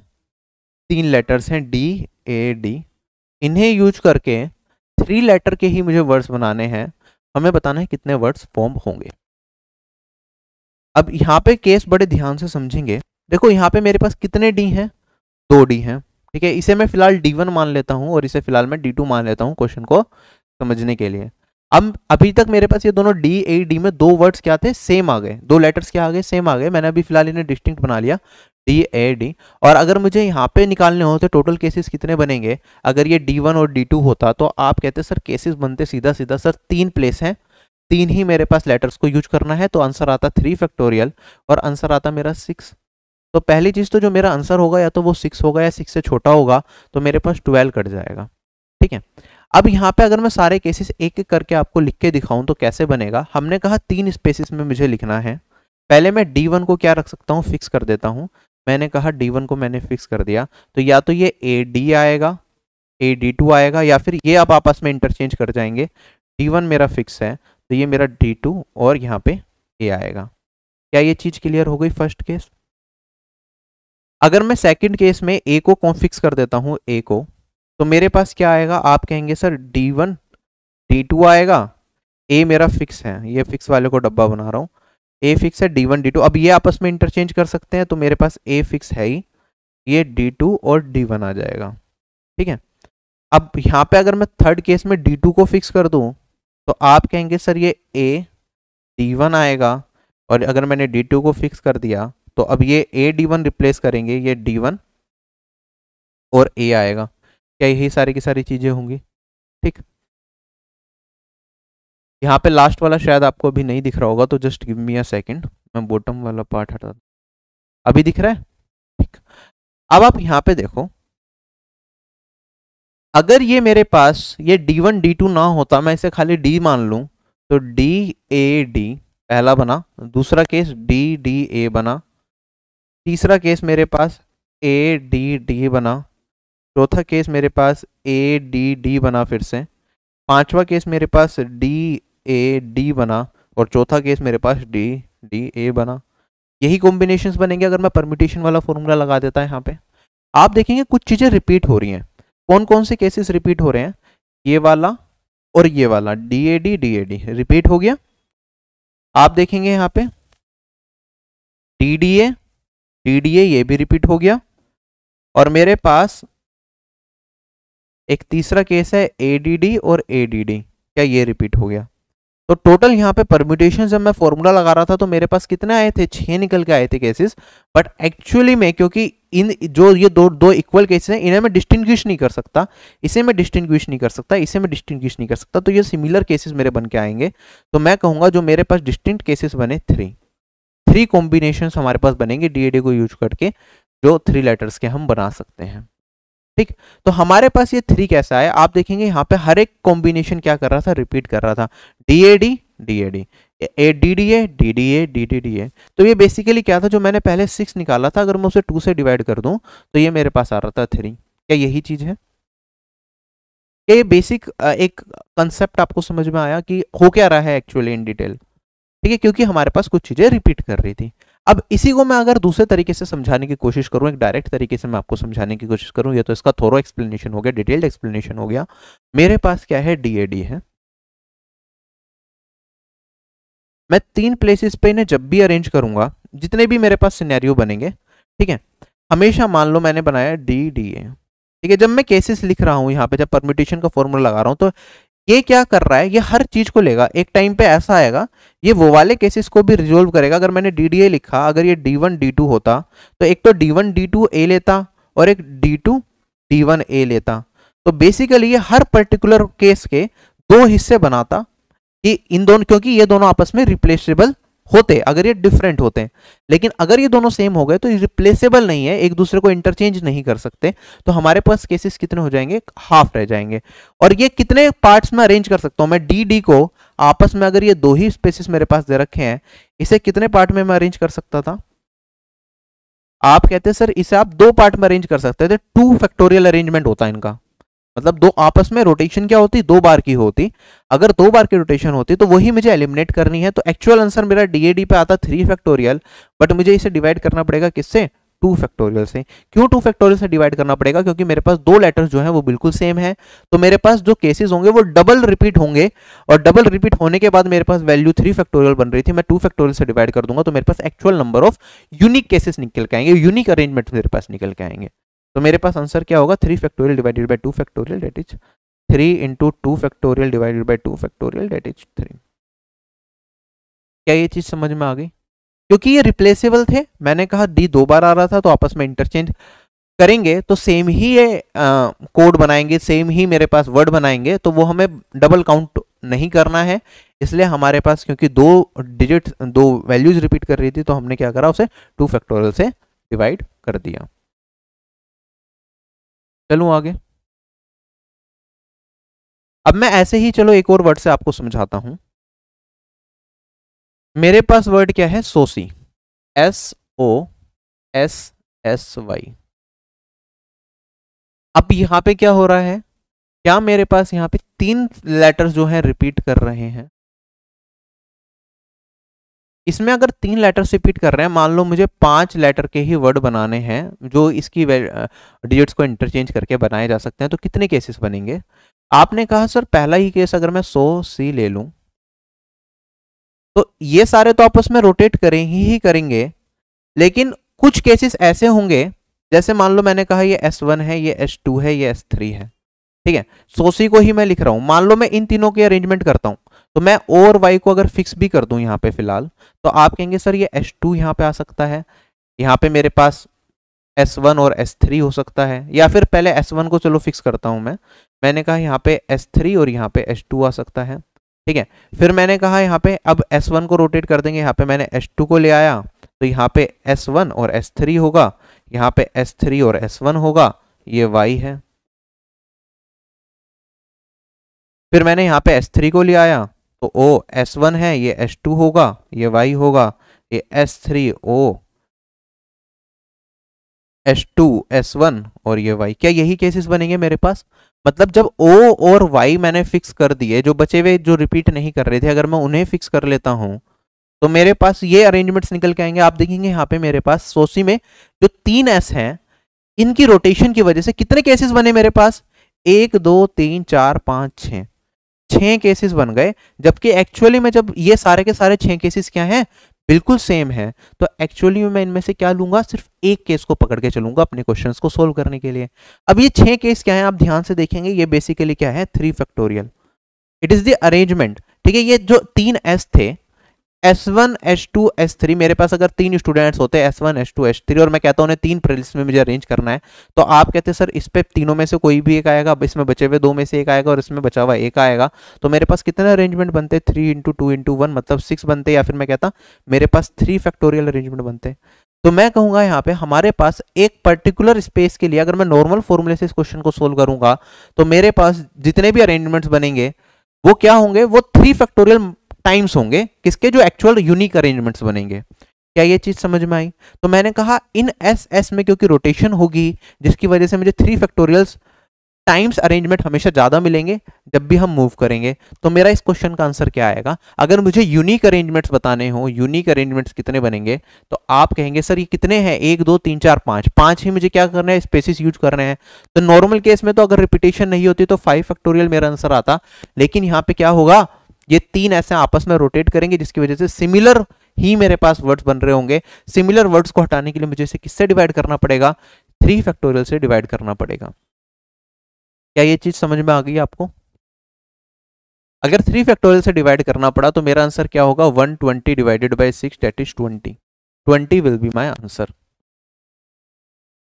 I hope ये पार्ट भी आपको क्लियर हो गया। तो मैंने एक टू वाला केस दिखाया, आपको एक थ्री वाला केस दिखाया। और मेरे पास कुछ इस तरह का आंसर निकल के आया। ठीक है?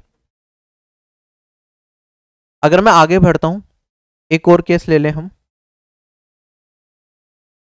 जैसे मेरे पास क्वेश्चन है find the number of four letter words with और without meaning which can be formed using the letters of the word cool where the repetition of letters is not allowed ठीक है? मेरे पास कूल है। इसे use करके मुझे बताना है फोर लेटर्स के कितने वर्ड्स पॉसिबल होंगे। आप कहेंगे, सर जनरल केस में अगर सारे डिस्टिंक्ट करेक्टर्स होते तो फोर फैक्टोरियल वेज बनते। हैं लेकिन यहाँ पे दो करेक्टर्स क्या कर रहे हैं आपस में रिपीट कर रहे हैं तो मुझे टू फैक्टोरियल से डिवाइड करना पड़ेगा। आंसर आ जाएगा four factorial is twenty four divided by two this is twelve twelve is the answer of this question अगले सवाल पे चलता हूँ। अच्छा अब यहाँ पे कैसा होगा? मल्टीपल चीज़ें भी हो सकती हैं। मान लो मेरे पास क्या हो?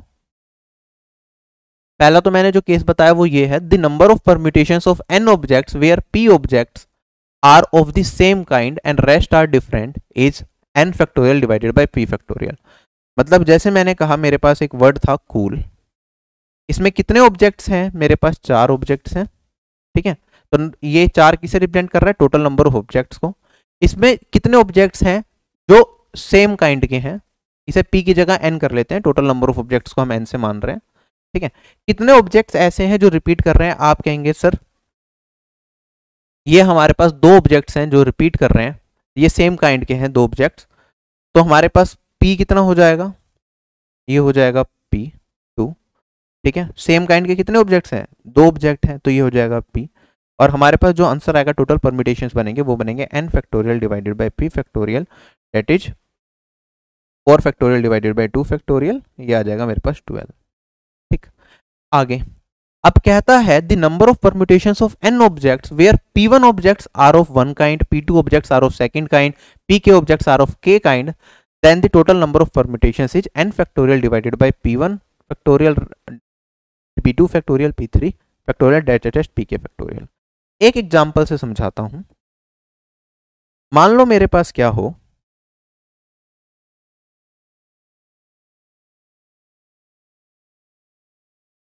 मान लो मेरे पास कुछ ऐसा हो मेरे पास कोई वर्ड दे रखा हो। आ, आ, आ, आ,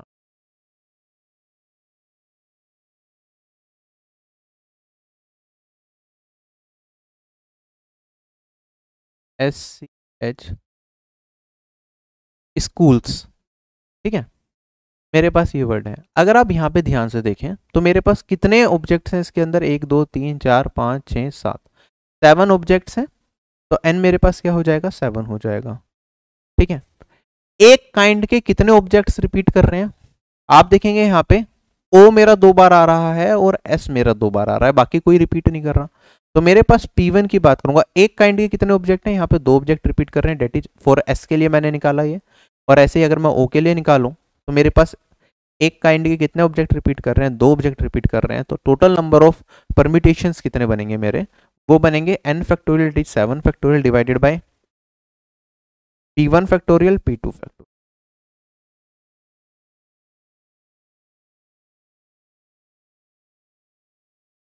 ठीक है? ऐसे मान लो मैं एक और वर्ड से आपको समझाने की कोशिश करता हूँ। एक बार समझ आ गया तो फ्यूचर में ज़िंदगी में कभी नहीं भूलेंगे। मेरे पास वर्ड है सोसी ठीक है? सोसी को भी अब हम बना लेते हैं सो सो। ठीक है? अब इसमें कितने लेटर्स हैं मेरे पास? क्या इसमें पाँच लेटर्स हैं? ठीक है? मुझे पाँच लेटर के ही वर्ड बनाने हैं। अब देखेंगे ध्यान से मैं यहाँ पे पहले पूरा सोच ही लिखता हूँ। आप कहेंगे सर ये S1, S2, S3 ये आपने अभी थोड़ी देर पहले कराया था जब मैं S1, S2, S3 से कर रहा था। तो मेरे पास एक पर्टिकुलर केस की क्या बन रहे थे? छह चीज़ें निकल के आ रही थी एक जैसी सी। ठीक है? तो मुझे छह से डिवाइड करना पड़ता था टोटल कॉम्बिनेशन में, जिससे कि मैं यूनिक कॉम्बिनेशन बता पाऊँ। जब मैं यहाँ पे ओ को नाम दूँ अगर, ये मेरे पास ओ है ओ वन ओ टू ठीक है? अब ओ वन ओ टू की वजह से भी क्या होगा? यहाँ पे अगर कॉम्बिनेशन देखूँ ओ वन को मैंने यहाँ पे रखा ओ टू को यहाँ पे रखा एस वन यहाँ पे O two S two S three और ओ वन अगर इस कॉम्बिनेशन की बात करूँ एक्चुअली में ये दोनों हैं तो सेम ही, ये दोनों हैं भी सेम ही। तो हर एक पर्टिकुलर पेस केस के लिए मुझे दो और एक्स्ट्रा कॉम्बिनेशन मिलेंगे। जो हर बार ऐड होंगे। मतलब एक तो ये छह केसेस वो थे और उसमें ओवन ओटू को भी रिप्लेस कर दूँ तो छह और बन जाएँगे। तो ये टोटल बारह के बारह केसेस होंगे जो एक्चुअली में सिर्फ़ एक ही यूनिक वर्ड को रिप्रेजेंट कर रहे होंगे।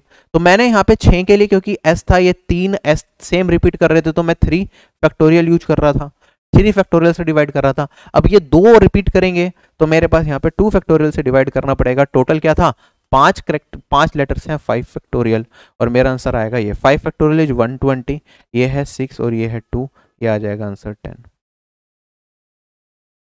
टेन डिफरेंट मेरे पास वर्ड्स बनेंगे S O S S O को यूज़ करते हुए, जो कि अपने आप में डिस्टिंक्ट होंगे। ठीक है? ये परमिटेशन बनेंगे टोटल केसेस क्वेश्चन में क्या था? Find the number of five letter words with और without meaning which can be formed out of the letters of the word happy where the repetition of the letters is not allowed happy को use करके मुझे बनाने हैं पाँच letter के word आप कहेंगे, सर फाइव फैक्टोरियल पहले पूरा का पूरा लिख दिया, पाँच लेटर्स यहाँ पे देना है, दे रखे हैं, पाँच लेटर का ही मुझे वर्ड बनाना है. फिर क्या था यहाँ पे? एच ए पी पी ये एक एक काइंड का करेक्टर दो बार रिपीट हो रहा है, बाकी कोई और रिपीट नहीं कर रहा तो टू फैक्टोरियल ठीक है? Five factorial divided by two factorial is one twenty divided by two sixty is my answer क्या क्वेश्चन खत्म? अगला सवाल। ऐसे क्वेश्चन बहुत मिलेंगे। ये बैंक एग्ज़ाम में पूछा गया था how many different ways the letters of the word markers can be arranged ठीक है, अगर मैं मार्कर्स को देखूँ एम कहीं और है, नहीं है ए कहीं और है, नहीं है आर कहीं और है ठीक है आर मेरा दो बार आ रहा है। के कहीं और है, नहीं है ई e कहीं और है, नहीं है एस कहीं और है, नहीं है। तो टोटल कितने? एक, दो, तीन, चार, पाँच, छ, सात। कितना आएगा? ये था five zero, four zero, divided by two.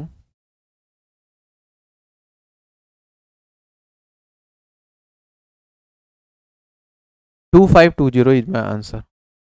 चलें आगे। अगला सवाल how many different ways the letters of the word believe can be arrange अगर मैं बिलीव को देखूँ यहाँ पे बी कहीं और आ रहा है नहीं आ रहा। ठीक है? ई e, एक दो तीन। तीन बार ई e आ रहा है। ठीक है? एल कहीं और आ रहा है नहीं आ रहा। आई कहीं और आ रहा है नहीं आ रहा। वी कहीं और आ रहा है नहीं। बस ई e तीन बार रिपीट कर रहा है। तो अगर मैं यहाँ पे सोल्व करूँगा एक दो तीन चार पाँच छः सात। सात है मेरे पास डिवाइडेड बाई ये थ्री फैक्टोरियल तो seven divided seven factorial divided by three factorial अगर आप करते भी हैं तो आप इसे कैसे लिख सकते हैं? या तो seven into six into five into four क्योंकि three factorial three factorial cut जाएगा। फाइव फोर जो twenty four twenty four twenty into twenty eight forty basic calculation कर ली, मैंने ऑप्शन पे देखा ही नहीं, ज़रूरत ही नहीं थी, आराम से हमारा आंसर आ गया ऑप्शन चलें क्या आगे? अगला वर्ड है कि कितने परम्यूटेशन बनेंगे of the letter of the word Allahabad. ठीक है? अब स्टार्ट करते हैं ए से। ए कितनी बार आ रहा है? एक, दो, तीन, चार। एल कितनी बार आ रहा है? एक, दो। फिर तो कहीं नहीं आ रहा। एच कितनी बार आ रहा है? एक बार ही आ रहा है। बी कितनी बार आ रहा है? एक बार आ रहा है। डी कितनी बार आ रहा है? एक बार आ रहा है। तो आंसर क्या निकल के आएगा मेरे पास? अलाहाबाद में टोटल एक, दो, तीन, चार, पाँच छः सात, आठ, नौ।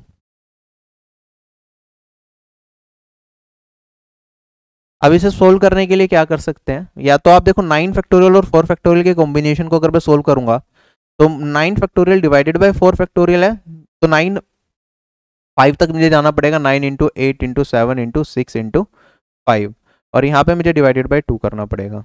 अगर मैं कैलकुलेशन सोल्व करता हूँ, चार ऑप्शन भी दे रखे हैं। फैक्टोरियल देखो नाइन फैक्टोरियल तो ऑब्वियसली नहीं आएगा। ये कहीं से मुझे सिक्स फैक्टोरियल भी नहीं दिख रहा बट कह नहीं सकते क्या आ जाए। ठीक है? सिक्स फैक्टोरियल के चांसेस भी बहुत ही रेयर हैं सिक्स फैक्टोरियल भी नहीं होगा। बाकी इन दोनों में से कोई आंसर होना चाहिए। आप चाहें तो यूनिट डिजिट से या फिर पूरा सोल्व कर सकते हैं। जैसे मैं दो से काटूँगा तो ये चार। पाँच चौक बीस बीस इंटू छः, एक सौ बीस को मैंने अलग कर लिया। नाइन सेवन जा मेरे पास कितना होएगा? सिक्सटी थ्री होएगा। सिक्सटी थ्री इंटू में वन ट्वेंटी तो तिरसठ सौ से थोड़ा सा ज़्यादा होगा मेरे पास तो ये आंसर आ सकता है। Option number C. ठीक है? यूनिट डिजिट से करेंगे, थ्री टू जा सिक्स, ज़ीरो से पहले, यहाँ पे आ रही है तो यही आंसर बन सकता है, और कोई पॉसिबल नहीं है। I hope this question is also clear. देखो, अब क्वेश्चन में क्या था? कितने तरीके से हम वर्ड परम्यूटेशंस को अरेंज कर सकते हैं? अगर वर्ड मेरा पी से स्टार्ट हो और एस से ख़त्म हो, ठीक है? पी मैंने फिक्स कर दिया और एस मैंने यहाँ पे फिक्स कर दिया। जितने भी स्पेसिस हैं, ठीक है? अरेंजमेंट इसे ही करना है तो total number of spaces total number of objects के बराबर है। तो वो बीच वाली टेंशन हमारी खत्म। कितने हैं इसमें? एक, दो, तीन, चार, पाँच, छः, सात, आठ, नौ, दस, ग्यारह, बारह। टोटल बारह हैं। ठीक है, दो फिक्स कर दिए हमारे पास टोटल यहाँ पे कितने बचे? टोटल दस बचे, जिसके अंदर मूवमेंट होगी। तो मैंने कहा यहाँ पे दस फैक्टोरियल तो आएगा ही आएगा। ठीक है, अब रिपीटेशन कितनी है? पी और एस अगर फिक्स है तो मूवमेंट है इनके बीच में। ठीक है ई e कितनी बार आ रहा है? ई e कहीं नहीं आ रहा। आर कितनी बार आ रहा आगे? नहीं आ रहा। एम कितनी बार आगे? इस साइड जहाँ से मैं देखूँ, उसके राइट हैंड साइड में मैं देख रहा हूँ एम नहीं आ रहा। यू आ रहा है क्या आगे? नहीं आ रहा। टी आ रहा है क्या आगे? हाँ आ रहा है। टी दो बार आ रहा है। ए आगे आ रहा है? नहीं आ रहा। आई आगे आ रहा है? नहीं आ रहा। ओ आगे आ रहा है? नहीं आ रहा। तो ten factorial divided by two factorial is my answer option number B is correct क्या ये चीज़ सबको समझ आ गई? चलें आगे। कहता है कितने तरीके से हम वर्ड सेक्रेट को अरेंज कर सकते हैं जिससे मेरे वोवल्स जो है ना वो एक साथ आ जाएँ। अब ये डिफरेंट केस है। वोवल को साथ में रखना है। ठीक है? सबसे पहले सेक्रेट में आप देखेंगे एस मैं यहाँ पे वोवल लिखूँगा, यहाँ पे कॉन्सोनेंट्स लिखूँगा। ठीक है? जो वोवल्स नहीं है। एस कहाँ आएगा? इधर आएगा। वोवल है ए इधर आएगा। सी इधर आएगा। आर इधर आएगा। ई e इधर आएगा और ये डी इधर आएगा। देखो, वैसे तो मुझे सेक्रेट छह लेटर का वर्ड था, मुझे ऐसे करने की ज़रूरत नहीं थी, मैं डायरेक्टली भी देख लेता भैया ए और ई e मेरा वोवल है, बाकी सारे मेरे क्या है कॉन्सोनेंट्स हैं। लेकिन अगर ये सेक्रेट की जगह मेरे पास कोई दूसरा बड़ा वर्ड आ जाता मिसिसिपी कुछ आ जाता ऐसा कुछ लिखा हुआ आ जाता तो इसमें मैं डिफ्रेंशिएट करने में थोड़ी दिक्कत होती। फिर यहाँ पे वर्ड्स रिपीट भी कर रहे हैं, वो रिपीट वाले वर्ड भी मुझे अलग अलग सेपरेट करने होते। तो मैंने फ़िलहाल ब्रेक कर लिया इसे वोवल और कॉन्सोनेंट्स में, जिससे कि मुझे सेपरेशन में भी दिक्कत ना आए। अब यहाँ पे कोई रिपीट कर रहा होता तो क्योंकि दो पार्ट में स्प्लिट हो गया तो रिपीटेशन वाले जो करेक्टर्स हैं, वो मुझे आइडेंटिफाई करना थोड़ा ज़्यादा आसान हो जाता। क्या ये चीज़ समझ आ गई? तो मेरे पास यहाँ पे क्या है? ये दो करेक्टर्स हैं। और यहाँ पे हमारे पास ये एस सी आर डी ये वोवल्स हैं ये कॉन्सोनेंट्स हैं। हमसे कहा कि किस तरीके से अरेंज करें कि जो वोवल्स हैं वो एक साथ रहें। ठीक है? अगर वोवल्स को एक साथ करना है तो मैं इनका एक बॉक्स बना लेता हूँ। हमें छः लेटर्स ही यूज़ करने हैं। तो यहाँ पे छः स्पेस मैंने बनाए और एक और एक दो। मुझे वोवल्स को अगर एक साथ रखना है तो क्या इन दोनों को मिक्स करके मैं एक डब्बा बना लूँ? जिससे कि मेरे ये वोवल्स जो हैं ए ई e, ये साथ में रहें। ये इन दोनों का जो जोड़ा है ना, ये बिछड़े ना। और बाकी ये चार भाई कहीं भी तुम घूमते रहो, ये ए ही एक साथ रोटेट करेंगे। ए या तो इस पोजीशन पे होंगे, इधर होंगे तो ये दोनों ए ही एक साथ होंगे। इधर होंगे तो ए एक साथ होंगे। तो मेरे पास बेसिकली मैं ये मान के चलूँगा, जो मेरे पास यहाँ पे छह लेटर्स थे ना, छह की जगह अब मेरे पास कितने लेटर्स हैं? सिर्फ़ पाँच लेटर्स हैं, क्योंकि मुझे एई को तो साथ में रखना है। ठीक है? ए को मैं एक सिंगल करेक्टर मान के अब काम करूँगा। तो मेरे पास यहाँ पे पाँच है, एक ए e है और एस सी आर डी है। तो टोटल पाँच हो गए। पाँचों डिफरेंट है एस और ए e अपने आप में अलग है। पाँचों डिफरेंट हो गए तो कितने केसेस बनेंगे आप कहेंगे, सर, पाँच फैक्टोरियल ठीक। उसके आगे बढ़ते हैं। अब देखो ए e मैंने मान तो लिया एक, लेकिन एक्चुअली में तो दो है। तो ये क्या होगा, अपनी पोजीशन भी तो इंटरचेंज करेंगे। मान लो मैंने कहा पहले एई मैंने साथ में रखा ए को ई लिया। यहाँ पे मैंने लिखा है S C R and D ऐसा भी तो होगा कि ये अपनी पोजीशन चेंज करेंगे। E A S C R N D ये अपनी जगह पे तो पोजीशन चेंज कर सकते हैं ना। तो मैंने इसे दो ब्लॉक्स में स्प्लिट करा। एक ब्लॉक तो मेरा ये हो गया जिसमें मैंने ए ई e को साथ में रख दिया। दूसरा ब्लॉक हो गया मेरे पास दो स्पेसेस हैं जिसमें ए है और ई e है। ये आपस में क्या करेंगे? अपनी पोजीशंस को इंटरचेंज करेंगे। दो स्पेसिस हैं दो ही मेरे पास वोवल्स हैं कितने केसेस बनेंगे? टू फैक्टोरियल केसेस बनेंगे। तो मैं कहूँगा यहाँ पे फाइव फैक्टोरियल तो इसके केसेस बने और इसी के अंदर यहाँ पे रिपीटेशन होगी तो दो फैक्टोरियल केसेस यहाँ पे बनेंगे। यहाँ पे क्या आएगा? प्रोडक्ट आएगा। क्यों प्रोडक्ट आएगा? आप देखेंगे यहाँ पे। मान लो मेरे पास दो केसेस यहाँ पे बने। ए ई e है फिर ई e, ए है। तो जितने केसेस ए ई के साथ बनेंगे उतने ही केसेस मेरे यहाँ पे भी बनेंगे। तो बेसिकली यहाँ पे क्या हो गया? जो जितने केसेस ए e के साथ बन रहे थे उसका क्या हुआ ये? मल्टीप्लाई हो गया ना, एक बार और, ठीक है? जितने केसेस यहाँ बन रहे, उतने और बन रहे हैं। तो डबल केसेस बन रहे हैं, इसलिए हम टू फैक्टोरियल से क्या कर रहे हैं? मल्टीप्लाई कर रहे हैं। तो यहाँ पे क्या आएगा? मल्टीप्लीकेशन एडिशन जहाँ आना है, वो हम आगे देखेंगे, लेकिन मल्टीप्लीकेशन इस तरह के केसेस में आता है। जब डबल परमिटेशन हम यहाँ पे, इसमें अलग परमिटेशन लगा रहे हैं ए e में, और इन सबके साथ अलग परमिटेशन मेरा आंसर होगा फाइव फैक्टोरियल इंटू में two factorial that is one twenty five into में two answer will be two fifty ठीक है? अच्छा इसी क्वेश्चन में अगर मुझसे कहता ऑल कॉन्सोनेंट्स अगर अकर टुगेदर ऑल कंसोनेंट्स सारे के सारे कॉन्सोनेंट्स एक साथ आएँगे, ठीक है? मेरे पास क्या था? सेक्रेड वर्ड था S A C R A D ठीक है, इसमें वोवल्स मैंने आइडेंटिफाई करे थे ए और ई e था। Consonants S C R D थे। अगर ऑल कॉन्सोनेंट्स करते तो आप कहते, सर, इन चारों के लिए सिर्फ़ एक बॉक्स बनेगा। S C R N D ये आपस में रोटेट कर सकते हैं, लेकिन बॉक्स इन्हें एक मिलेगा और मेरे पास एक बॉक्स ए के लिए होगा, एक बॉक्स ई के लिए होगा। अगर इसमें मैं केसेस निकालूं तो कितने केसेस बनेंगे? आप कहेंगे, सर थ्री फैक्टोरियल तो इस वाले कॉम्बिनेशन में केसेस बनेंगे। ठीक है? तीन प्लेसेस पे आपस में एक दूसरी जगह कहीं भी रोटेट कर सकते हैं। और अगर मैं एस सी आर डी को देखूँ यहाँ पे क्या है मेरे पास? चार करेक्टर्स हैं, चार ही स्पेसिस हैं कितने कॉम्बिनेशन बनेंगे? फोर फैक्टोरियल बनेंगे। तो मेरे पास आंसर आएगा थ्री फैक्टोरियल इंटू में फोर तो सारे कॉन्सोनेंट्स एक साथ रहें, कितने केस बने? आप कहेंगे, सर थ्री फैक्टोरियल इंटू में four factorial three factorial is six four factorial is twenty four और आंसर विल बी मेरा वन ट्वेंटी फोर इंटू में six that is one forty four जिसमें सारे कॉन्सोनेंट्स एक साथ रहेंगे। ठीक है? हमेशा ध्यान रखना all consonants together plus all uh, vowels together not equals to total combinations. ठीक है ये नॉट इक्वल टू होता है टोटल कॉम्बिनेशन के बराबर नहीं होता क्योंकि इन दोनों को केसेस को ऐड करके टोटल मेरे केसेस निकल के आते हैं। ऐसा हो सकता है कि मेरे वोवल्स भी एक साथ ना हो कॉन्सोनेंट्स भी एक साथ ना हो वो वाले भी तो बनेंगे ना मेरे पास। ठीक है अगर मैं बात करूँ जैसे सैक्रेट दे रखा है S A C R E D यही वर्ड देखें अगर हम। क्या इसमें दोनों वोवल साथ में है? नहीं है। क्या दोनों सारे के सारे, चारों के चारों कॉन्सोनेंट साथ में है? नहीं है। तो ऐसे केसेस भी होंगे जहाँ पे सारे के सारे कॉन्सोनेंट्स भी साथ में नहीं होंगे, सारे के सारे वोवल्स भी साथ में नहीं होंगे तो हम कभी भी ये नहीं कह सकते कि टोटल सारे कंसोनेंट्स एक साथ और सारे वेरिएबल्स एक साथ के अगर केसेस को मिला दूँ तो मेरे पास टोटल केसेस निकल के आ जाएँगे। या फिर आप ये नहीं कह सकते कि सर पिछले केस में आपने क्या निकाल लिया था? टोटल वेरिएबल्स निकाल लिए थे, एक साथ वाले कितने केसेस बनेंगे? तो टोटल केसेस में से अगर टोटल कॉन्सोनेंट्स वाले केसेस निकाल दो तो आपका आंसर आ जाएगा, ये भी पॉसिबल नहीं है। क्या ये चीज़ निकल के आई? तो हमें वेरिएबल्स वाला केस अलग और कॉन्सोनेंट्स वाला केस बिल्कुल अलग से निकालना पड़ेगा। ये छोटी छोटी चीज़ें हैं जो आपको एग्ज़ाम में काम आएँगी, वरना ध्यान नहीं रहता, गलती कर देते हैं जल्दबाजी में। अगला सवाल, हमारे पास वर्ड दे रखा है मिसिसिपी कितने डिस्टिंक्ट परमिटेशंस बनेंगे, जिससे कि मेरे पास जो ये चारों के चारों आई है ना, वो एक साथ अकर करें, ठीक है? अगर मिसिसिपी में चार आई इन्होंने दे रखा है तो एक, दो, तीन, चार का आई तो मैंने अलग के अलग कर लिए, ठीक है? अब मैं बाकी के लिखूँगा, एक आई दूसरे पेन से एलिमिनेट करता हूँ।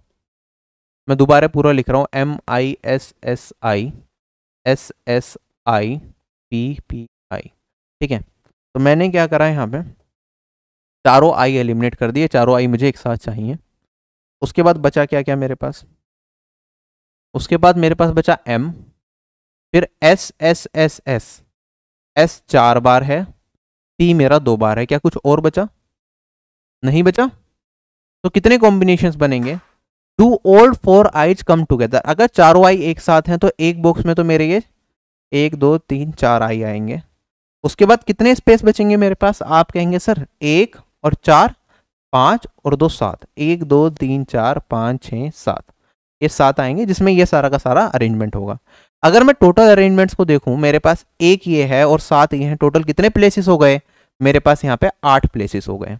ठीक है? तो कितने कॉम्बिनेशन बनेंगे? अगर मैं इन चार आई को एक साथ है, इन्हें छोड़ के चलूँ तो मैंने कहा यहाँ पे मेरे पास आठ फैक्टोरियल अरेंजमेंट बनेंगे, लेकिन बट बट बट एक इतना बड़ा बट है क्योंकि यहाँ पे मेरे पास एस चार बार आ रहा है पी दो बार आ रहा है, इसकी वजह से मेरे कुछ अरेंजमेंट्स घटेंगे भी तो फोर फैक्टोरियल और पी है दो बार आ रहा है तो टू फैक्टोरियल क्या मेरे इतने अरेंजमेंट्स बनेंगे? बिल्कुल बनेंगे। अब इसके बाद अगला क्वेश्चन भैया ये चार जो आई एक साथ थे, इन्हें भी तो मुझे अरेंज करना पड़ेगा? और इन्हें अरेंज कैसे करेंगे? अब देखो, इसमें कोई भी अरेंजमेंट लगा दो मेरे भाई, क्योंकि चारों आई हैं। घूम फिर के एक ही केस बनेगा that is I I I I इसकी पोजीशन कितनी भी चेंज कर लो। मैंने कहा मेरे पास चार आई हैं, ठीक है? मुझे चार अलग अलग पोजीशन पे बिठाने हैं। कोई से आई को कहीं भी बिठा लो, देखने में क्या सारे के सारे एक से लगेंगे, कुछ इनमें वेरिएशन नहीं नज़र आएगा। तो मेरे पास एक ही केस बनेगा। वरना आप कहेंगे, सर, मेरे पास क्या है?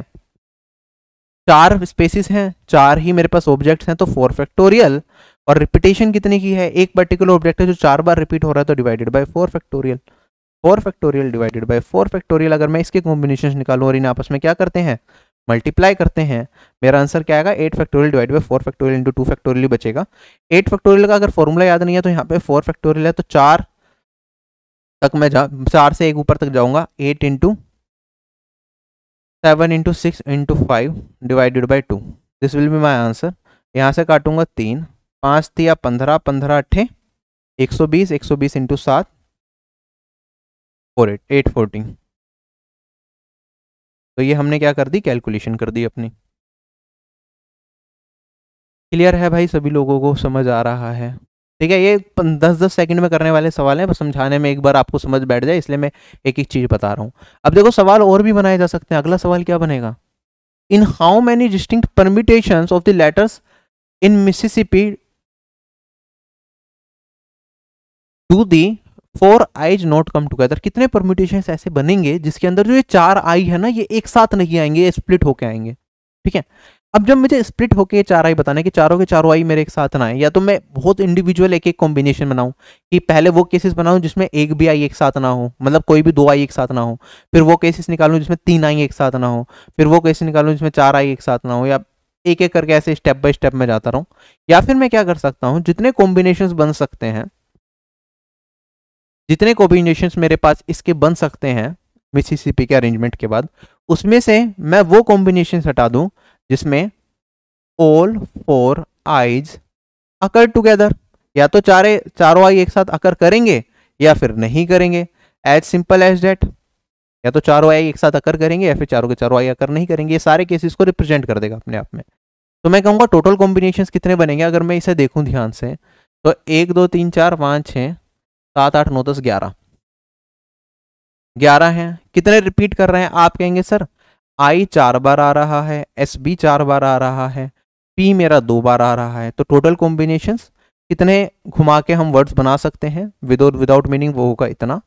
उसमें से चार आई एक साथ जो अकर करेंगे, वो हमने अभी निकाला था, वो कितना आया था हमारे पास? Eight forty this will be my answer आप इसे सोल्व करें, चार ऑप्शन दे रखे हैं। आपको सोल्व करके इसका आंसर निकालना है। शायद मेरे हिसाब से इसका आंसर ऑप्शन नंबर ए होगा। तो यह कैलकुलेशंस आपको खुद करनी है। ठीक है कैलकुलेशन करते टाइम आप चाहें तो इसमें यूनिट डिजिट का इस्तेमाल कर सकते हैं। जैसे ज़ीरो तो सब में आएगा ही वन एट और फाइव में से क्या आंसर होगा? या ज़ीरो होगा ये आपको देखना है। अगर मैं करवा ही दूँ आपको कैलकुलेशन इसकी। देखो, ये मेरे पास फोर तक आ रहा है फोर फैक्टोरियल तक एलिमिनेट करने के लिए। इलेवन इंटू मैं स्टेप बाय स्टेप जा रहा हूँ। Ten into seven, ten into nine into eight into seven into six into five तक जाएँगे। ठीक है? ये आ गया मेरा। उसके बाद यहाँ पे एक फोर फैक्टोरियल एलिमिनेट होने के बाद ये बचेगा तो फोर फैक्टोरियल है। फोर फैक्टोरियल को आप डायरेक्टली जाना चाहें तो ट्वेंटी वन ना four into three into two into one और यहाँ पे टू है। ठीक है? माइनस एट फोर्टी अगर मैं यहाँ पे काटना स्टार्ट करूँ फोर टू जा एट कट जाएगा। थ्री टू जा सिक्स कट जाएगा। ठीक है? अब मेरे पास बचा क्या है यहाँ पे? इलेवन टेन टेन से तो एक ज़ीरो आ जाएगी बाहर। टेन से तो लास्ट में एक ज़ीरो बाहर आ जाएगी। टेन को मैंने हटा दिया फ़िलहाल। Eleven into nine into seven into five eleven into nine into seven into five ये देखने वाली चीज़ें हैं सारी की सारी। और माइनस एट फोर्टी आप देखेंगे यहाँ पे ये अगर टेन को हटा दूँ मैं, ये सारी की सारी वैल्यू क्या है? ओड वैल्यू है। तो मेरे पास जब सोल्व करके आएगा, यहाँ पे ज़ीरो और यहाँ पे जो रिज़ल्ट आएगा, वो ओड आएगा ओड को ओड में मल्टीप्लाई करूँगा तो ओड आता है माइनस एट फोर्टी ठीक है? तो पहली चीज़ तो लास्ट डिजिट तो मेरी ज़ीरो होगी और यहाँ पे कोई ओड वैल्यू होगी ओड में से अगर इवन को घटाऊँगा तो ये ज़ीरो तो कभी आएगा नहीं, क्योंकि जब यहाँ पे फोर होता सेकंड लास्ट डिजिट तभी ये ज़ीरो आता तो ये वाला केस एलिमिनेट हो गया, ठीक है? ओड में से इवन को घटाता हूँ तो हमेशा वैल्यू क्या आती है? ओड आती है तो इवन वाला, ये वाला केस भी पॉसिबल नहीं हो सकता। बच्चे मेरे पास या तो ये केस या फिर ये वाला केस। मैं एक चीज़ बता रहा हूँ अदरवाइज़ हमें दिख रहा है यहाँ पे कि भैया, जब भी मैं ओड वैल्यूज़ में कितनी भी ओड वैल्यू हो, उसके अंदर अगर मैं फाइव से मल्टीप्लाई करता हूँ तो लास्ट डिजिट क्या आती है? फाइव आती है, क्योंकि यहाँ पे फाइव दिख रहा है। और यहाँ पे अगर फाइव है, ये फाइव ज़ीरो होगा, यहाँ पे लास्ट डिजिट फाइव यानी फाइव में से फोर को घटाऊँगा तो ये वैल्यू वन आने वाली है। तो लास्ट टू डिजिट क्या होगी मेरी? वन ज़ीरो तो ये मेरा आंसर आएगा। क्या ये चीज़ें आप ऑब्ज़र्व कर पाए यहाँ पे? वरना आप डिजिटल सम भी लगा सकते हैं इस तरह के ऑप्शन में, और भी चीज़ें की जा सकती हैं but this is the better way चलो आगे। अगला सवाल हमारे पास।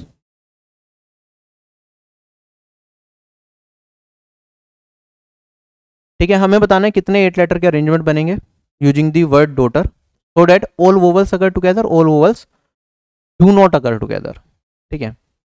अब देखो ऑल वोवल्स अगर टुगेदर में, अगर मैं डोटर को देखूँ ए यू ई तीन वोवल्स हैं। बाकी D G H T R D G H T R ये क्या है? कॉन्सोनेंट्स हैं। क्या इसमें कोई भी चीज़ मेरी रिपीट कर रही है? नहीं कर रही, सारे यूनिक हैं। तो अगर मैं ऑल वोवल्स अगर टुगेदर वाला लेता हूँ तो इन तीनों को मैं साथ में रखूँगा। ये एक बनेगा और ये पाँच स्पेसिस ये बनेंगे। तो क्या आएगा? सिक्स फैक्टोरियल पहला तो। और हमारे पास सिक्स फैक्टोरियल तो ये आ गया, लेकिन अब, क्योंकि ये तीन है, इसके अपने कॉम्बिनेशन भी चलेंगे तो एक, दो, तीन तीन फैक्टोरियल से मल्टीप्लाई करना पड़ेगा। टोटल कॉम्बिनेशन कितने बनेंगे? इतने। याद रखना, जब डिजिट्स रिपीट कर रही हो तो डिवाइड करते हैं, और अगर हम कॉम्बिनेशन बनाते हैं, तीनों को एक साथ मर्ज करके कोई एक लेटर सिंगल लेटर बना लेते हैं, तीन लेटर्स को मर्ज करके तो हम उस टाइम पे क्या करते हैं? मल्टीप्लाई करते हैं। ये तीन है तो थ्री फैक्टोरियल ठीक है? All vowels do not occur together सारे के सारे वोवल्स एक साथ ना आए। देखो, एक चीज़ हो गया तो सारे के सारे वोवल्स एक साथ आएँगे या सारे के सारे वोवल्स एक साथ नहीं आएँगे? तो अगर मुझे सारे के सारे वोवल्स एक साथ ना आए, वो केस निकालना तो उसमें क्या करूँगा? टोटल केसेस कितने बनेंगे मेरे पास? जब मैं ये मान के चलूँ वोवल कहीं भी आए, मुझे फ़र्क नहीं पड़ता। तो आप कहेंगे, सर, ये एट है। सारे के सारे डिस्टिंक्ट हैं। तो कितने लेटर्स विद और विदाउट विनिंग बनेंगे? एट फैक्टोरियल और उसमें से क्या घटाना पड़ेगा? सिक्स फैक्टोरियल इंटू में थ्री फैक्टोरियल। ये वो केसेस हैं जब वोवल्स एक साथ हैं। तो ये मेरे पास वो केसेस आ जाएँगे जिसमें वोवल्स एक साथ अकर नहीं करेंगे। क्वेश्चन हो गया खत्म। ठीक है कैलकुलेशन नहीं कर रहा, खुद करना आराम से। एक और केस मेरे पास। Find the number of arrangements of the letters of the word independence in how many of these arrangements do the words start with P do all the vowels always occur together do all the vowels never occur together and do all the vowels begin do all the words begin with I and end with P क्या आप ये सारे के सारे कर सकते हैं? मैं सिर्फ़ एक क्वेश्चन आपको कराऊँगा इसमें। All the vowels always occur together बाकी की सारे के सारे क्या करने हैं आपको? ये खुद से ट्राई करना है कि आपका इस क्वेश्चन का आंसर क्या आएगा। अगर सारे के सारे वोवल्स एक साथ अकर करेंगे, सबसे पहले वोवल्स लिखो। आई ई ई ई एंड ई ठीक है, यही है। अगर मैं कॉन्सोनेंट देखूँ N D T N, D, N. Total कितने हैं? एक, दो, तीन, चार, पाँच। जो कि एक काउंट होगा जब वोवल साथ में रखने हैं। एक, दो, तीन, चार, पाँच, छः, सात। सात। ठीक है? वोवल साथ में रखने तो सात और एक ही है, आठ। आठ काउंट होंगे तो मेरे पास आएगा एट फैक्टोरियल लेकिन यहाँ पे कुछ रिपीटेशन भी है। इसकी रिपीटेशन मैं नहीं देखूँगा जब इन सातों को एक साथ इसे एक मानूँगा, इसे सात मानूँगा। लेकिन इन सातों में जो रिपीट कर रहे हैं वो हम देखेंगे। डी कितनी बार आ रहा है? डी एक, दो। डी आ रहा है दो बार। एन कितनी बार आ रहा है? तीन बार आ रहा है। ठीक है? पाँच हो गए, बचे दो। पी ये ई e लिख लिया गया मैंने दोबारा। N D P N D N C ये। ठीक है? और हमारे पास सी एक बार आ रहा है पी एक बार आ रहा है इसके अंदर। ठीक है? तो हमारे पास यहाँ पे क्या होगा? ये दो बार और ये तीन बार तो डिवाइडेड बाई टू फैक्टोरियल और यहाँ पे थ्री फैक्टोरियल ये तो केसेस बनेंगे, अगर मैं सिंगल केस ले रहा हूँ, इसे एक करेक्टर माना, बाकी सात करेक्टर उन्हें माने हैं तो मेरे पास इतने केसेस बनेंगे। अब इसमें भी तो अरेंजमेंट हो सकती है। इसमें अरेंजमेंट कैसे होगी? पाँच करेक्टर्स हैं, पाँच प्लेसेस हैं तो five factorial divided by E e कितनी बार रिपीट हो रहा है? ई e आपका चार बार रिपीट हो रहा है तो चार factorial this will be my answer समझ आया? बाकी केसेस आपको खुद करने हैं, आप कर सकते हैं। वोवल्स अगर साथ में ना हो, उसमें क्या करेंगे? टोटल केसेस निकालेंगे। टोटल केसेस कैसे निकालेंगे आप? आप कहेंगे, सर टोटल कितने थे? पाँच और सात, बारह। बारह फैक्टोरियल डिवाइडेड बाय ठीक है? अब इस केस में यहाँ पे ई e चार बार रिपीट कर रहा है आई तो एक बार ही है तो चार बार ई e रिपीट कर रहा है, तीन बार एन रिपीट कर रहा है डी दो बार रिपीट कर रहा है। ये तो टोटल कॉम्बिनेशन बनते जितने हमारे बनते। उसमें से ये घटाना पड़ेगा five factorial divided by four factorial into में।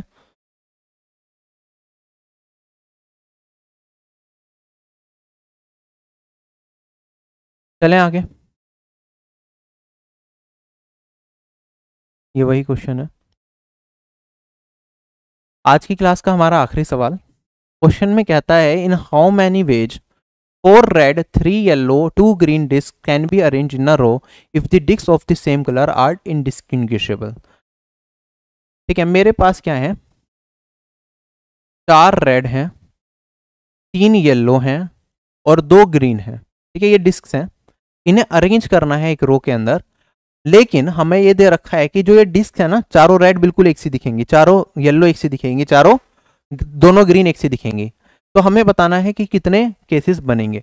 आप कहेंगे चारों रेड एक सी दिखेंगी तो मैं इसे small R small R small R small R फिर वाई वाई वाई फिर मेरे पास जी जी टोटल इतनी डिस्क अवेलेबल हैं, कितनी होगी? चार और तीन, सात और दो, नौ डिस्क अवेलेबल हैं। कितने केसेस नो फैक्टोरियल रेड वाली चार रिपीट कर रही हैं तो फोर फैक्टोरियल वाई तीन रिपीट कर रहा है थ्री फैक्टोरियल और ये टू फैक्टोरियल सोल्व करके आंसर निकाल लेंगे। नाइन और फोर को कॉम्बिनेशन को अगर मैं सोल्व करूँ तो मेरे पास nine into eight into seven into six into five तक जाएगा। फोर फैक्टोरियल से फोर फैक्टोरियल एलिमिनेट होगा। Three factorial is nothing but six and two factorial is nothing but two if I solve it further तो six से six cancel होगा। Two से काटूँगा तो ये मेरे पास फोर आएगा। आंसर क्या आएगा? फाइव फोर जो ट्वेंटी नाइन सेवन जो sixty three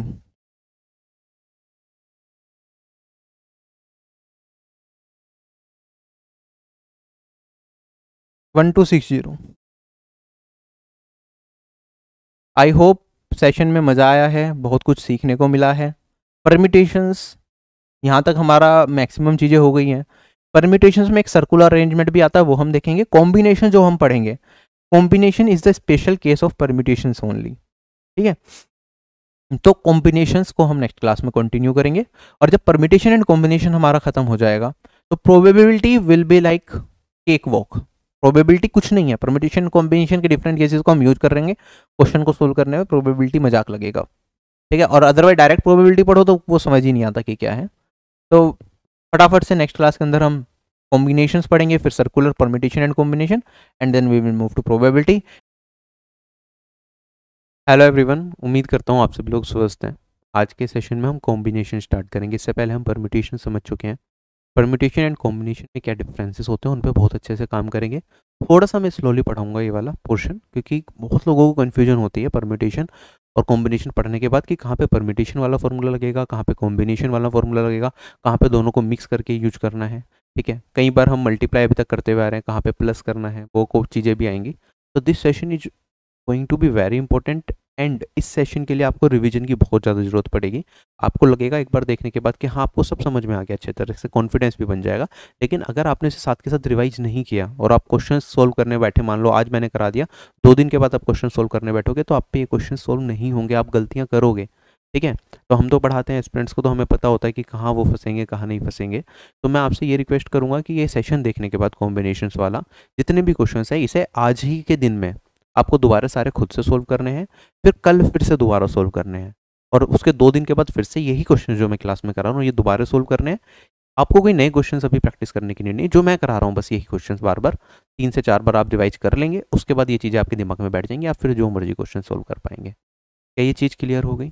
तो परमिटेशन क्या है कॉम्बिनेशन क्या है, वो हम समझेंगे सबसे पहले डिटेल में, उसके बाद हम आगे बढ़ेंगे। परमिटेशंस के बारे में मैंने आपको बताया था परमिटेशन क्या होता है? It is a way of arranging objects कि किस तरीके से हम एन ऑब्जेक्ट्स को आर प्लेसेस पे अरेंज कर सकते हैं दैट इज़ परम्यूटेशन या फिर हमने ये भी कहा था कि उसमें दोनों चीज़ें होती हैं। कई बार हमारे पास जो नंबर ऑफ़ ऑब्जेक्ट्स होते हैं, वो ज़्यादा होते हैं नंबर ऑफ़ प्लेसेस से, और कई बार ऐसा भी होता है कि नंबर ऑफ़ ऑब्जेक्ट्स हमारे कम होते हैं नंबर ऑफ़ प्लेसेस से। तो टोटल नंबर ऑफ़ अरेंजमेंट जो हमारे पास बनते हैं, एक मैंने बताया था आपको, इस केस में जब एन ग्रेटर देन आर होता है तो एन पी आर कॉम्बिनेशन बनेंगे। और अगर मैं बात करूँ एन छोटा हो जाए आर से तो आर पी एन कॉम्बिनेशन बनेंगे। क्या ये चीज़ें क्लियर हैं परमिटेशन के बारे में? ठीक है, अगर मैं आपसे बात करता हूँ, मैं एक छोटा सा सवाल आपको देता हूँ। मैंने कहा मेरे पास चार लोग हैं। P one P two P three and P four ठीक है? मेरे पास तीन चेयर्स हैं। Chair one chair two chair three ठीक है? अगर मैं यहाँ से देखता हूँ तो ये पहले नंबर की चेयर है, ये मेरे पास दूसरे नंबर की चेयर है, ये तीसरे नंबर की चेयर है, ठीक है? अगर मुझे इन चारों लोगों को, मुझे बताना है कितने कॉम सीक्वेंसेस ऐसे बनेंगे, कितने अरेंजमेंट्स ऐसे बनेंगे, जिसमें मैं इन चार लोगों को इन तीन चेयर्स पे बिठा सकता हूँ।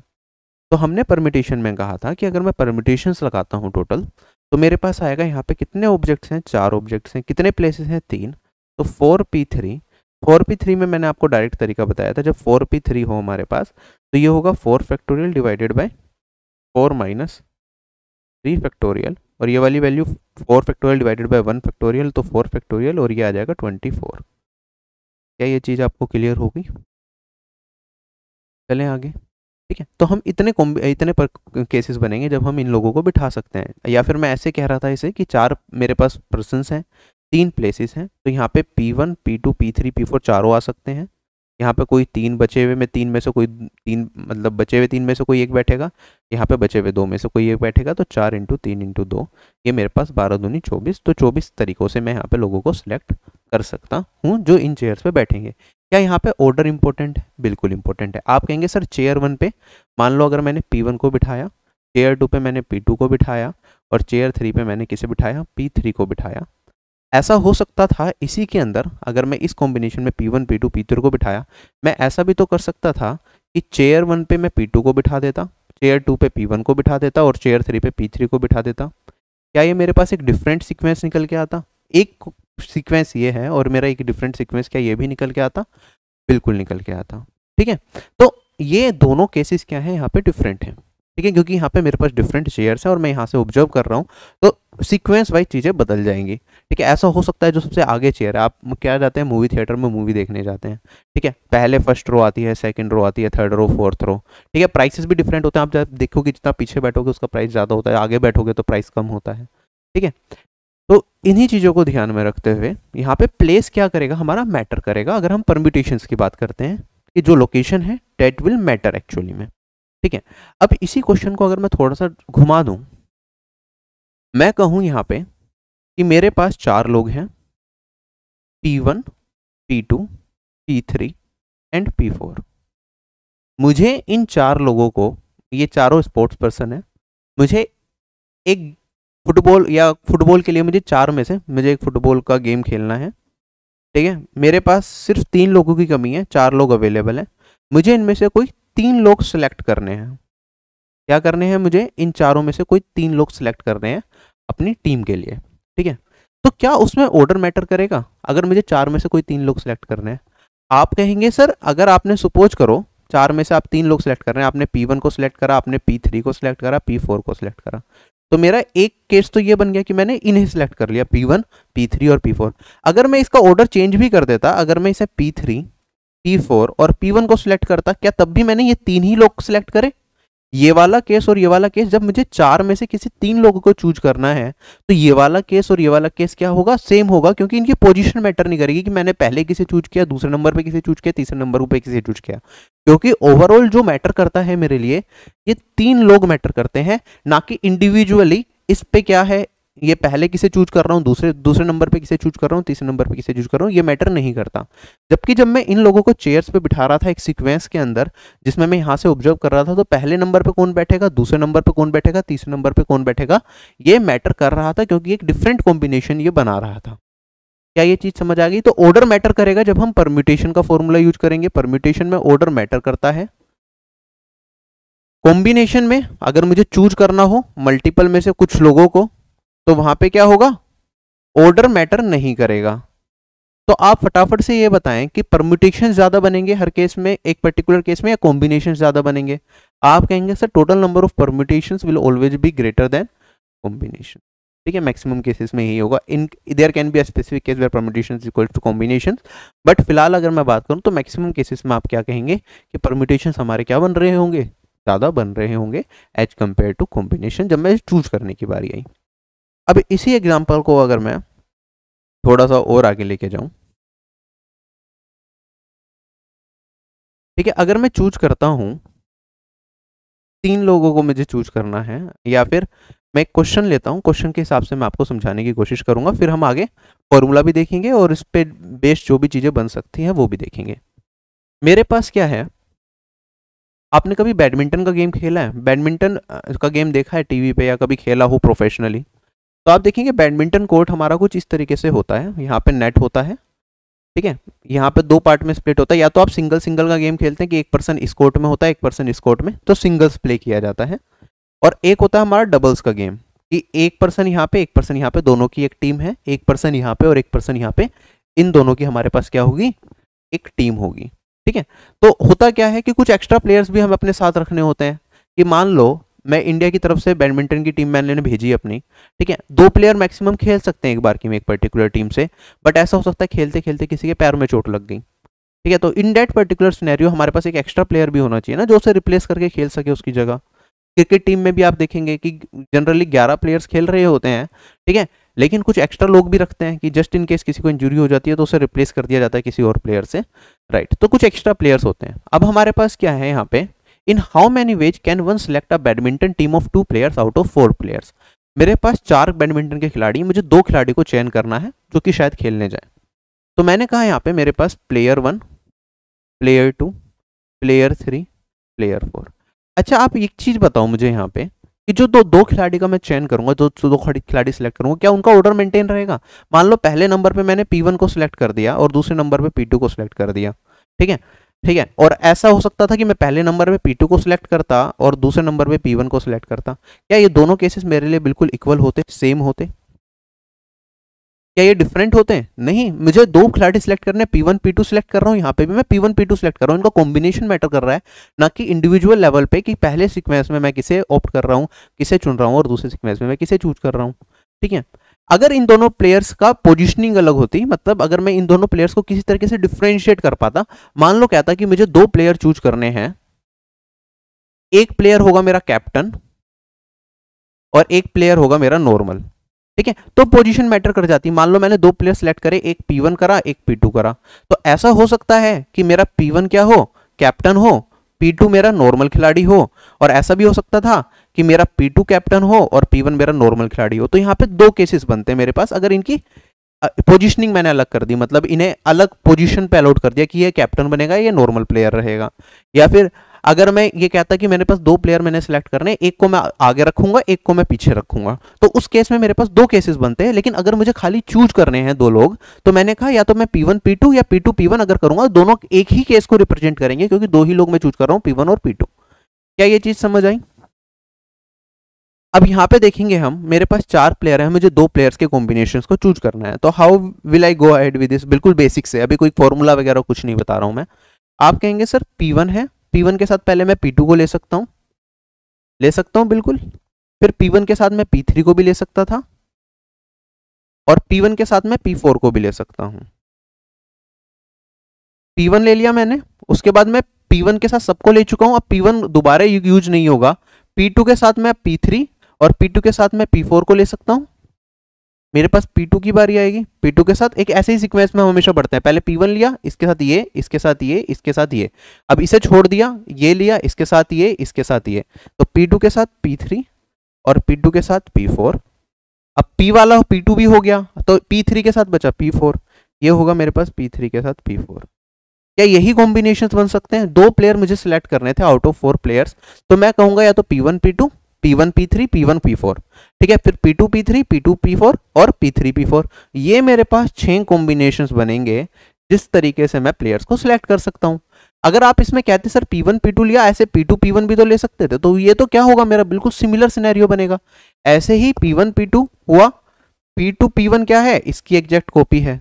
P3 P1 ये मेरे पास P4 P1 ये मेरे पास P3 P2 ये मेरे पास P4 P2 और ये मेरे पास P4 P3 क्या ये सारे के सारे अगर कॉम्बिनेशंस की बात कर रहे हैं तो ये सेम है इक्वल है, बराबर हैं।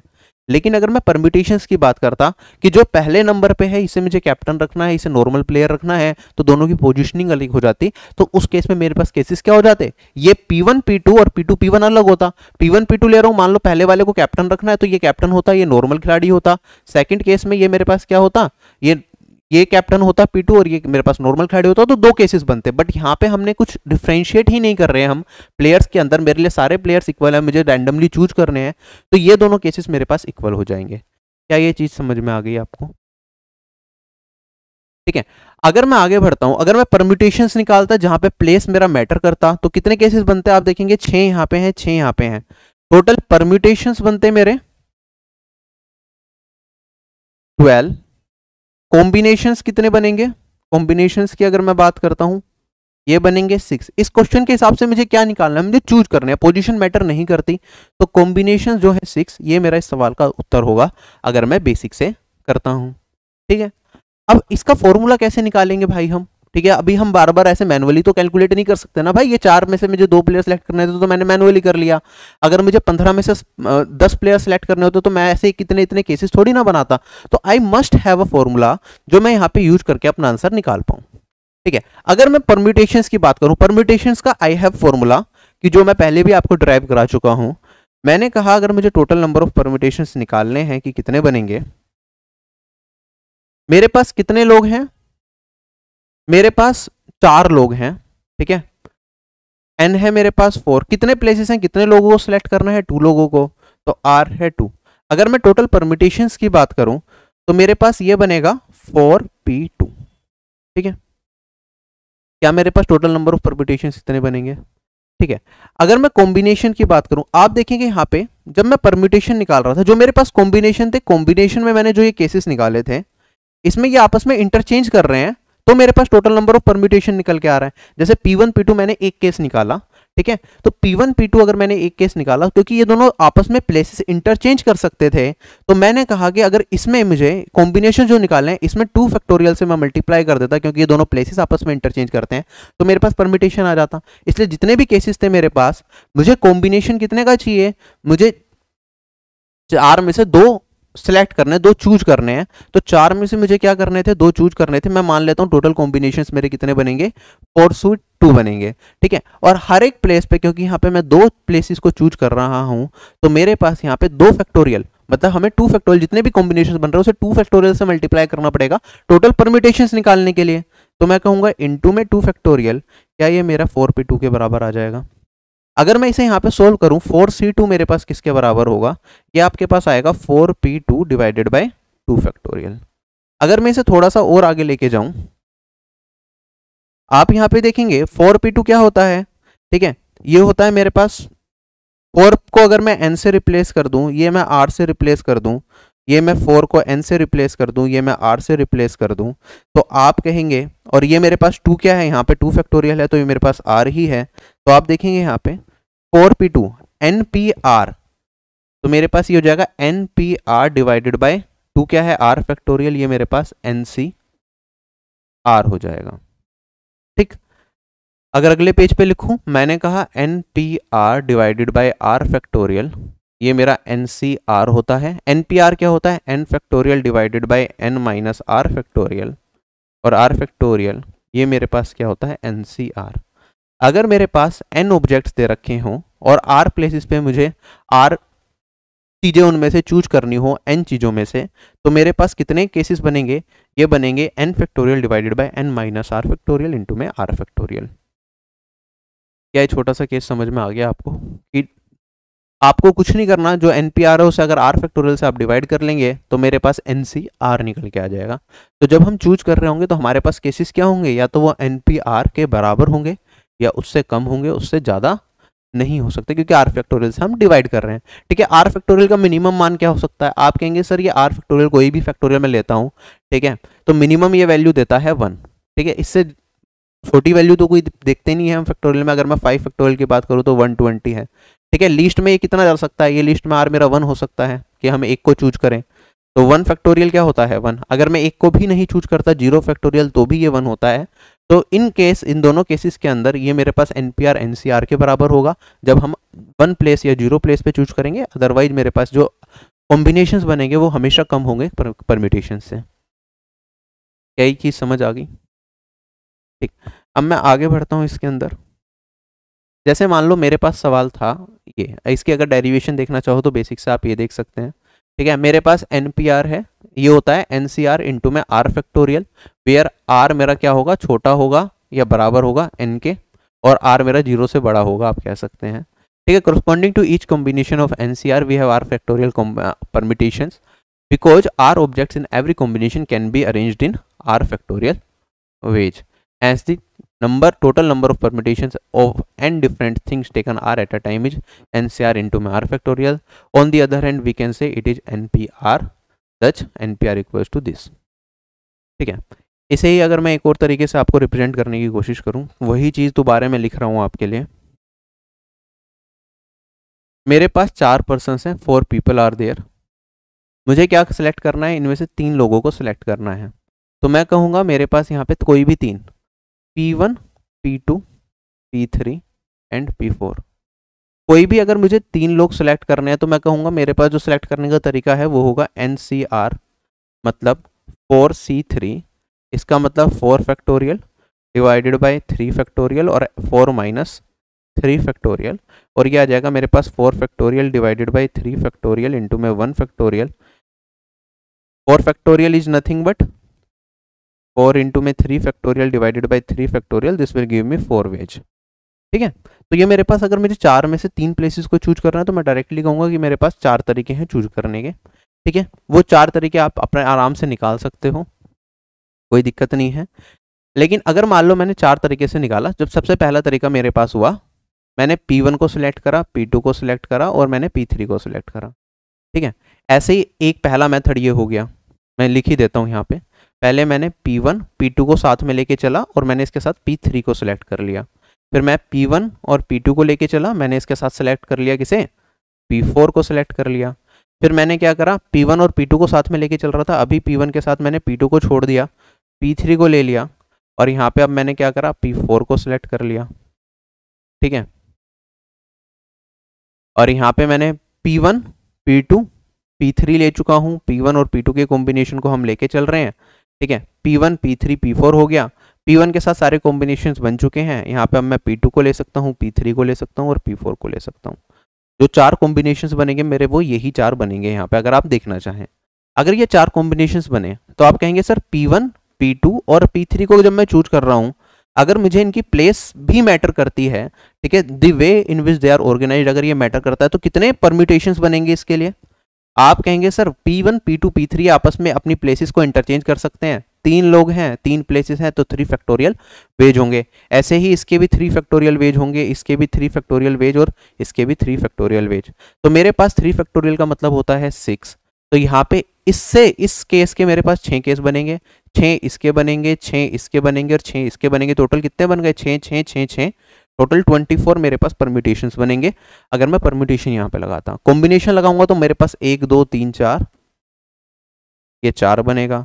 तो मैं कह सकता हूँ ये चार है। इस चार को मैंने किससे? क्योंकि तीन फैक्टोरियल सब में केसेस बन रहे थे। चार को अगर मैं थ्री फैक्टोरियल से मल्टीप्लाई कर दूँ तो मेरा आंसर आ जाएगा। चार क्या है मेरे पास? ये फोर सी थ्री है। इसमें अगर मैंने थ्री फैक्टोरियल को मल्टीप्लाई कर दिया तो ये फोर पी थ्री अभी सबको अच्छे से समझ आ गया होगा। ठीक है, बहुत आराम आराम से चल रहा हूँ जिससे कि एक एक चीज़ें आपको समझ में आती रहे। हैं मेरे पास अगला सवाल है, in how many ways can one select a badminton team of two players out of four players and sect select one player out of the two as captain मेरे पास चार प्लेयर्स हैं।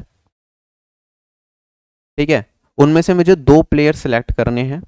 ठीक है, इनमें से एक प्लेयर तो मेरा क्या होगा? कैप्टन होगा, एक होगा मेरा नॉर्मल प्लेयर एक क्या है कैप्टन है, एक प्लेयर है नॉर्मल तो क्या दोनों प्लेयर्स मेरे अलग अलग डिस्टिंग्विशेबल हैं? ठीक है, जो मेरे पास ये पहला प्लेयर होगा, ये जो दूसरा प्लेयर होगा, अगर एक कैप्टन है तो इसकी पोजीशन फिक्स होगी। ठीक है कैप्टन एक ही होगा इन दोनों में से। ठीक है, ये नॉर्मल प्लेयर क्या होगा, दोनों में से एक ही होगा तो कितने तरीके से मैं इन्हें चूज़ कर सकता हूँ? यहाँ पे क्या लगेगा, क्या ऑर्डर मेंटेन रहेगा? मान लो मैंने दो चार प्लेयर्स में से P1 और P2 को सिलेक्ट करा तो P1 को अगर मैंने कैप्टन बनाया तो P2 नॉर्मल प्लेयर होगा, लेकिन ऐसा भी हो सकता है P1 को मैं क्या बना दूँ? नॉर्मल प्लेयर बना दूँ और P2 को मैं कैप्टन बना दूँ तो हर मेरे पास ऑर्डर इनका मेंटेन रहेगा। जैसे ही दो प्लेयर्स मैं, दो प्लेयर्स मैं चूज़ करूँगा, वो अपनी प्लेसेस भी इंटरचेंज कर सकते हैं। तो यहाँ पे क्या लगेगा? यहाँ पे मेरे पास लगेगा परमिटेशन क्या लगेगा? परमिटेशन क्योंकि इनकी प्लेस जो हम रखेंगे, वो मैटर करेगा। मैंने इनकी जो दो प्लेयर सेलेक्ट कर रहा हूँ, दोनों डिफरेंट हैं। उन्हें मैं यूनिकली आइडेंटिफाई कर सकता हूँ कि हाँ एक कैप्टन होगा, एक नॉर्मल प्लेयर होगा। क्या ये चीज़ समझ आ गई आपको? अगर खाली दो प्लेयर सेलेक्ट करने होते, जैसे कि पिछले क्वेश्चन में कर रहा था तो वहाँ पे क्या लग रहा था मेरा कॉम्बिनेशन यहाँ पे लगेगा परमिटेशन ठीक है, अगर परमिटेशन लगेगा तो यहाँ पे मेरे पास कितने केसेस बनेंगे? आप कहेंगे, सर फोर पी टू तो ये हो जाएगा फोर फैक्टोरियल डिवाइडेड बाय हमने, मैंने आपको बताया था कि अगर ये फोर है और यहाँ पे टू है तो यहाँ पे फोर से स्टार्ट करते हैं हम और दो वैल्यूज़ लिखते हैं घटा घटा के तो फोर और दो लिखना है तो तीन। ठीक है, दो प्लेसेस ले लिए फोर और थ्री तो ये हो गया मेरे पास ट्वेल्व दोबारा रिवाइज कराता हूँ, अगर मेरे पास होता सेवन पी थ्री तो मैं क्या करता है यहाँ पे? मैं इसमें सेवन से स्टार्ट करता एक एक घटाता रहता। कितने प्लेसेस तक? तीन लिखा है ना यहाँ पे, तीन तक। तो ये मेरे पास seven into six into five ये मेरा आंसर बनता सेवन पी थ्री का। क्लियर है? ठीक है, बहुत छोटी छोटी सी चीज़ें हैं। थोड़ी सी प्रैक्टिस के बाद ये बहुत आसान लगेंगे सारे के सारे सवाल। कुछ भी नहीं है कंसेप्ट क्लियर होना बहुत ज़रूरी है।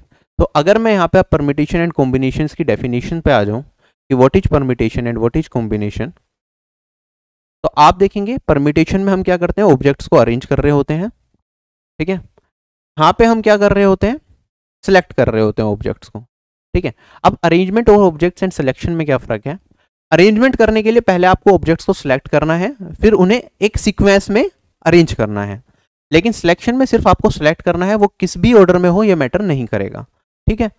तो मैं ये कह सकता हूँ मान लो मेरे पास यहाँ पे फिर से मेरे पास तीन ऑब्जेक्ट्स हैं P1, P2, P3 अगर मैंने कहा कि मुझे ऑब्जेक्ट्स को इनमें से कोई दो को सिलेक्ट करना है तीन में से तो मान लो मैंने P1, P2 को सिलेक्ट करा तो P one P two select तो हो गए सिलेक्शन करना है तो खाली मेरे पास P one P two select हुए।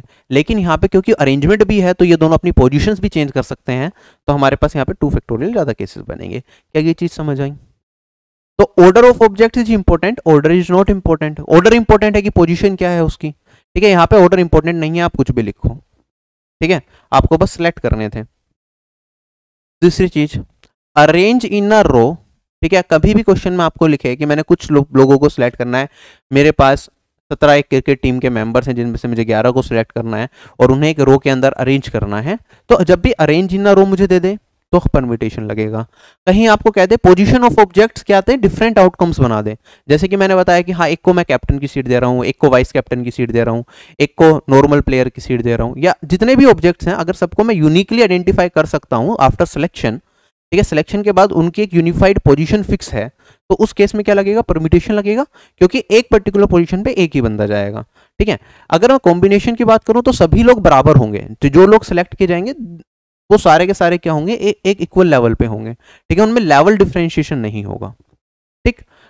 परम्यूटेशन निकालने हो, अगर मेरे पास एन ऑब्जेक्ट्स हैं आर प्लेसेस पर अरेंज करना है तो एनपीआर होता है। अगर मैं कॉम्बिनेशन की बात करूँ, मेरे पास एन ऑब्जेक्ट्स हैं आर मुझे उनमें से सिलेक्ट करने हैं तो ये मेरे पास आर होगा। ठीक है? एनसीआर ठीक है एनपीआर क्या होता है मेरे पास? एनपीआर होता है एन फैक्टोरियल अपॉन में एन माइनस आर फैक्टोरियल और एनसीआर क्या होता है मेरे पास? N P r divided by r factorial कह सकते हैं या फिर एन फैक्टोरियल अपॉन में n minus r factorial divided by r factorial क्या बहुत अच्छे से आपको परमिटेशन एंड कॉम्बिनेशन दोनों में फ़र्क समझ में आ गया? ठीक है, मैं बहुत ज़्यादा डिटेल में गया इतनी डिटेल में जाने की ऑल तो ज़रूरत नहीं थी but S S C aspirants permutation combination पहले नहीं पढ़ते थे। आप सभी लोगों के लिए एक नया टॉपिक है, इसलिए मैं बहुत डिटेल में बता रहा हूँ। ठीक है बैंकिंग एस्पिरेंट जो देख रहे हैं, ठीक है, वो रिलेट कर पाएँगे अगर उन्होंने पहले पढ़ रखा है। चलिए, अब हम आगे बढ़ते हैं। From a committee of eight person in how many ways we can choose a chairman and a vice chairman assuming one person can not hold more than one position मेरे पास आठ लोग हैं, ठीक है? इनमें से मुझे एक चेयरमैन सेलेक्ट करना है और एक वाइस चेयरमैन सेलेक्ट करना है, ठीक है? तो आठ में से मुझे कितने लोग चाहिए? दो लोग चाहिए। तो कितने तरीकों से मैं ये सिलेक्ट कर सकता हूँ? आप कहेंगे, सर, ये दो लोग हैं, क्या ये दोनों अपने आप में डिफरेंट होंगे? क्या ये दोनों आपस में इक्वल हैं? मान लो मैंने a person one two three four ऐसे जा रहा है एट तक। ठीक है? मैंने पर्सन वन को क्या करा? चेयरमैन रखा। पर्सन टू को क्या रखा? मैंने वाइस चेयरमैन रखा। ऐसा भी हो सकता है कि अगर मैंने पर्सन वन और पर्सन टू को सिलेक्ट करा तो पर्सन वन क्या पर्सन टू क्या हो जाए? चेयरमैन हो जाए वाइस चेयरमैन क्या हो जाए? पर्सन वन हो जाए। तो हमारे पास यहाँ पे परमिटेशन लगेगा या कॉम्बिनेशन लगेगा, बताओ? क्या इनकी पोजीशन मैटर करेगी? जो दो लोग सेलेक्ट कर रहा हूँ, ये दोनों अलग अलग डिफरेंट पोजिशन पे हैं? ठीक है? इनका लेवल डिफरेंट है। अगर लेवल डिफरेंट हो गया तो हमारे पास क्या लगेगा? परमिटेशन लगेगा, क्योंकि अगर P1 P2 को सिलेक्ट कर रहा हूँ तो एक चेयरमैन की कुर्सी दी, एक को वाइस चेयरमैन की कुर्सी दी इंटरचेंज भी किया जा सकता है। P2 मेरा चेयरमैन और P1 मेरा वाइस चेयरमैन भी। हो सकता है। तो दो केसेस बनेंगे। अगर मुझे खाली दो पर्सन सिलेक्ट करने होते कमेटी के आठ मेंबर्स में से तो मैं पी वन पी टू क्या था? पी वन एक पर्सन है पी टू दूसरा पर्सन है, मैंने दो मेंबर सेलेक्ट कर दिए। तो पी वन पी टू लिखूँ या पी टू पी वन लिखूँ, उस केस में सेम होता। तो मैंने कहा दो डिफरेंट पोजिशन हैं तो मेरे पास यहाँ पे क्या लगेगा? परम्यूटेशन लगेगा, ना कि कॉम्बिनेशन अगर परम्यूटेशन लगेगा तो मेरे पास कितने लोग थे? आठ लोग थे। आठ में से कितने लोगों को सिलेक्ट करना है मुझे? आठ में से मुझे दो लोगों को सिलेक्ट करना है तो ये होगा एट पी टू ठीक है? एंड ये मेरे पास आ जाएगा एट पी टू का मतलब एट इंटू में सेवन आठ से एक आगे तक लिखूँगा, ये आ जाएगा फिफ्टी सिक्स ये मेरा इस सवाल का उत्तर है क्वेश्चन हो गया खत्म। क्या ये चीज़ क्लियर हो गई परम्यूटेशन की? आगे बढ़ता हूँ। अगर इसी सवाल को बस ऐसा बना देते कि from a committee of eight person in how many ways can we choose two members assuming one person do not hold more than one position ठीक है, अब मुझे क्या करना है? यहाँ पे मेरे पास मुझे क्या करना है? दो मेंबर सेलेक्ट करने हैं आउट ऑफ़ एट मेंबर्स अब ये दो मेंबर्स कैसे भी हो सकते हैं। ठीक है, कोई भी दो मेंबर्स हो सकते हैं। अगर मुझे दो मेंबर सेलेक्ट करने हैं आउट ऑफ़ एट तो यहाँ पे क्या लगेगा? कॉम्बिनेशन क्योंकि यहाँ पे हमें इनकी फिक्स्ड पोजीशन फिक्स नहीं करी है। अगर फिक्स पोजीशन नहीं करी है हमारे लिए तो मेरे पास यहाँ पे एट सू टू वेज बनेंगे। Eight factorial divided by two factorial eight minus two that is six factorial आप देखेंगे यहाँ पे बेसिकली आप जब एट सी टू भी देखो ना तो परम्यूटेशन वाले की तरह ही जाया करो। एट है, दो है तो आठ इंटू में सात। दो वैल्यूज़ लेनी है, आठ से डिक्रीजिंग ऑर्डर में। और उसके बाद जो टू है, इसे नीचे as it is two factorial लिख दो तो ये वाली वैल्यू कितनी आएगी? Fifty six by two that is twenty eight समझ आया या नहीं आया? क्वेश्चन में क्या था? In how many ways one can select a cricket team of 11 players from 17 players and arrange them in a row मेरे पास 11 प्लेयर्स हैं, उनमें से 17 प्लेयर्स हैं, उनमें से मुझे 11 प्लेयर्स को सिलेक्ट करना है और उन्हें एक रो में अरेंज करना है। ठीक है, अगर मैं उन्हें रो में अरेंज करूँगा तो मेरे पास कोई ना कोई रो में अगर मैं अरेंज कर रहा हूँ, ठीक है रो अगर ऐसे बनाऊँगा तो मेरे पास 11 प्लेयर्स होंगे। रो में अरेंज करने का मतलब ये कि मैं उन्हें कोई पोजीशन दे रहा हूँ वन टू थ्री फोर ऐसी कोई पोजीशन जाएगी और यहाँ पे जाते जाते ये इलेवेंथ पोजीशन तक जाएगी। तो क्या उनकी पोजीशन मैटर करेगी? करेगी। तो अगर मैं इसे या तो परम्यूटेशन का फॉर्मूला लगाऊँगा यहाँ पे, क्योंकि एक रो में अरेंज करना है तो उनका ऑर्डर मैटर करेगा कि वो पहले किसे रखना है, दूसरे नंबर पे किसे रखना है, तीसरे नंबर पे किसे रखना है। ठीक है? तो या तो मैं डायरेक्टली लिख सकता हूँ, मेरा आंसर क्या होगा? Eleven P seventeen P eleven होगा, सत्रह में से ग्यारह लोग सेलेक्ट करने, वो अरेंज कर सकते हैं। तो डायरेक्टली आप यहाँ पे सेवनटीन पी इलेवन से अपना आंसर निकाल लेंगे। दूसरा तरीका मेरे पास क्या है? मैं इसमें कहूँगा, चलो, सबसे पहला मैंने देखा कि सत्रह लोग हैं, मुझे ग्यारह को सिलेक्ट करना है। तो मैं कहूँगा, ये होगा सेवनटीन सी इलेवन सत्रह में से हमने क्या करा? कोई भी ग्यारह लोगों को सिलेक्ट कर लिया। क्योंकि अब यहाँ पे इन्हें रो में अरेंज करना है तो ये अपनी पोजीशंस भी चेंज कर सकते हैं। मान लो P1 को मैंने यहाँ पे रखा P2 को यहाँ पे रखा स्टार्टिंग में P11 तक यहाँ पे रख लिया स्टार्टिंग के 11 को चूज़ कर लिया मैंने। अब ये भी तो ऐसा हो सकता है ना कि P1 यहाँ पे चला जाए या P1 यहाँ पे चला जाए या अलग अलग पोजिशन ले ले, आपस में इंटरचेंज करते रहे। तो कितने केसेस बनेंगे? आप कहेंगे, सर, ये अगर रोटेशन करेंगे, ठीक है इलेवन लोग हैं इलेवन लोग आपस में एक अपनी पोजिशन चेंज कर सकते हैं तो कितने वेज बनते हैं मेरे पास? इलेवन फैक्टोरियल वेज बनते हैं, ठीक है?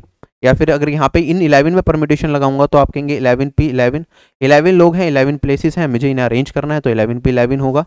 और जो कि मेरे पास क्या हो जाएगा? 17 सी 11 इंटू में 11 फैक्टोरियल और ये क्या होता है? ये क्या है? N P n C r into में आर फैक्टोरियल ये तो मेरा एन पी आर होता है तो मेरे पास ये आ जाएगा seventeen C seventeen P eleven ठीक है? अगर इस वे से देख रहे हैं। बाकी ये डायरेक्टली देखना था कि सर प्लेसेस में एंटर करेंगे, अगर रो में अरेंज कर रहे हैं तो सेवनटीन पी इलेवन होगा। क्वेश्चन में कहता है in how many ways one can select a cricket team of eleven players from seventeen players सत्रह प्लेयर में से इलेवन प्लेयर्स की क्रिकेट टीम अगर सेलेक्ट करनी है तो क्या होगा? सत्रह में से चूज़ करने हैं इलेवन अब मुझे पता नहीं, कोई भी इलेवन हो, मुझे कुछ फ़र्क नहीं पड़ता। ये किसी भी ऑर्डर में हो। मुझे बस ग्यारह लोगों को सिलेक्ट करना है सत्रह में से। क्वेश्चन खत्म।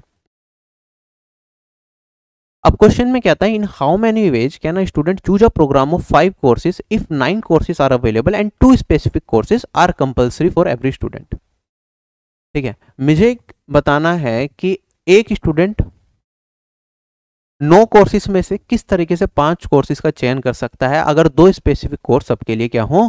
कंपल्सरी हो जाए। ठीक। तो मैंने कहा course one course two course three और ये कहाँ तक? टोटल कितने कोर्सेज हैं? नाइन कोर्सेज हैं। कोई भी दो कोर्सेज सभी स्टूडेंट्स के लिए कंपलसरी होंगे तो मैं कह सकता हूँ, यार कोर्स वन टू ना लेके चलो, मैं यहाँ पे कोर्स एट और नाइन लेता हूँ। मेरे पास यहाँ पे कोर्स है कोर्स एट है कोर्स नाइन है। ये दोनों कोर्सेज मैं सभी स्टूडेंट्स के लिए क्या कर देता हूँ? कंपलसरी कर देता हूँ, ठीक है? एट और नाइन तो लेंगे। अब टोटल एक स्टूडेंट को कितने कोर्सेज लेने हैं? पाँच कोर्सेज लेने हैं। कितने कोर्सेज बचे? दो फिक्स हो गए तो तीन कोर्सेज उसे सिलेक्ट करने हैं। कितने में से? लास्ट के दो हट गए कोर्सेज फिक्स हो गए, बचे सात कोर्सेज तो सेवन कोर्सेज में से उसे कोई भी तीन कोर्स सिलेक्ट करने हैं तो कितने कॉम्बिनेशन बनेंगे? सेवन सी थ्री ठीक है, सात में से कोई भी दो तीन सेलेक्ट करने हैं। अगर सेवन सी थ्री है तो ये कितना होगा? आप कहेंगे, सर सेवन पहले तो नीचे तो मैं लिखूँगा थ्री फैक्टोरियल और सात से मैं कितनी बार जाऊँगा? तीन प्लेसेस तक आगे जाऊँगा। सात छ पाँच, यही होता है। ठीक है? अगर मैं सोल्व करूँगा यहाँ पे three factorial nothing but six तो यहाँ से ये कटेगा सेवन फाइव या thirty five thirty five ways से स्टूडेंट्स अपने कोर्सेज को सिलेक्ट कर पाएँगे। क्या क्वेश्चन समझ आ गया? बहुत बेसिक बेसिक क्वेश्चन कर रहे हैं अभी हम। अगला सवाल मेरे पास, एक बैग है जिसके अंदर चार ब्लैक और चार रेड बॉल्स हैं।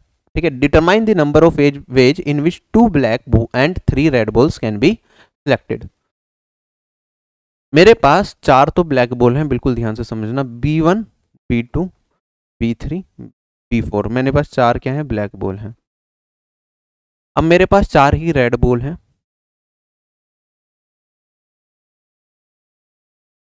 मुझे क्या करना है? दो ब्लैक बॉल और तीन रेड बॉल सेलेक्ट करनी है। दो यहाँ पे सिलेक्ट करनी है और तीन यहाँ पे सिलेक्ट करनी है। कितने वेज में मैं यहाँ पे सिलेक्ट कर सकता हूँ? अच्छा अगर मैं आपसे कहूँ खाली ब्लैक बॉल सेलेक्ट करने के कितने वेज होंगे? मेरे पास चार ब्लैक बॉल हैं, इनमें से दो को मुझे सिलेक्ट करना है। तो आप कहोगे, सर फोर से टू वेज बनेंगे? क्या मेरे पास यहाँ पे four four C two ways बनेंगे? चार में से कोई भी दो सिलेक्ट करूँगा मैं। ऐसे ही अगर रेड चार बॉल से तीन सिलेक्ट करनी है तो मेरे पास फोर सी थ्री वेज बनेंगे, चार में से कोई भी तीन सिलेक्ट करने हैं। तो मैंने कहा पहले ही मेरे पास फोर सी टू अगर मैं निकालूँगा तो four into three divided by two factorial आएगा। और यहाँ पे फोर क्योंकि ती फोर इंटू तीन प्लेसेस तक जाऊँगा तो four into three into two divided by three factorial आएगा। तो बेसिकली यहाँ पे three into two six cut जाएगा, यहाँ पे फोर फैक्टोरियल फोर बचेगा मेरे पास। यहाँ पे फोर वे जाएँगे और यहाँ पे मेरे पास ट्वेल्व सिक्स वे जाएँगे। ठीक है? तो छह तरीक़ों से तो मैं दो ब्लैक बोल को चूज़ कर सकता हूँ और चार तरीके से मैं क्या कर सकता हूँ? तीन रेड बॉल को सिलेक्ट कर सकता हूँ। टोटल नंबर ऑफ़ वेज कितने बनेंगे? क्या ये वाला इंपॉर्टेंट इवेंट भी इंपॉर्टेंट है? मुझे दो ब्लैक बॉल भी सिलेक्ट करनी है और ये वाला भी। दोनों साइमल्टेनियसली चलेंगे? दोनों इवेंट साइमल्टेनियस हैं? दोनों के दोनों इवेंट्स की मुझे साथ में ज़रूरत है। जब दोनों एक साथ इवेंट्स की मुझे ज़रूरत होती है तो हम क्या करते हैं? मल्टीप्लाई तो टोटल नंबर ऑफ़ वेज कितने बनेंगे? सिक्स इंटू में फोर ये मेरे पास ट्वेंटी फोर वेज बनेंगे। क्या ये चीज़ क्लियर हो गई? ठीक है, अगर मैं एक एग्ज़ाम्पल से समझाऊँ आपको कि ये चीज़ क्यों बनेगी, मान लो मेरे पास क्या हुआ। मैंने यहाँ से पहले एक इवेंट लेता हूँ छः इवेंट बनेंगे छः केसेस बनेंगे, कोई भी एक केस मैंने उठाया कि चलो मैंने यहाँ से बी को और यहाँ से बी को सिलेक्ट कर लिया। ठीक है? अब रेड में से भी मुझे कोई तीन बॉल उठानी है तो मैंने स्टार्टिंग में जो चार केसेस बनेंगे, चार तरीके से मैं तीन रेड बॉल को सिलेक्ट कर सकता हूँ। मैंने आर वन आर टू और आर थ्री को सिलेक्ट कर लिया।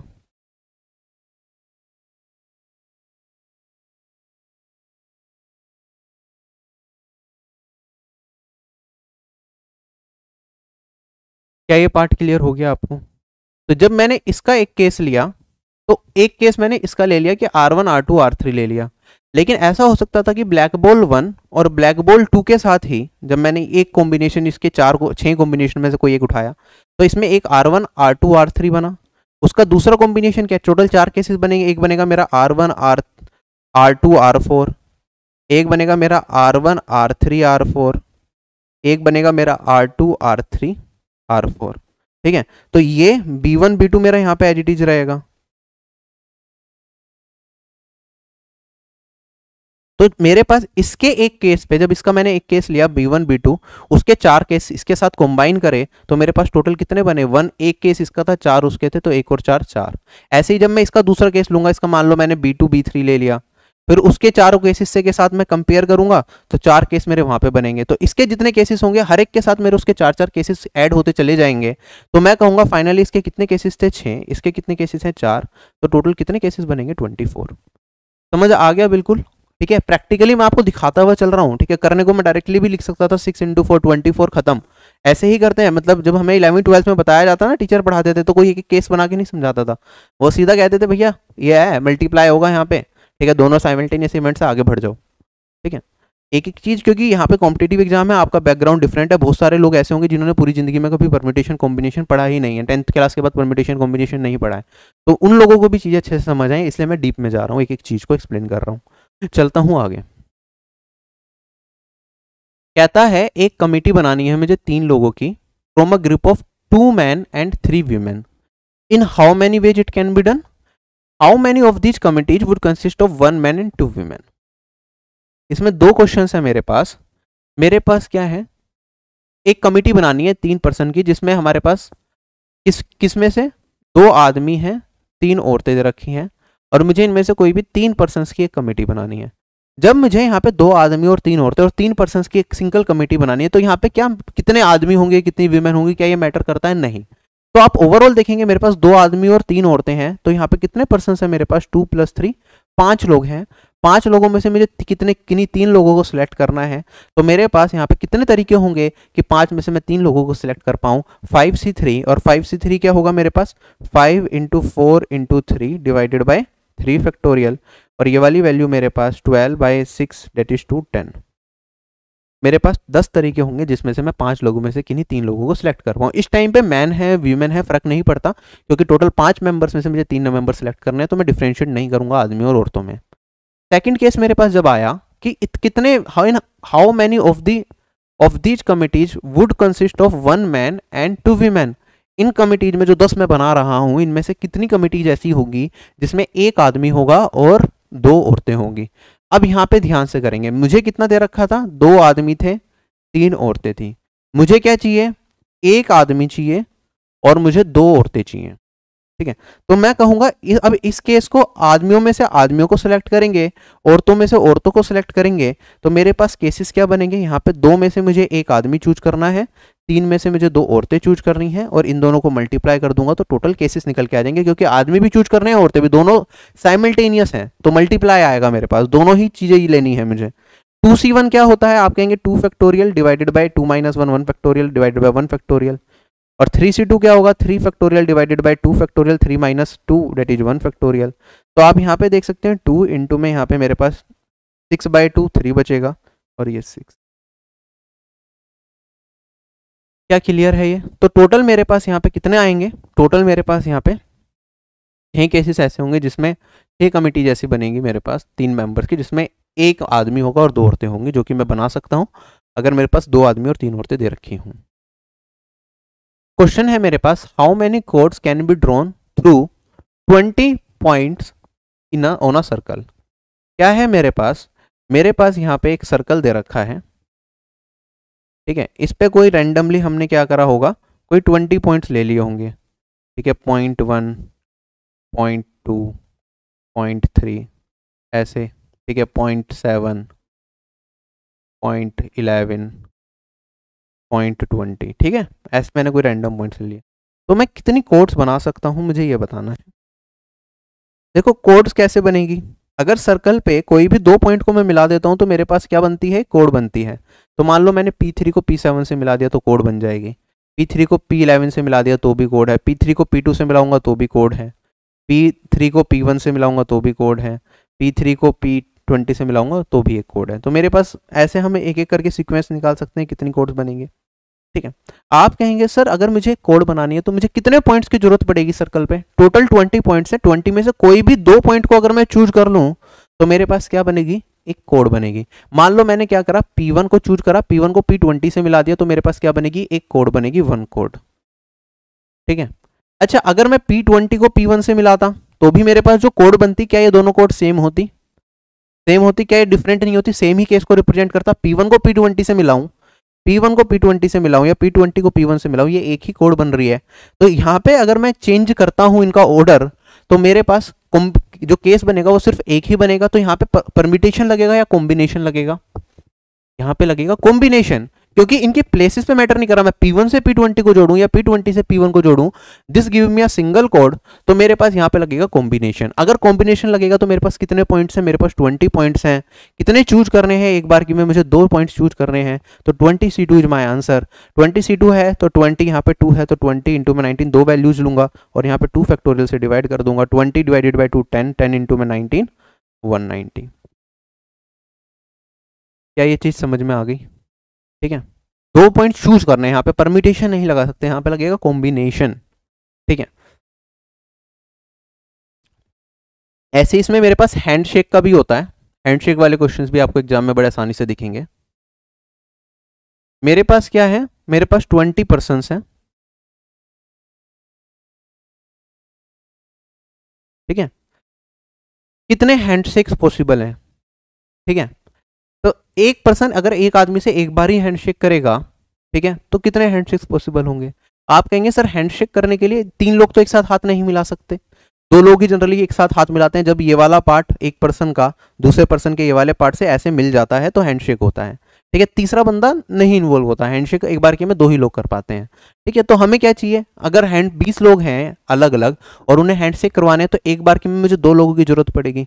पर्सन वन पर्सन टू से हैंडशेक करे या पर्सन टू पर्सन वन से हैंडशेक करे, क्या बात एक ही है? एक ही केस बनेगा तो कॉम्बिनेशन लगेगा यहाँ पे। परमिटेशन नहीं लगेगा क्योंकि ऑर्डर चेंज होने पर कुछ फ़र्क नहीं पड़ेगा। ठीक है, अगर यहाँ पे कॉम्बिनेशन लगेगा तो मैं कहूँगा दो को सेलेक्ट करना है ट्वेंटी में से ट्वेंटी सी मेरा आंसर होगा, जो मैंने अभी निकाला, ये वन ही मेरा आंसर आ जाएगा। क्या ये चीज़ क्लियर हो गई? तो ऐसे कोर्स पूछ सकता है हैंडशेक पूछ सकता है। क्या लगेगा? कॉम्बिनेशन लगेगा। क्या ये चीज़ क्लियर हो गई? अब यहीं पे एक और सवाल बनता है, जो कि मैं चाहूँ तो ऐड कर सकता हूँ। ठीक है? जो कि मैंने क्वेश्चंस में डाला नहीं, मुझे डालना चाहिए था, जो कि हम, उसमें भी मैंने कराया था आपको जो जब मैंने आपको ज्योमेट्री के अंदर नंबर डायगनल्स निकालना सिखाया था पॉलीगन टॉपिक में। ठीक है डायगनल क्या होता है? अगर मेरे पास कुछ भी पॉइंट्स दे रखे हैं, मैंने कहा P1 one P two P three four अच्छा इसे सर्कल ना लेके मैं इसे, चलो छोड़ो सर्कल नहीं लेते हैं। मैं इसे एक पोलीगन बनाता हूँ। डायगनल्स सोफा पोलीगन टॉपिक का नाम ही रख देते हैं डायगनल्स सोफा पोलीगन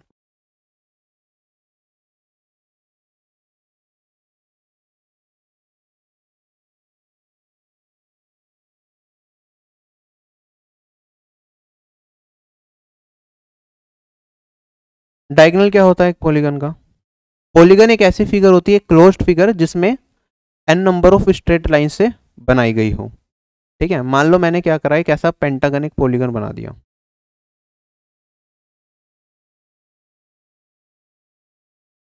पॉलीगन की क्या होंगी? एन वर्टेक्स होंगी एन साइड्स होंगी। एन कोने वाले बिंदु होंगे ये, और एन सॉरी एन भुजाएँ होंगी। डायगनल कब बनता है पॉलीगन के केस में? डायगनल जब बनता है, जब मैं ये वाला पॉइंट अगर मैं नाम दे दूँ A B C D E diagonal मेरा तब बनेगा जब मैं इस वाली पॉइंट को, इस वाली वर्टेक्स को, इसके इमीडिएट वर्टेक्स को ना मिलाऊं। ये तो पॉलीगन की क्या होगी? साइड होगी। ए ई साइड है ए बी साइड है बी सी साइड है सी डी साइड है and C D E side है। डायगनल अगर मुझे बताना हो तो डायगनल क्या होगा इसका? आप कहेंगे, सर ए को मैं इमीडिएट वर्टेक्स को छोड़ के उससे नेक्स्ट वर्टेक्स से मिलाऊं। तो पहला डायगनल ये होगा, अगर ए से बनाऊँ। अगर ए से ही बनाऊँ डी तक तो दूसरा डायगनल ये होगा। क्या कोई और डायगनल मैं ए से बना सकता हूँ यहाँ पे? नहीं, क्योंकि इमीडिएट वर्टेक्स को हम ज्वाइन नहीं करते। इमीडिएट वर्टेक्स को ज्वाइन करेंगे तो साइड होगी। तो ये मेरा डायगनल वन होगा, ये टू होगा। ऐसे ही अब मैं आगे बढ़ूँगा।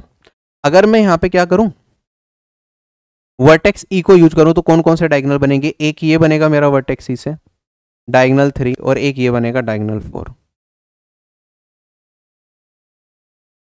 ऐसे अगर मैं डायगनल डी पे चला जाऊँ अब मतलब वर्टेक्स डी पे चला जाऊँ ए ले लिया, मैंने ई e ले लिया।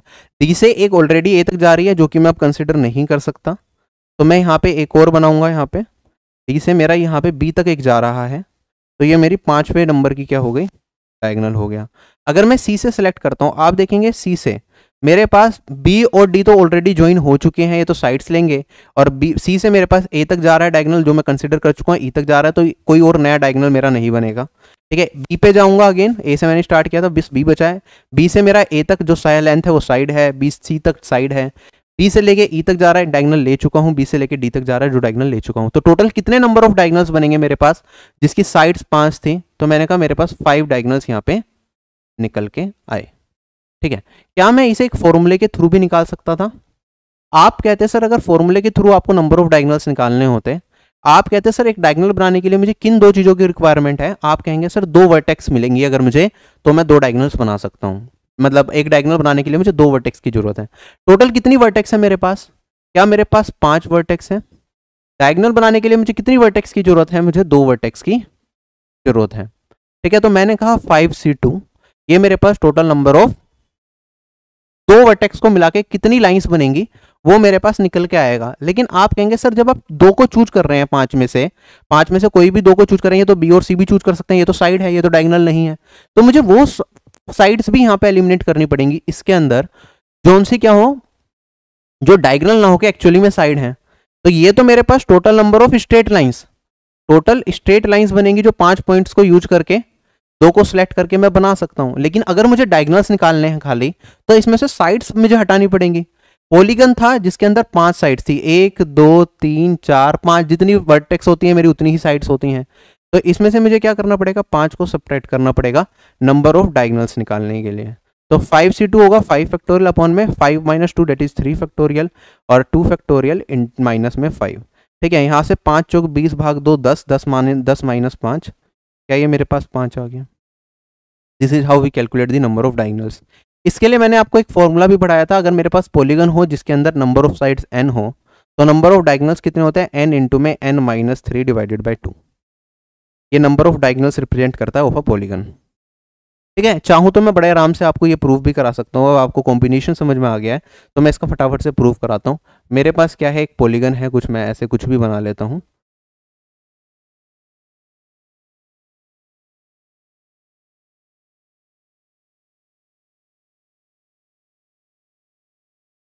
मैंने क्या करा, एक पोलीगन बना दिया। इसकी नंबर ऑफ़ साइड्स कितनी मान ली मैंने?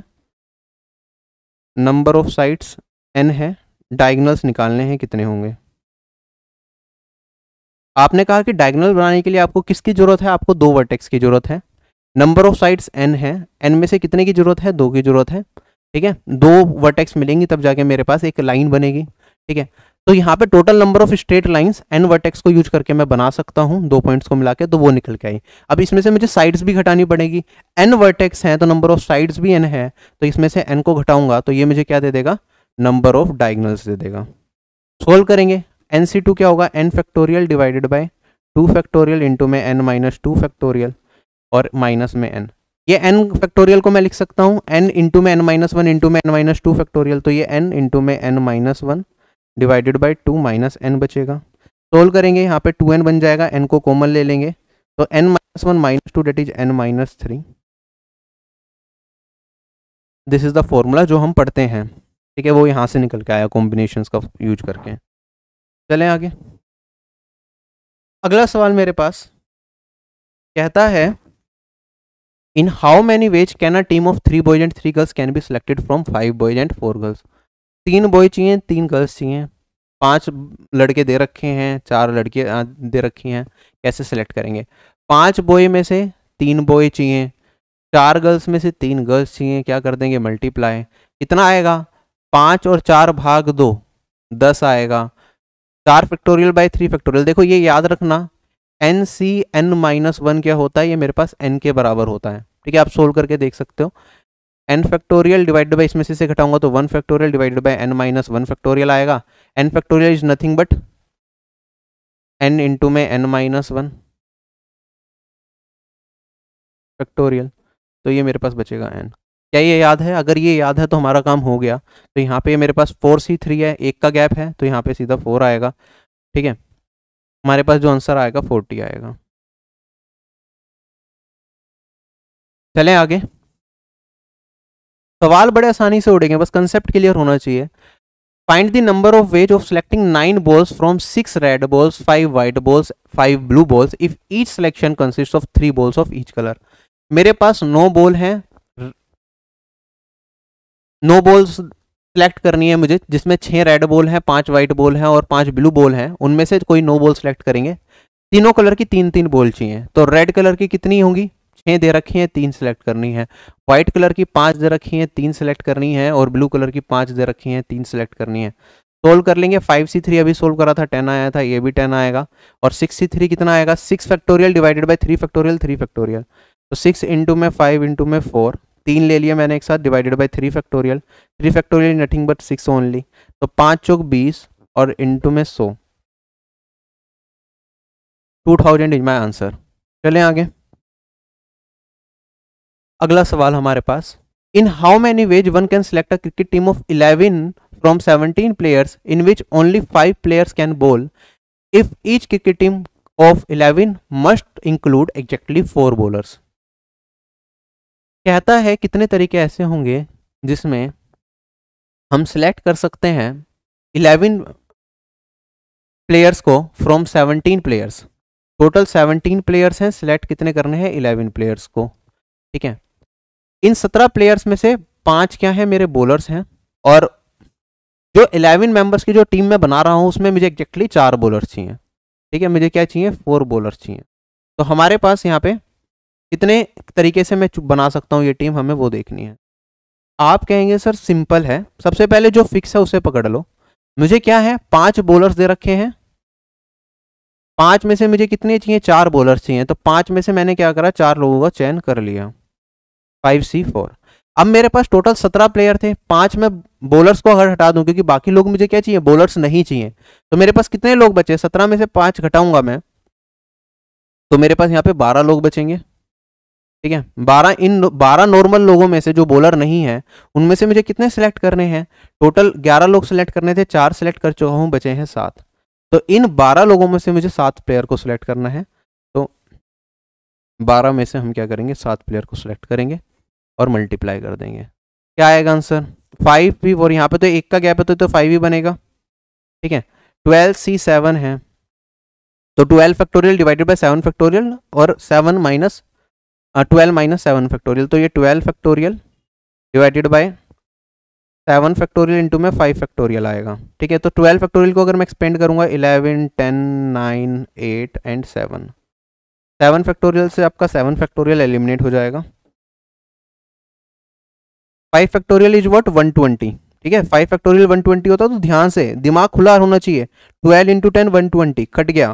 ठीक है? अब इलेवन इंटू नाइन इंटू में एट इंटू में फाइव करना है। तो कैसे करेंगे? एट और फाइव को मल्टीप्लाई करूँगा फोर्टी आएगा। तो इलेवन इंटू में नाइन इंटू में फोर्टी ये मेरा आंसर होगा। अगर मैं यूनिट डिजिट से देखूँ, यहाँ पे लास्ट में तो एक ज़ीरो आएगी, सब में है। क्या कुछ और दिख रहा है? One into nine nine nine into four thirty six six आएगा सेकेंड लास्ट डिजिट पे यही आंसर है। चले आगे। बाकी नॉर्मल मल्टीप्लिकेशन भी करनी होती तो बड़े आसानी से कर सकते थे हम। 99 नाइन इंटू फोर ही तो करना था। 396 आएगा यार। और एक ज़ीरो तो जो है आएगी आएगी।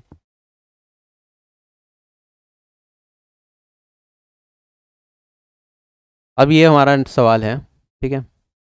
हमारे पास एक ग्रुप है जिसमें चार गर्ल्स हैं, सात बॉयज़ हैं। कितने तरीके से हम पाँच मेंबर्स को सिलेक्ट कर सकते हैं?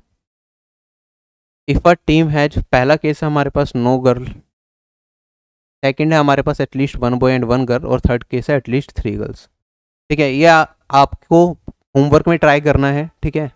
नेक्स्ट सेशन में हम इसके बाद के सारे केसेस डिस्कस करेंगे, जो कि बहुत अच्छे रहेंगे, ठीक है? आज के सेशन को मैं आपसे, आज के सेशन को यही वेंड अप करते हैं, आपसे यही बदल लेता हूँ। Bye bye take care and Jai Hind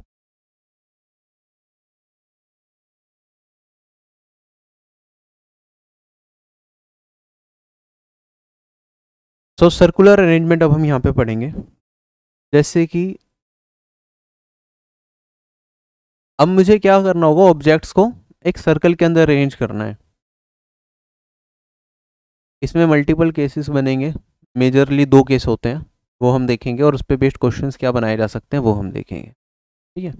ये अच्छा है और इस पर क्वेश्चन भी एग्ज़ाम में पूछे जाते हैं। मान लो मेरे पास क्या हो नॉर्मल तीन लोग हैं ए बी सी ठीक है? इन्हें मुझे तीन प्लेसेस पे अरेंज करना है, ठीक है? तो नॉर्मल अगर लीनियर परमुटेशन है मेरे पास, तीन नॉर्मल प्लेसेस दे दिए और मुझे ए बी सी को अरेंज करना होगा तो मैं कैसे कैसे कर सकता हूँ?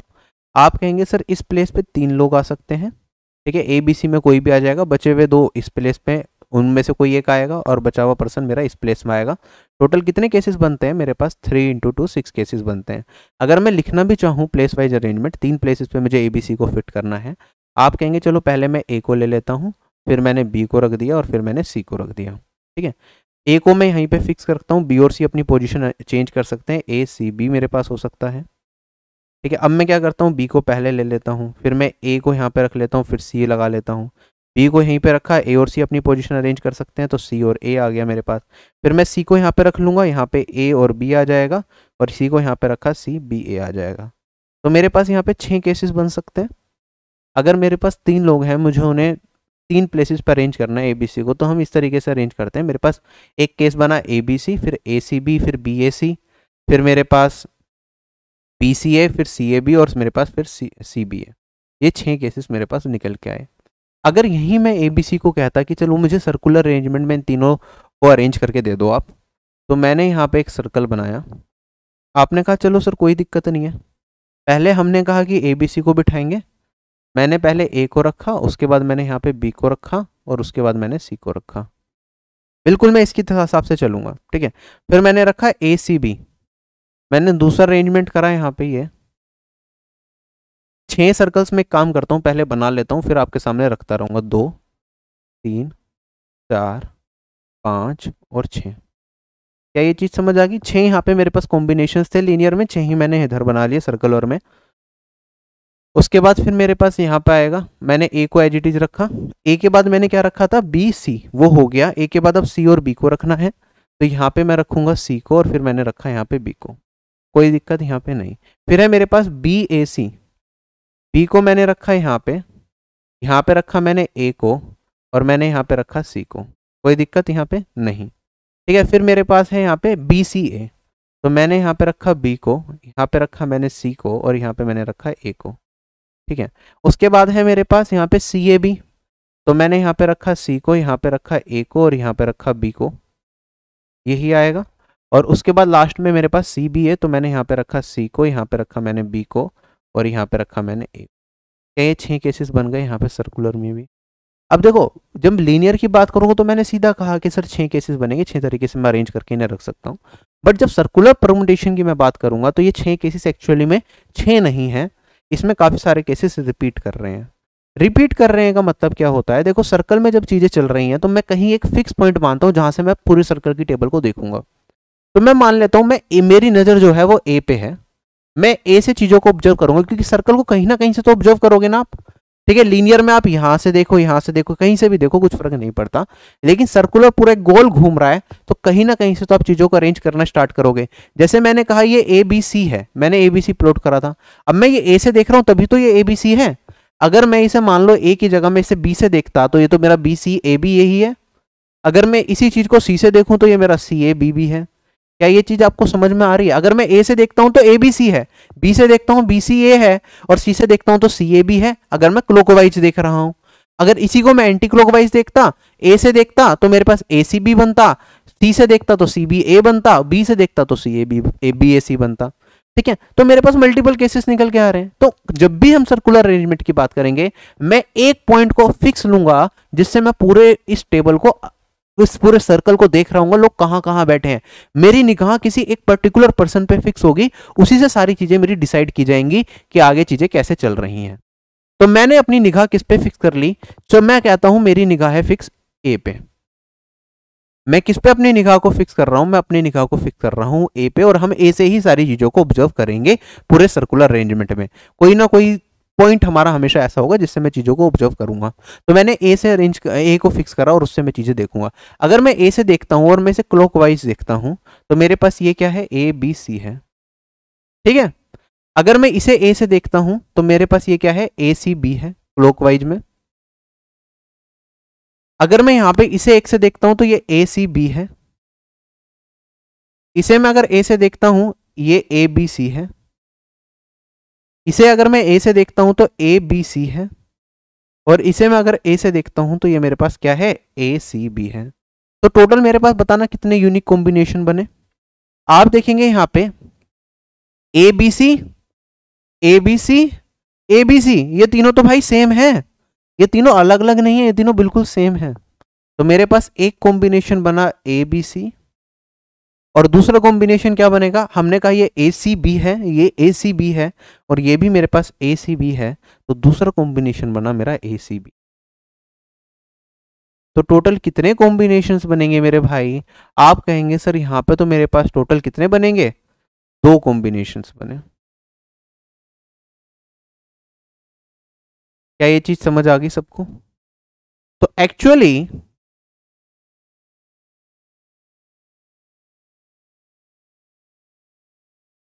एक्चुअली मेरे पास कितने केसेस बने? यहाँ पे दो ही केसेस बने, जबकि लीनियर अगर ये परमुटेशन होता तो छह केसेस बनते। सर्कुलर में सिर्फ़ दो केसेस बने। तो सर्कुलर में हमारे पास लीनियर से क्या बनते हैं? कम केसेस बनते हैं, क्योंकि चीज़ें रिपीट होनी स्टार्ट हो जाती हैं।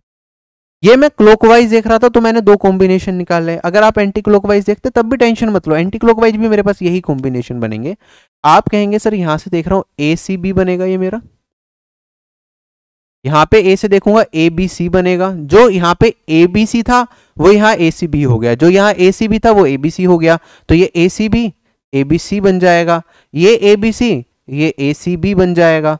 ये मेरा ए बी सी ए सी बी बन जाएगा। और जो मेरा ये ए सी बी है, ये मेरा क्या बन जाएगा? ए बी सी बन जाएगा।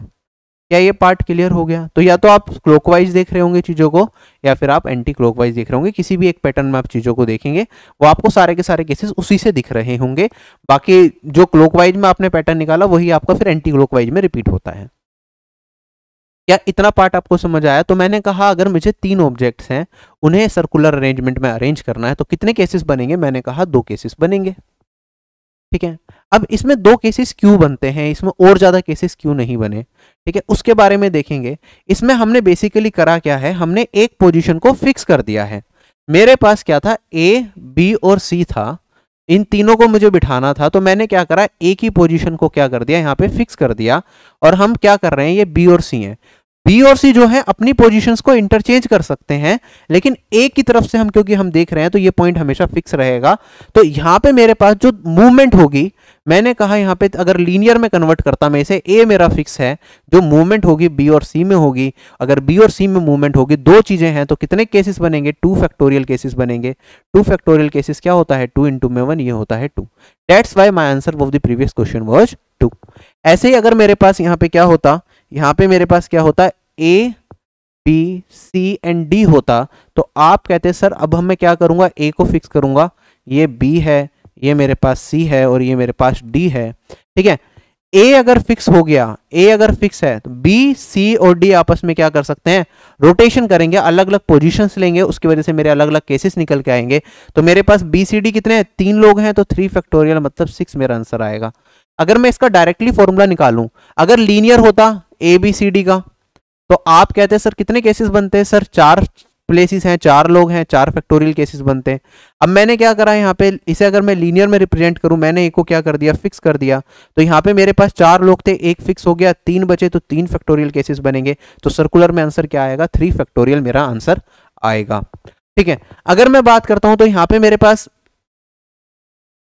एन पीपल हैं एन ही प्लेसेस हैं एन ऑब्जेक्ट्स कह सकता हूँ पीपल की जगह। एन ऑब्जेक्ट्स को मुझे एन प्लेसेस में अगर अरेंज करना हो in case of circular arrangement तो मेरे पास कितने केसेस बनेंगे? देखो, चार थे तो यहाँ पे तीन मूव कर पा रहे थे तो थ्री फैक्टोरियल मेरा आंसर आ रहा था।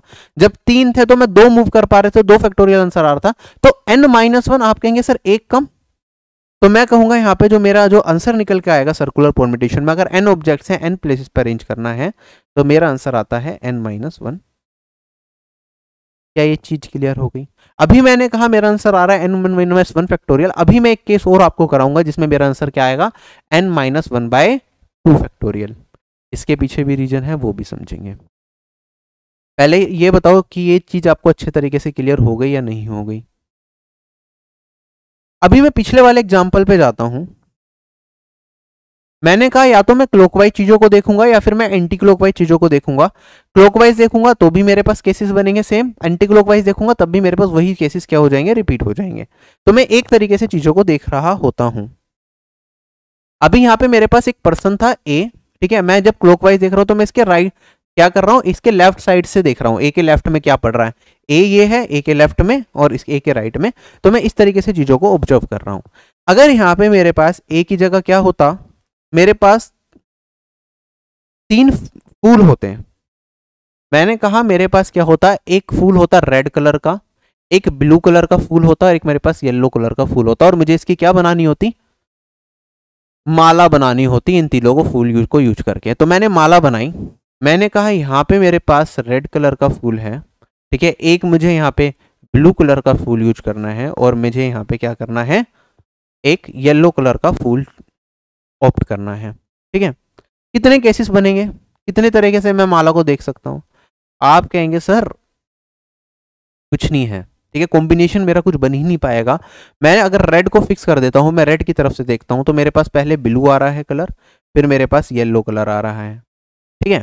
ठीक है, अगर मैं यहाँ पे रेड और ब्लू आ रहा है, फिर मेरे पास येलो आ रहा है, अगर इसी माला को क्या कर दूँ मैं पलट दूँ? इसी माला को मैं पलट दूँ तो मेरे पास यहाँ पे रेड कलर आएगा, यहाँ पे मेरे पास येलो कलर आएगा, और यहाँ पे मेरे पास क्या आ जाएगा? ब्लू कलर आ जाएगा। क्या ये कॉम्बिनेशन ये दोनों भी सेम हो गए यहाँ पे?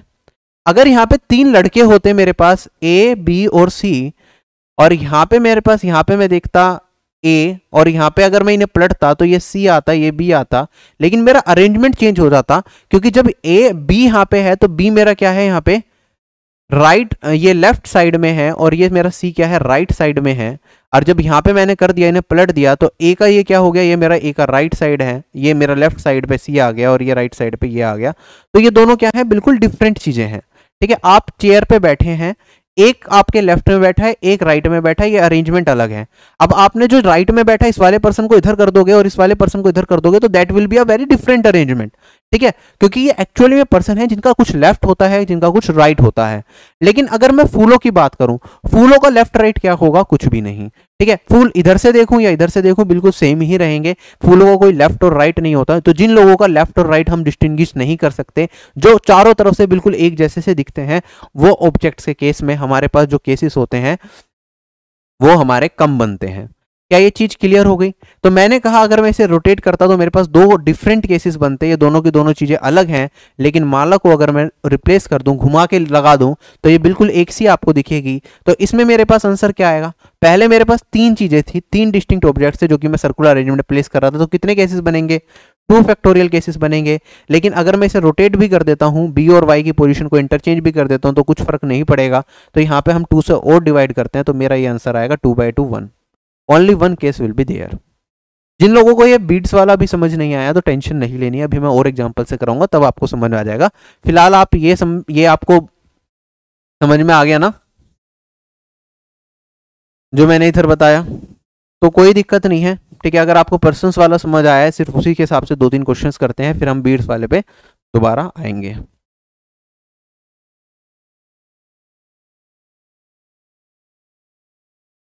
मेरे पास पहला क्वेश्चन है ये। In how many different ways three people can be seated on a circular table तीन पीपल एक सर्कुलर टेबल पे किस, कितने वेज से सीट कर सकते हैं? अगर आदमियों की बात कर रहे हैं जिनका लेफ़्ट और राइट अलग है तो मेरे पास तीन पीपल हैं तो three minus one factorial N minus one factorial मेरा आंसर होता है two factorial that is two दो तरीके से मैं उन्हें एक सर्कुलर टेबल पे बिठा सकता हूँ। कहता है, कितने तरीके से हम सात पीपल को एक सर्कुलर टेबल पे बिठा सकते हैं? आप कहेंगे, सर सेवन पीपल हैं, उनमें से एक घटाऊँगा seven minus one factorial six factorial मेरे पास ऐसे तरीके होंगे जिनमें सात लोगों को बिठाया जा सकता है। क्यों होंगे? मान लो सात लोग हैं, मैंने ए पर्सन है, उसे फिक्स कर दिया। B C D E F और जी ठीक है? जो ये सारे के सारे पर्सन हैं मेरे पास, ये अपनी पोजीशंस इंटरचेंज करेंगे। और मैं एक ही साइड से साइड या तो क्लोकवाइज या फिर एंटी क्लोकवाइज सारे पैटर्न्स को नोट करूँगा। जितने पैटर्न्स मेरे क्लोकवाइज आएँगे, उतने ही पैटर्न्स मेरे एंटी क्लोकवाइज आएँगे। तो वो उन्हें एक बार ही काउंट हम करते हैं। तो मेरे पास जितने भी काउंट करूँगा, जैसे B C D E and F B B C D E F G ये अपनी जो जैसे जैसे पोजीशन चेंज करेंगे तो मेरे पास उतने सिक्वेंसेस बनते रहेंगे। ठीक है, ये अब आपस में किसी कोई भी पोजीशन ले सकता है। तो कितने हैं ये? बी से लेके जी तक ये सिक्स चीज़ें केसेस हैं तो सिक्स फैक्टोरियल मेरे पास। कॉम्बिनेशन बनेंगे। एक को हमें क्या करना होगा? फिक्स करना होगा, जो रेफरेंस पॉइंट होगा मेरा। चले आगे। अगला सवाल है मेरे पास I have one red one yellow one blue and one purple flower how many different ways we can arrange them to make a garland मेरे पास क्या है? चार फूल हैं। एक मेरे पास रेड फूल है। एक ब्लू पर्पल और एक येलो एक ब्लू और एक पर्पल फूल है। ठीक है, मुझे माला बनानी है उसकी। तो मैंने क्या करा? इन्हें ब्लू, रेड, पर्पल, इन्हें यहाँ पे फूलों को कुछ इस तरीके से लगा दिया। ठीक है, कितने केसेस बनेंगे? आप फटाफट से बताओ। पहले तो मैंने ये सिंपल चलो एक केस रख दिया रेड रेड मेरा फोकस पॉइंट है, जिसकी तरफ़ से मैं सारी चीज़ों को ऑब्ज़र्व करूँगा। यहाँ पे मेरे पास रेड के क्या है? लेफ़्ट में येलो है और रेड के राइट में पर्पल है। बट क्या रेड येलो और पर्पल में डिफ्रेंशिएट करेगा? मान लो इस माला को मैं ऐसे सामने से आपको पहना रहा हूँ, ठीक है? इसी माला को मैं टर्न कर दूँ। इसी माला को मैं टर्न कर देता, ये रेड होता और मैंने इसे टर्न कर दिया। मेरा वाई यहाँ पे आ गया, मेरा यहाँ पे पर्पल यहाँ पे आ गया और मेरा ब्लू यहाँ पे रहा। क्या ये भी सेम ही माला है? फटाफट से बताओ। या तो मैं सीधा पहना रहा हूँ तो मालों को ऐसे पहना दूँगा। ठीक है, अगर मुझे किसी पर्सन को मालों को ऐसे पहनाना है, मैं माला को घुमा के मतलब रोटेट करके अगर ऐसे पहना दूँ, तब भी तो वो मेरे पास सेम ही माला बनेगी या कोई अलग माला बन जाएगी? नहीं बनेगी। लेकिन यहीं पे अगर मेरे पास पर्सन होते, यहाँ पे मेरे पास पर्सन वन बैठा है, ये उसका क्या है? राइट right हैंड है, ये उसका क्या है? लेफ़्ट हैंड है। ठीक है, यहाँ पे कोई दूसरा पर्सन बैठा है, ये लेफ़्ट हैंड होगा सॉरी अगर सामने से देखेंगे, ये राइट हैंड होगा उसका। ठीक है, ये पर्सन है। ठीक है, ये इसका राइट हैंड होगा, ये इसका लेफ़्ट हैंड होगा। और अगर मैं यहाँ पे एक पर्सन को बिठा दूँ, ये बी है और ये सी है, ये ए है, ये मेरे पास इसका क्या होगा? ये इसका लेफ़्ट हैंड होगा, इसका ये राइट हैंड होगा। आप देखेंगे, अगर मान लो ये तीनों पर्सन आपस में हाथ मिला के बैठे हुए हैं तो इसका राइट इसके लेफ़्ट से मिलेगा, इसका राइट इसके लेफ़्ट से मिलेगा, इसका राइट इसके लेफ़्ट से मिलेगा, इसका लेफ़्ट इसके राइट से मिलेगा तो इस तरीके से ये लोग हाथ मिला के बैठे होंगे। ठीक है? अगर मैं इनकी पोजीशन चेंज कर दूँ, इन्हें उल्टा घुमा दूँ तो पूरे के पूरे मेरे केसेस क्या हो जाएँगे? बदल जाएँगे। ठीक है? जो इस पर्सन के लेफ़्ट में था, वो राइट में चला जाएगा, और राइट में था, वो लेफ़्ट में चला जाएगा। क्या पर्सन को हम ऐसे पलट सकते हैं? नहीं, लेकिन माला को हम ऐसे पलट सकते हैं। माला के केसेस में हमारे पास क्या होंगे? जो नंबर ऑफ़ केसेस होते हैं, वो हमारे टू से डिवाइड हो जाते हैं। तो मेरा इस केस में जब भी हम गार्लैंड की बात करेंगे या फिर ऐसे ऑब्जेक्ट्स की बात करेंगे जिनका कोई राइट और लेफ़्ट नहीं होता, जो चारों तरफ़ से बिल्कुल एक जैसे से होते हैं, उस केस में हमारे पास जो टोटल केसेस बनते हैं सर्कुलर अरेंजमेंट में, वो N minus one factorial divided by two बनते हैं। क्या ये चीज़ क्लियर हो गई? चले आगे। कहता है the number of ways that ten beads of different colours can be strung in a necklace मेरे पास दस बीट्स हैं, दस मोती हैं अलग अलग आ, कलर के ठीक है? उन्हें पिरो के एक नेकलेस बनाना है। तो कितने तरीक़ों से बना सकते हैं? आप कहेंगे सर टेन बीड्स हैं टेन माइनस वन फैक्टोरियल ये आएगा मेरे पास डिवाइडेड बाई क्या आएगा? टू आएगा। क्योंकि बीड्स अलग अलग करके घुमा के बनाएँगे तो वो एक ही कॉम्बिनेशन है। Nine factorial divided by two is my answer अगला सवाल हमारे पास। क्वेश्चन में कहता है around table conference is to be held among ten delegates belonging to ten different countries in how many ways can they be seated if two particular delegates always sit together never sit together मेरे पास एक round table है, जिसमें total ten different countries के delegates आए हुए हैं। कोई भी दो पर्टिकुलर डेलीगेट्स को हमें क्या करना है? एक साथ बिठाना है। तो कितने पॉसिबल वेज होंगे? मैं कहूँगा, चलो इसे डेलीगेट वन मान लेता हूँ, इसे डेलीगेट टू यहाँ पे थ्री नंबर का, यहाँ पे फोर नंबर का फाइव और ऐसे करते करते हमें कितने बिठाने हैं? टेन डेलीगेट्स को बिठाना है। ठीक है? अगर इन दोनों डेलीगेट्स को हमेशा मुझे एक साथ रखना है ठीक है? तो जो फोकस पॉइंट है, मैं यहीं पे अपना फोकस पॉइंट रख लेता हूँ कि मैंने कहा ये दोनों तो मेरे क्या बैठ गए? एक साथ बैठ गए। तीसरे, चौथे पांचवे से लेकर दसवें तक ये अपनी सारी पोजीशंस क्या कर सकते हैं? इंटरचेंज कर सकते हैं। इंटरचेंज कर सकते हैं तो कितने केसेस बनेंगे? आप कहेंगे, सर एट फैक्टोरियल केसेस बनेंगे तीसरे से लेकर दसवें तक। और अगर मैं बात करूँ तो ये दो हैं। ये दो डेलीगेट्स भी तो अपनी पोजिशन चेंज कर सकते हैं। ऐसा भी तो हो सकता है कि ये वाला डेलीगेट मेरा इधर आ जाए और जो ये वाला डेलीगेट है मेरा, ये वाला डेलीगेट इधर चला जाए। तो यहाँ पे मेरे पास दो केसेस बनेंगे। दो हैं तो दो फैक्टोरियल केसेस बनेंगे बेसिकली तो टू फैक्टोरियल तो मेरे पास इतने तरीकों से ये दो, इतने तरीके ऐसे होंगे जिसमें दोनों, दो डेलीगेट्स कोई भी पर्टिकुलर दो अगर हम चूज़ करें, वो एक साथ बैठ सकते हैं। सेकंड है मेरे पास नेवर टू सिट टुगेदर कभी भी साथ में ना बैठे दो पर्टिकुलर डेलीगेट्स कितने केस बनेंगे? आप कहेंगे, सर टोटल जितने भी केसेस हैं टोटल कितने केस बनेंगे अगर दस डेलीगेट को बिठा रहे हैं हम? नाइन फैक्टोरियल केसेस बनेंगे। किसी एक को फोकस मान के हम सारों, सार को बिठा देंगे। ठीक है? और अगर हम बात करें, नाइन फैक्टोरियल टोटल केसेस बनेंगे, उसमें से वो केसेस अगर मैं हटा दूँ, जिसमें दो, ये दोनों डेलीगेट्स एक साथ बैठ रहे हैं तो मेरे पास वो सारे के सारे केसेस आ जाएँगे, जिसमें ये दो डेलीगेट साथ में नहीं बैठे होंगे। तो nine factorial minus eight factorial into में two factorial. Nine factorial nothing but nine into eight factorial तो यहाँ से मैं एट फैक्टोरियल को कॉमन लूँगा। मेरे पास बचेगा यहाँ पे नाइन माइनस टू ये हो जाएगा सेवन इंटू में eight factorial. This will be the answer of this question चलें क्या आगे? अगर यहाँ पे क्या होता मेरे पास? फोर डेलीगेट्स साथ में को साथ में बिठाना होता। Four delegates to sit together कितने लोग हैं मेरे पास मान लो? बीस डेलीगेट्स हैं टोटल क्या आंसर आता मेरा? आप कहते हैं, सर, चार को फिक्स कर लेता मैं। ठीक है? तो मेरे पास बचे हुए जो सोलह होते हैं, उनमें मूवमेंट होती। तो सिक्सटीन फैक्टोरियल तो मेरे वो केस बनते हैं। जो ये चार डेलीगेट्स हैं, ये भी अपनी पोजीशन आपस में इंटरचेंज कर सकते थे। तो फोर फैक्टोरियल ये बनता तो मेरे पास इतने केसेस बनते कि ये चार डेलीगेट्स हमेशा एक साथ रहते अगर टोटल मेरे पास बीस डेलीगेट्स हैं। अगला सवाल मेरे पास। सारे सवाल ध्यान से करने वाले हैं ये। Find the number of ways in which six men and five women can dine at a round table if no two women can sit together. ठीक है? मुझे टोटल नंबर ऑफ़ वेज बताने हैं जिसमें छः आदमी और पाँच औरतों को मैं एक डाइन एक राउंड टेबल पे जिससे वो खाना खा सकते हैं।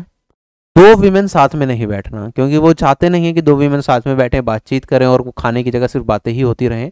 तो इन्होंने ये पहले ही सेट कर दिया कि no two women can sit together, दो वीमेन साथ में नहीं बैठेंगी। हमारे पास कितने आदमी हैं? छह आदमी हैं। पाँच औरतें हैं। तो पहले मैं छह आदमियों को बिठा लेता हूँ।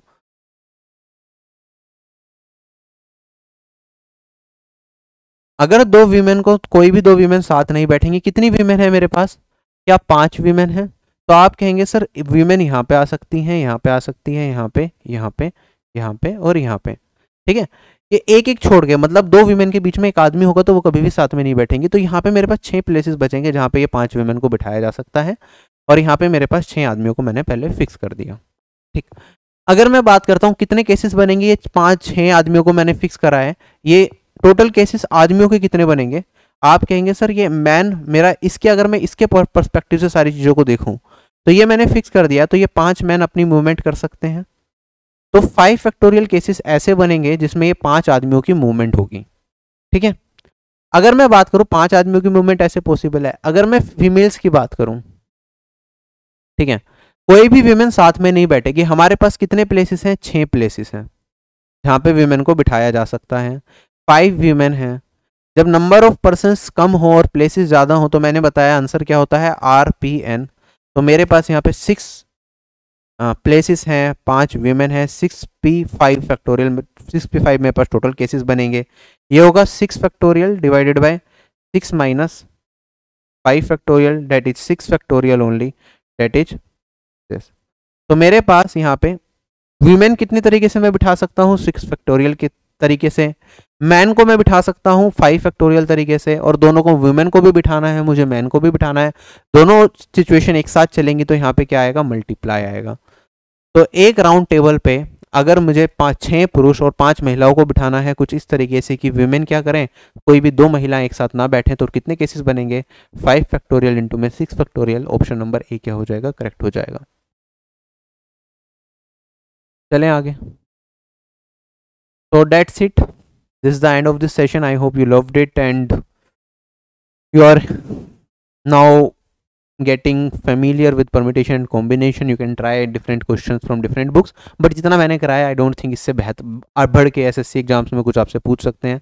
बैंकिंग एग्ज़ाम्स में भी इससे मुश्किल नहीं पूछेंगे, क्योंकि कॉम्पिटिटिव एग्जामिनेशन है। ठीक है? जितना आप पूछा जा सकता है, उससे एक लेवल अप ही मैंने पढ़ाने की कोशिश करी है। तो you can rely on what I have taught and जो चीज़ें पढ़ाई हैं, बस इन्हीं अच्छे से रिवाइज करते रहें। कुछ क्वेश्चंस आप, कोई प्रीवियस बुक है जिसमें दे रखे हो तो आप प्रैक्टिस कर सकते हैं। आपसे यहीं अलविदा लेता हूँ। ठीक है? Bye bye everyone take care जय हिंद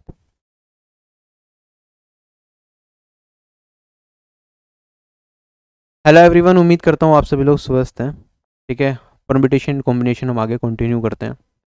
टास्क खेले बचपन में आप सभी लोगों ने। ठीक है? सत्ती पे सत्ती, तीन दो पाँच, रमी, तीन पत्ती एंड ओल बहुत सारे गेम्स ताश के बहुत ज़्यादा पॉपुलर हैं। कहीं ट्रेन में सफ़र कर रहे हैं तो ताश की गड्डी ले गए साथ में खेल रहे हैं। कोई कजन्स आ गए घर पे तो रात को बैठ के ताश खेल रहे हैं। आप you all are familiar with the cards जो लोग फेमिलियर नहीं है, उन्हें मैं फटाफट से बता देता हूँ। ठीक है चार कार्ड्स में हमारे पास चार सूट्स होते हैं। चार तरह के पत्ते होते हैं हमारे पास। एक होते हैं स्पेड्स ठीक है, जिसे हम हुकुम बोलते हैं हिंदी में। ठीक है, एक होते हैं हर्ट्स ठीक है, पान हो गया ये हमारा। एक होते हैं डायमंड्स जिसे हिंदी में हम जनरली ईंट बोलते हैं एंड क्लब्स जो हमारे क्या हो गए, यहाँ पे चिड़ी। हर चारों टाइप के हमारे पास टोटल कितने कितने कार्ड्स होते हैं? हमारे पास चारों ही टाइप के थर्टीन थर्टीन कार्ड्स अवेलेबल होते हैं। थर्टीन इसके थर्टीन थर्टीन एंड थर्टीन तो टोटल थर्टीन इंटू फोर हमारे पास यहाँ पे जो कार्ड्स होते हैं, इसमें फिफ्टी टू कार्ड्स यूज़ किए जाते हैं। यहाँ पे जोकर का कार्ड या एक्स्ट्रा कार्ड जो होता है, हम उसे इंक्लूड नहीं करते हैं। क्वेश्चंस करते टाइम उस पर क्वेश्चन पूछता भी नहीं है। ठीक है तो टोटल आप मान के चलेंगे हमारे पास क्या है फिफ्टी टू कार्ड्स हैं। तेरह तेरह चारों सूट्स के हमारे पास कार्ड्स होते हैं। अगर मैं बात करूँ यहाँ पे स्पेड्स और क्लब्स हमारे क्या हैं, ये ब्लैक कलर के कार्ड्स हैं और ये हार्ट और डायमंड हमारे रेड कलर के कार्ड्स होते हैं। तो टोटल हमारे पास दो तरह के कार्ड्स हो गए। एक हो गए हमारे पास ब्लैक और एक हो गए हमारे पास रेड ठीक है ट्वेंटी सिक्स ब्लैक होंगे ट्वेंटी सिक्स ही हमारे पास रेड कार्ड्स होंगे। और शूट वाइज देखें तो तेरह तेरह तेरह तेरह कार्ड्स होंगे। तो टोटल हमारे पास फिफ्टी टू कार्ड्स हैं जो आपको यहाँ पे दिख रहा है। ठीक है? ये होता है हमारे पास एस इक्का। ठीक है? अगर मैं देखूँ ए को अगर मैं हटा दूँ तो दो से लेके जो हमारे ये दस तक जाते हैं, इसे हम बोलते हैं नंबर कार्ड्स ठीक है? ए हमारा नंबर कार्ड में नहीं आता है, इस चीज़ का ध्यान रखेंगे। जो हमारे नंबर कार्ड्स हैं, वो दो से लेके कब, कहाँ तक जाएँगे? दस तक जाएँगे। और ये होते हैं हमारे फेस कार्ड्स ठीक है? जिसे आप इसे गुलमा, बेगम, बादशाह ऐसा बोलते हैं, ठीक है? ये हमारे क्या हो गए? फेस कार्ड्स हो गए। तो आप देखेंगे यहाँ पे हमारे पास कितने हैं? टोटल फेस कार्ड्स अगर मैं बात करूँ, तीन हमारे पास हुकुम के होंगे, तीन चिड़ी के होंगे, तीन पान के होंगे और तीन ईंट के होंगे। तो टोटल अगर मैं ये कार्ड्स निकालता हूँ तो हमारे पास टोटल ट्वेल्व फेस कार्ड्स होंगे। डेट इज़ थ्री इंटू में फोर तीन तीन कार्ड चारों चीज़ों के। Total number of number cards अगर हम निकालें तो चारों ही सेक्शंस के हमारे नो नो होंगे। तो नाइन इंटू में अगर मैं फोर कर दूँगा तो थर्टी सिक्स हमारे पास क्या है? नंबर कार्ड्स हैं। उसके बाद हमारे पास यहाँ पे टोटल एसिस कितने होंगे? फोर होंगे। ठीक है? अगर मैं बात करता हूँ यहाँ पे, पीछे आते हैं थोड़ा सा और। फेस कार्ड्स में ही इसे हम जैक बोलते हैं जे को, गुलाम जिसे हिंदी में बोलते हैं हम। ठीक है? जोरू का गुलाम मूवी देखी है नहीं देखी? अगर मैं बात करता हूँ, क्यों से इसे हम बोलते हैं क्वीन एंड इसे हम बोलते हैं के को किंग इंग्लिश में। ठीक है? और ए को हम बोलते हैं इस क्लियर हो गए कार्ड्स के, अच्छे से रिवीजन होगी कैसे कैसे कार्ड्स होते हैं, जुआरी नहीं बनना है इस लेक्चर के बाद। बस समझना है कि क्वेश्चन आए तो हम कर पाएँ। और चारों कलर के हमारे पास एसी से होते हैं, यहाँ पे आपको अच्छे से दिख रहा होगा। ठीक है? क्लब है, ये हमारे पास डायमंड है, यहाँ पे हमारे पास हार्ट है एंड स्पीड है। क्वेश्चन हमारे पास क्या बनेगा? What is the number of ways choosing four four cards from a pack of 52 playing cards? In how many of these हमारे पास टोटल कितने कार्ड्स हैं? 52 कार्ड्स हैं। उनमें से हमें क्या सिलेक्ट करने हैं? चार सिलेक्ट करने हैं। इस तरीके से कि जो चार कार्ड्स हैं ना हमारे, वो सेम सूट के हों। क्या हो? सेम सूट के। सूट मतलब या तो हार्ट के होंगे या डायमंड के होंगे या स्पेड के होंगे या फिर क्लब के होंगे। ठीक है? तो हमारे पास सूट एक सूट में कितने कार्ड्स होते हैं? हमारे पास थर्टीन होते हैं। अगर चारों सूट्स की बात करूँ thirteen thirteen thirteen thirteen cards होते हैं हमारे पास। अब सारे के सारे कार्ड्स मेरे सेम सूट के होने चाहिए। तो अगर मैं बात करूँ, पहले हर्ट का अगर मैं देखूँ हर्ट के थर्टीन में से चारों कार्ड या तो मेरे चारों इसके हों हर्ट के। अगर मैं बात करूँ, चारों अगर डायमंड के लेने हैं तो थर्टीन सी फोर होंगे। अगर मुझे चारों के चारों स्पेड के लेने हैं तो थर्टीन सी फोर होंगे अगेन और चारों के चारों अगर मैं कार्ड क्लब्स के लूँगा तो थर्टीन सी फोर होंगे। तो या तो ये कंडीशन होगी, या ये कंडीशन होगी, या फिर ये, या है। कितने वेज से मैं चारों कार्ड्स एक ही सूट के सिलेक्ट कर सकता हूँ। आप कहेंगे, सर, इन सबको हम क्या कर देंगे? ऐड कर देंगे। This will give me the total number of ways क्योंकि बिल्कुल सारी की सारी चीज़ें सिमिलर हैं तो आप इसे फोर इंटू में थर्टीन सी फोर भी लिख सकते हो। और अगर मैं इसे सोल्व करना चाहूँ तो फोर इंटू में चार है थर्टीन जाएगा ट्वेल्व जाएगा इलेवन जाएगा और टेन जाएगा। और डिवाइडेड बाई यहाँ पे मेरे पास क्या आ जाएगा? फोर फैक्टोरियल आ जाएगा। ठीक है थ्री इंटू टू सिक्स बचेगा सिक्स से ट्वेल्व को काटोगे टू तो thirteen into two into eleven into में टेन और मेरा आंसर अगर मुझे निकालना ही हो इसका तो twenty six two sixty two eighty six और ज़ीरो ये मेरे पास इसका आंसर आएगा कैलकुलेशन देख लेना, कोई मिस्टेक ना हो।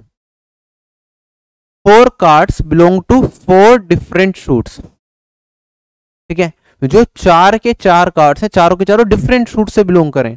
इसका मतलब क्या होगा? देखो, चार डिफरेंट सूट हैं जिनमें तेरह तेरह कार्ड हैं। अगर चारों ही कार्ड मुझे चारों डिफरेंट सूट से लेने हैं तो मुझे अब इंडिविजुअल कार्ड पे काम करना पड़ेगा। एक कार्ड मेरा हार्ट का होगा, एक कार्ड मेरा डायमंड का होगा, एक कार्ड मेरा स्पेड का होगा और एक कार्ड मेरा क्या होगा, क्लब का होगा। क्या ये चारों कार्ड मुझे एक साथ चाहिए? एक इसका एक इसका एक इसका एक इसका? ये चारों कंडीशंस मेरी एक साथ फुलफिल होनी चाहिए। अगर एक साथ फुलफिल होनी चाहिए तो मुझे क्या करना पड़ेगा? मल्टीप्लाई करना पड़ेगा। टोटल नंबर ऑफ़ केसेस कितने बनेंगे मेरे? जल्दी से बताओ आप। ये C one C thirteen C one है। एन सी वन क्या होता है? एन तो thirteen into thirteen into thirteen into thirteen क्या ये थर्टीन की पावर फोर ये मेरा इस सवाल का उत्तर होगा? क्लियर हो गया इस सवाल का answer next question are face cards चारों के चारों कार्ड्स मेरे क्या हो? फेस कार्ड्स हो। अब फेस कार्ड टोटल कितने हैं? अब मुझे यहाँ पे ये मैटर नहीं करता हार्ट का हो डायमंड का हो स्पेड का हो, या क्लब का हो। चारों के चारों कार्ड्स मेरे फेस कार्ड्स होने चाहिए। तो टोटल फेस कार्ड्स होते हैं अपने पास ट्वेल्व ठीक है? ट्वेल्व में से मुझे कोई भी चार सेलेक्ट करने हैं तो ट्वेल्व सी फोर क्या आंसर आएगा? ट्वेल्व इंटू में इलेवन इंटू में टेन इंटू में नाइन ठीक है, चार मैंने स्किप कर दिए, और यहाँ पे फोर फैक्टोरियल मेरा नीचे आ जाएगा। Four factorial is twenty four यहाँ से काटूँगा टू बचेगा फाइव तो 99 नाइन इंटू में फाइव मेरा इस क्वेश्चन का आंसर आएगा। कैलकुलेशन खुद कर लेना। आप देखेंगे यहाँ पे 495 आ जाएगा। ठीक है, मैंने डायरेक्ट कर दी कैलकुलेशन अपने हिसाब से। Two are red cards and two are black cards दो मेरे क्या हो? काले पत्ते हो? दो मेरे लाल पत्ते हो। काले पत्ते कितने? रेड कार्ड्स ब्लैक कार्ड्स कितने? 26 होते हैं। तो 26 में से मुझे दो सिलेक्ट करने हैं। दो मुझे ब्लैक कार्ड चाहिए। ब्लैक कार्ड्स भी कितने होते हैं? 26 दो चाहिए। क्या दोनों साथ में चाहिए? दो और दो, चार साथ में चाहिए। तो मल्टीप्लाई होगा। 26 सी टू करूँगा। 26 six into twenty five by two thirteen into twenty इधर आएगा। थर्टीन इंटू फाइव इधर आएगा। तो ये मेरे पास थर्टीन स्क्वायर इंटू में twenty five square thirteen into twenty five को अगर मैं मल्टीप्लाई कर दूँ तो मेरे पास थ्री ट्वेंटी फाइव का होल स्क्वायर ये निकल के आएगा कैलकुलेशन करना चाहो तो स्क्वायर की ट्रिक्स मैंने बता रखी है स्क्वायर निकाल लेना। अगला है मेरे पास cards are of the same colour जो चारों के चारों कार्ड्स हों, वो क्या हों? सेम कलर के हों। तो अब इसमें देखो दो केस बन सकते हैं। मेरे पास 26 तो ब्लैक कार्ड है और 26 ही रेड कार्ड है। तो या तो 26 में से कोई चार सिलेक्ट मैं रेड कलर के चार कार्ड उठाऊँगा, या 26 जो ब्लैक कार्ड है उनमें से चार उठाऊँगा।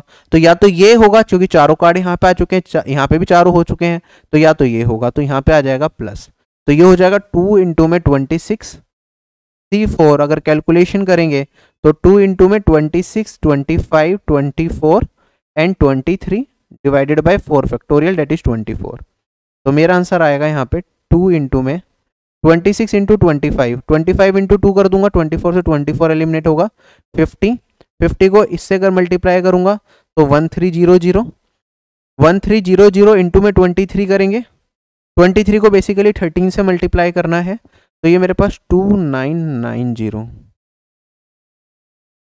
एक ज़ीरो और आएगी शायद, ठीक है? देखना यही आंसर आएगा क्या? चलें आगे। तो कैलकुलेशन से भी घबराओ मत, ये सिंपल ही कैलकुलेशन होती है, देखने में लगता है twenty six twenty five twenty four इन सबको मल्टीप्लाई करना पड़ रहा है बट जब कैलकुलेशन करने लगता है, आराम से होती है। क्वेश्चन है determine the number of five card combination out of a deck of fifty two card if each selection of five cards has exactly one king मेरे पास क्या है यहाँ पे? पाँच कार्ड का कॉम्बिनेशन लेना है फिफ्टी टू कार्ड में से, जिसमें हर एक सिलेक्शन जो पाँच कार्ड का मैं कर रहा हूँ, उसमें एग्जैक्टली क्या हो? वन किंग अवेलेबल हूँ। ठीक है? अगर मुझे वन किंग चाहिए एग्जैक्टली वन किंग चाहिए तो सबसे पहले तो मैं वो वन किंग को निकालूँगा। ठीक है? अब वन किंग कहाँ से निकलेगा? टोटल किंग्स कितने हैं? टोटल मेरे पास फोर किंग्स हैं। अगर चार, चारों के चारों किंग्स को मैंने अलग कर लिया तो टोटल कितने बचेंगे मेरे पास पत्ते? 52 थे। फोर किंग्स हैं बाकी क्या है? 48 मेरे पास। अदर कार्ड्स बचेंगे। ठीक है? अब इन फोर किंग में से मुझे एग्जैक्टली वन किंग चाहिए जो पाँच पत्ते में सिलेक्ट करूँगा। तो मैं कहूँगा फोर सी वन इन चार में से एक पत्ता मैंने ले लिया। अब बचे कितने? 48 48 में से कितने लेने हैं? फोर कार्ड्स लेने हैं। तो मैं कहूँगा इनटू में 48 सी फोर इन 48 में से फोर को चूज़ करना है। क्वेश्चन हो गया खत्म। यही मेरे सवाल का आंसर है। फोर सी वन है। वन होता है तो यहाँ पे ये फोर आएगा। ये आएगा 48 एट इंटू में 47 इंटू फोर्टी सिक्स इंटू में 45 divided by 4 factorial that is 24 24 से काटूँगा 2 आ जाएगा कैलकुलेशन कर लेना। ये मेरे पास 90 इंटू में फोर थ्री सिक्सटी इंटू में 47 into forty six this will be my answer यहाँ पे आप unit digit digit digital sum क्योंकि ये नाइन से कट रहा है तो नाइन का मल्टीपल चेक कर सकते हैं। ऑप्शन जो भी होंगे, उस हिसाब से आप अपना आंसर निकाल पाएँगे। क्लियर है या नहीं है? देखिए अगला सवाल अब आपके आपके सामने। कहता है determine the number of five part combination out of a deck of 52 cards if there is exactly two aces in each combination मेरे पास क्या है? 52 कार्ड्स हैं, ठीक है? उनमें से पाँच निकालने दो एस होने चाहिए। 52 कार्ड्स में टोटल एस कितने होते हैं? टोटल चार एस होते हैं, ठीक है? बाकी 48 मेरे पास नॉर्मल पत्ते होंगे। 48 में, चार में से मुझे दो चाहिए। 48 में से कितने चाहिए तीन। तो आंसर कितना हो गया? फोर सी टू और यहाँ पे फोर्टी एट सी इसी तरह के हमारे पास कार्ड्स के क्वेश्चंस बनेंगे, कुछ भी पूछा जा सकता है, कोई भी कंडीशन दी जा सकती है, आप सारी कंडीशंस फुलफिल करके अपना आंसर निकाल सकते हैं। अभी हमारे पास ये बना तो मैंने ये कर दिया। अब इसी सवाल में प्रोबेबिलिटी के क्वेश्चन कैसे बनते हैं? आप कहेंगे, सर प्रोबेबिलिटी बता दो कि अगर मैं बावन कार्ड में से पाँच कार्ड रैंडमली पिक करता हूँ तो उसकी प्रोबेबिलिटी क्या होगी जिसमें मेरे पास एग्जैक्टली दो क्या मिले एस मिले और मेरे पास बाकी तीन कोई और पत्ते हों? या फिर मैं कहूँ कि मैंने कहा मेरे पास 52 कार्ड्स हैं, मैंने पाँच कार्ड्स उनमें से रैंडमली चूज़ करें। ठीक है, हमें प्रोबेबिलिटी बतानी है कि हमारे पास उन पाँच में से दो कार्ड्स एग्जैक्टली एस होने चाहिए। उसकी प्रोबेबिलिटी कितनी होगी? तो आप कहेंगे पाँच में से, पाँच कार्ड में से एग्जैक्टली टू एस होने की प्रोबेबिलिटी होगी। टोटल मेरे पास कितने केसेस बन सकते हैं? जिस तरीके से मैं पाँच में से दो कार्ड को एस उठा पाऊँ तो ये होगा मेरे पास फोर सी टू दो तो मेरे पास चार में से एस आ गए। बाकी फोर्टी एट कार्ड्स बचे, उसमें से मैंने तीन उठा लिए और डिवाइडेड बाय टोटल कॉम्बिनेशन पाँच कार्ड्स को मैं फिफ्टी टू कार्ड्स में से कितने तरीकों से उठा सकता हूँ? आप कहेंगे, सर फिफ्टी टू कार्ड्स में से पाँच को चूज़ करना है fifty two C five this will be the probability अगर प्रोबेबिलिटी का क्वेश्चन पूछा तो हमसे। ये होगी हमारी फेवरेबल आउटकम जो हम प्रोबेबिलिटी में पढ़ेंगे, ये होगी हमारी टोटल आउटकम जो पॉसिबल है। चलें आगे। तो परम्यूटेशन कॉम्बिनेशन आ गया तो प्रोबेबिलिटी के मुश्किल क्वेश्चन तो आप वैसे ही कर लेंगे। अब जो ये वाला अप्रोच मैं आपको सिखाने जा रहा हूँ बैगर मेथड बहुत अच्छा कंसेप्ट है, ठीक है? अगर सीखने में ज़्यादा तकलीफ़ हो तो छोड़ देना बैगर मेथड को। रेयर चांस है एग्ज़ाम में पूछें, लेकिन बट मैं नहीं चाहता अपने एंड पे मैं कोई भी टॉपिक मिस करके जाऊँ या कोई भी टॉपिक छोड़ूँ आपका, जिससे सवाल बन सके, इसलिए मैं करा रहा हूँ।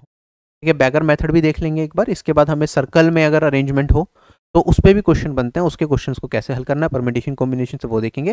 फिर प्रोबेबिलिटी में भी वो चीज़ हमारी आएगी। ठीक है कंसेप्ट आगे सीख गए तो क्वेश्चन कुछ भी बना दे एग्जामिनर आप कर पाएँगे। सबसे पहले बैगर मेथड में होता क्या है? कहता है the number of ways of distributing N identical things among P person without any restriction beggar method में हमें क्या होता है? मान लो हमारे पास क्या है? पी एक जैसी चीज़ें हैं। ठीक है एन एक जैसी चीज़ें हैं, जिन्हें मुझे पी लोगों में बांटना है। तो कितने तरीकों से मैं उनमें बांट सकता हूँ। एक एग्ज़ाम्पल से समझाऊँगा, उससे क्लियर हो जाएगा। उसका जो फॉर्मूला है ये ये फॉर्मूला भी वहीं पे आपको ड्राइव करा दूँगा मैं साथ के साथ, जिससे कि याद रह जाए। और एग्ज़ाम में क्वेश्चंस कैसे बन सकते हैं, वो भी हम देखेंगे। ठीक है you will love this method तुम्हें मज़ा आएगा भी क्वेश्चंस करने में जब मैं कराऊँगा। सबसे पहला सवाल है मेरे पास ये। जैसे कि आप देखेंगे, हमारे पास ये क्वेश्चन दे रखा है find the number of ways in which six one rupee coins can be distributed among three beggars तीन भिखारी हैं, जिनके अंदर मुझे छः एक एक रुपये के कॉइन बांटने हैं। तो कितने तरीकों से मैं बांट सकता हूँ? ठीक है? तो सबसे पहले मैंने क्या करा छः एक एक रुपए के सिक्के बनाए। एक, दो, तीन, चार, पाँच एंड छः ये सिक्के हो गए। मुझे तीन भिखारियों में बांटने हैं। पहला भिखारी, दूसरा भिखारी एंड तीसरा भिखारी। ठीक है, जैसे गांधी जी के तीन बंदर थे, ऐसे ही हमारे पास तीन भिखारी हैं। कैसे बांट सकते हैं? ये आपके ऊपर डिपेंड करता है। अगर आप इक्वली खींचना चाहते हैं जनरली जो क्या होता है, हम सोचेंगे, चलो छः सिक्के हैं मेरे पास, तीनों भिखारी को दो दो सिक्के दे देता हूँ। ठीक है, एक तरीका तो ये हो गया। दूसरा, ऐसा भी हो सकता है, भैया, मैं ज़्यादा टेंशन नहीं लेना चाहता, जो पहला भिखारी मिलेगा, उसे छः के छः सिक्के दूँगा और आगे बढ़ूँगा, अपना काम खत्म। ठीक है? तो क्या करा? छः इसे दे दिए, इसे ज़ीरो इसे ज़ीरो दिए। ऐसा भी हो सकता है, आपका मन करे, चलो यार, इसे एक देता हूँ, इसे एक देता हूँ, अब चार बज गए, एक ही भिखारी है, चलो चार के चार इसे दे दिए। तो किसी भी तरीके से आप बांट सकते हो। तो यहाँ पे कोई कंडीशन नहीं है कि एक भिखारी को इतने ही देने पड़ेंगे, दूसरे को इतने ही, तीसरे को इतने ही। मिनिमम एक भिखारी पे कितना जाएगा? ज़ीरो। मैक्सिमम एक भिखारी पे कितना जा सकता है? छः ठीक है? तो ये हमारे पास मेजरली हम देखेंगे, कोई मेजर कंडीशन हमारे पास नहीं है। हम किसी भी सीक्वेंस में अपने जो छः सिक्के हैं, इन भिखारियों के अंदर बांट सकते हैं। अच्छा हम कैसे डिसाइड करेंगे? मान लो मेरे पास यहाँ पे क्या है? तीन भिखारी हैं। ठीक है? तो कुछ इसे मिलेगा, कुछ इसे मिलेंगे, कुछ इसे मिलेंगे। अगर मैं तीन भिखारी मैं दो सेपरेटर्स बनाऊँ। सेपरेटर वन सेपरेटर टू ये सेपरेटर का मतलब क्या है? कि अगर मैं यहाँ पे ये जो छह सिक्के थे, बीच में कहीं दो सेपरेटर डाल लूँ, एक सेपरेटर यहाँ पे डाल दिया, एक सेपरेटर यहाँ पे डाल दिया, इसका मतलब क्या होगा?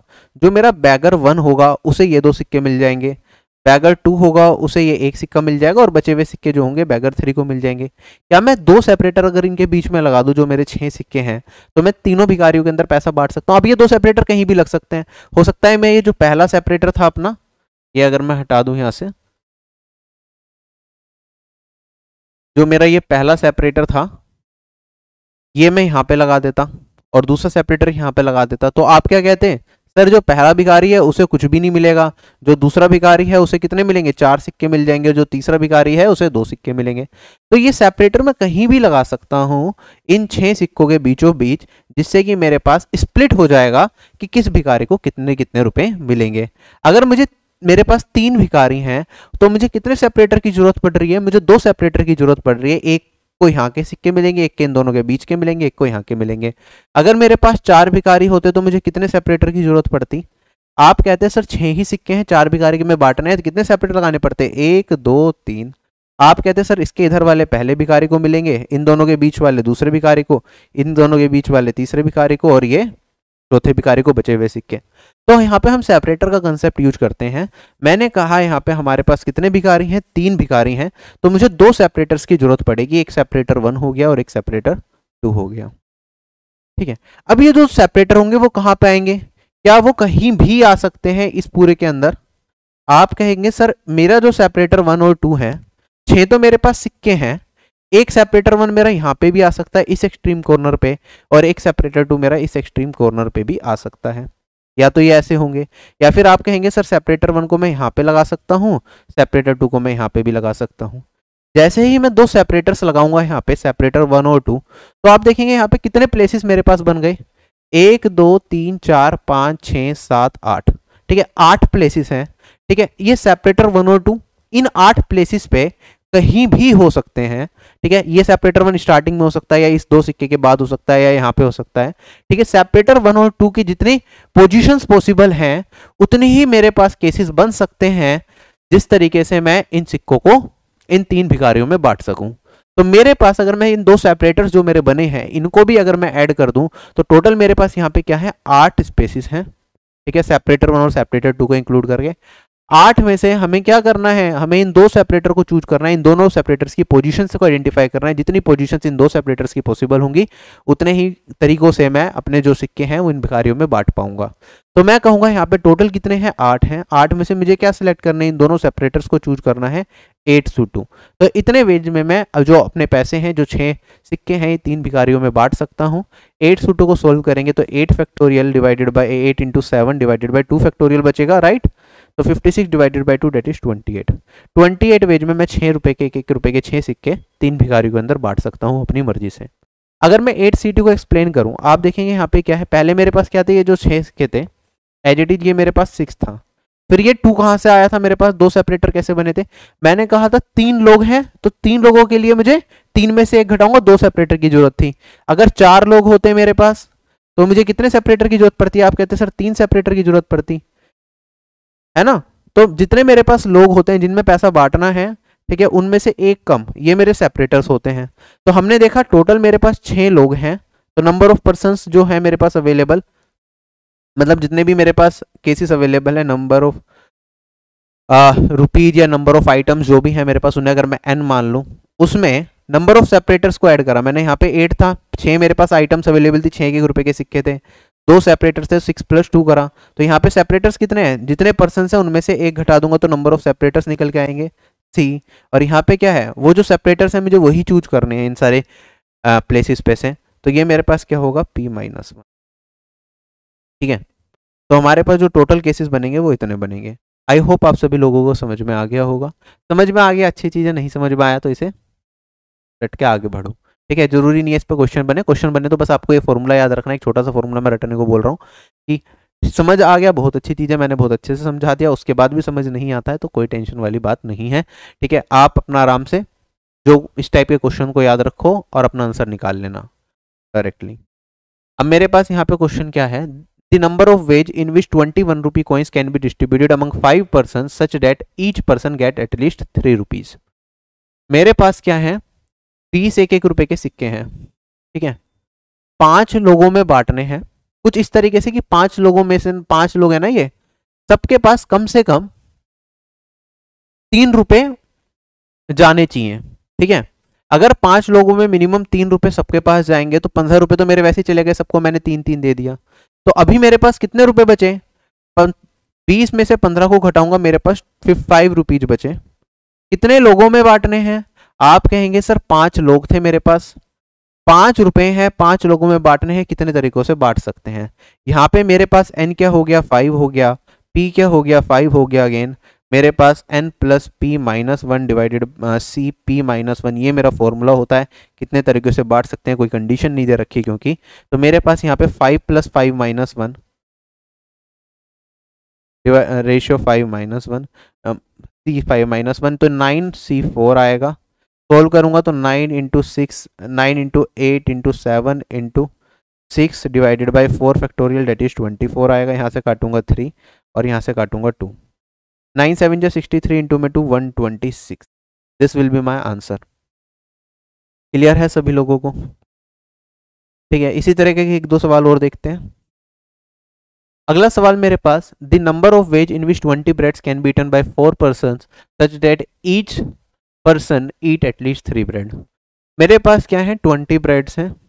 चार लोग हैं, हर एक पर्सन एटलीस्ट तीन ब्रेड तो खाएगा खाएगा मतलब बारह ब्रेड तो वैसे ही बढ़ गई। बचे मेरे पास कितनी ब्रेड बारह बढ़ गई तो मेरे पास यहाँ पे आठ ब्रेड बची हैं। कितने पर्सन थे? चार पर्सन में बांटनी है। कितने वेज से हम बांट सकते हैं। आप कहेंगे, sir eight plus four minus one C four minus one तो ये मेरे पास eleven C three eleven C three my answer solve करेंगे तो eleven into ten into nine divided by three factorial three factorial three into two यहाँ से काट दूँगा तीन और यहाँ से काट दूँगा तो पाँच। पंद्रह इंटू में ग्यारह, एक सौ पैंसठ। एक सौ पैंसठ तरीके से काटा जा सकता है। क्लियर है? चलें आगे। Next question we have here is this find the number of non negative integral solutions of the equation X plus Y plus Z मुझे नॉन नेगेटिव इंटीग्रल सॉल्यूशन बताना है इस इक्वेशन का। क्या होगा? ठीक है नॉन नेगेटिव का मतलब?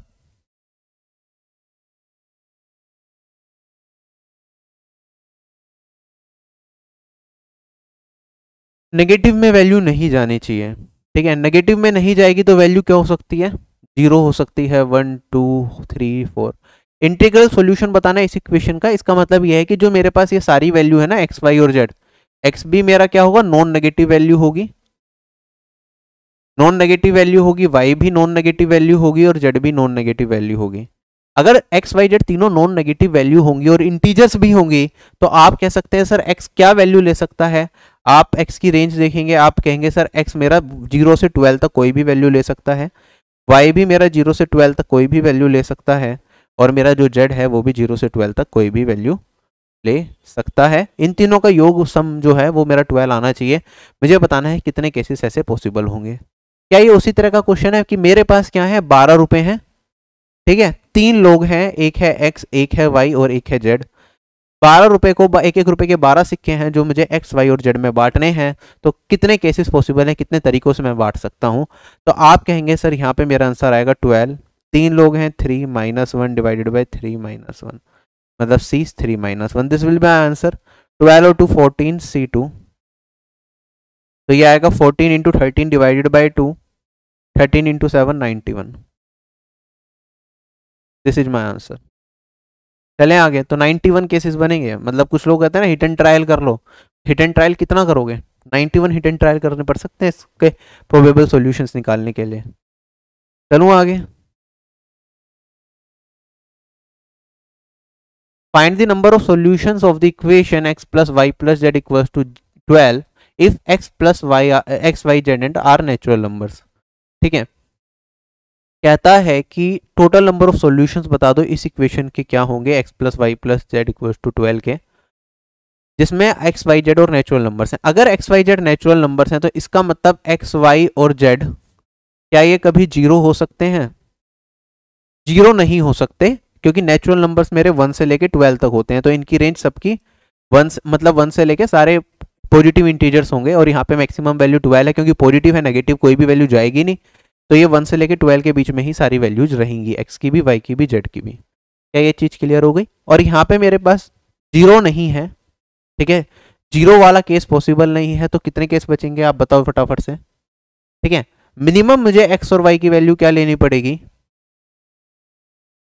क्या मुझे एक्स वाई और जेड की वैल्यू मिनिमम क्या लेनी पड़ेगी? आप कहेंगे, सर, यहाँ पे ये मिनिमम वन रहेगा, ये वन रहेगा और ये वन रहेगा। क्या यही चीज़ है? ठीक है मिनिमम तो वन वन लेना पड़ेगा, अगर ये नेचुरल नंबर हैं, इससे कम वैल्यू नहीं ले सकता मैं।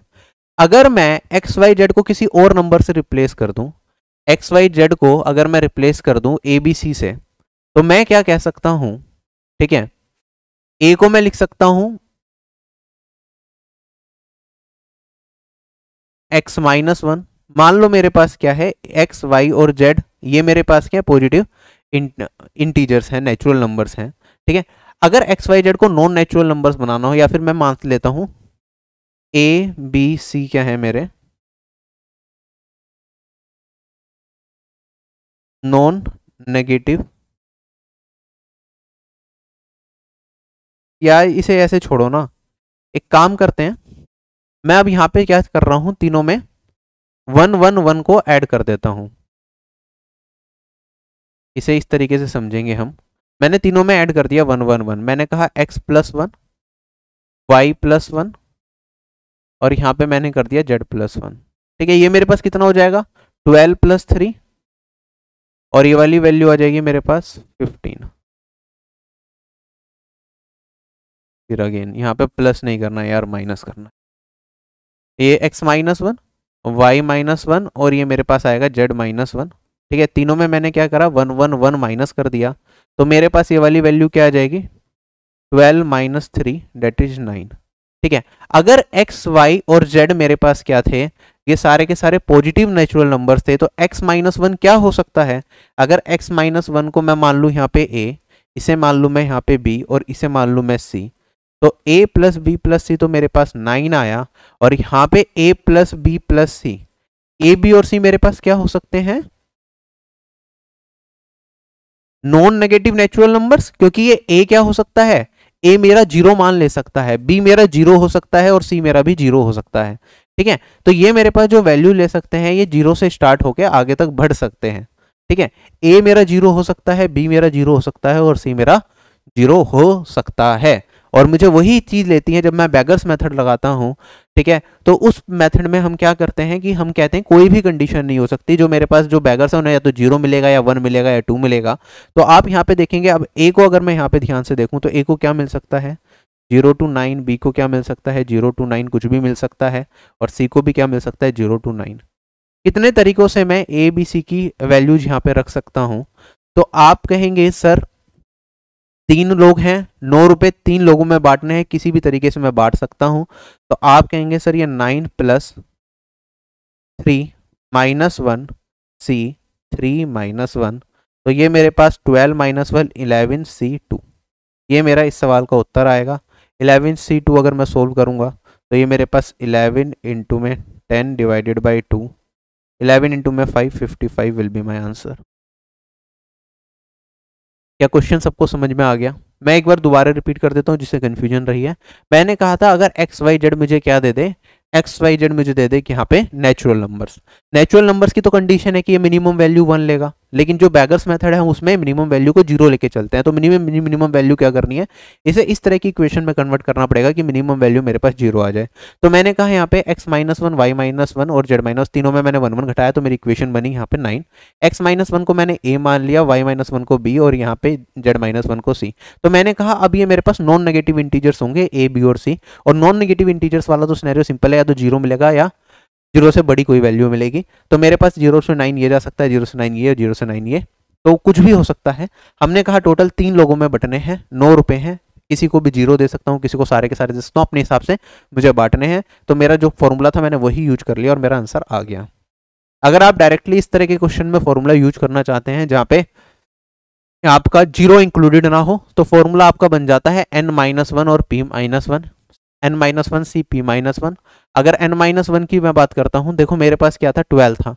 ट्वेल्व माइनस वन और C minus C p minus one करूँगा, कितने परसेंट है? एक्स वाई जेड तीन परसेंट है थ्री माइनस वन तो मेरे पास यहाँ पे इलेवन सी टू डायरेक्टली आप करेंगे तो ऐसा कर सकते हैं।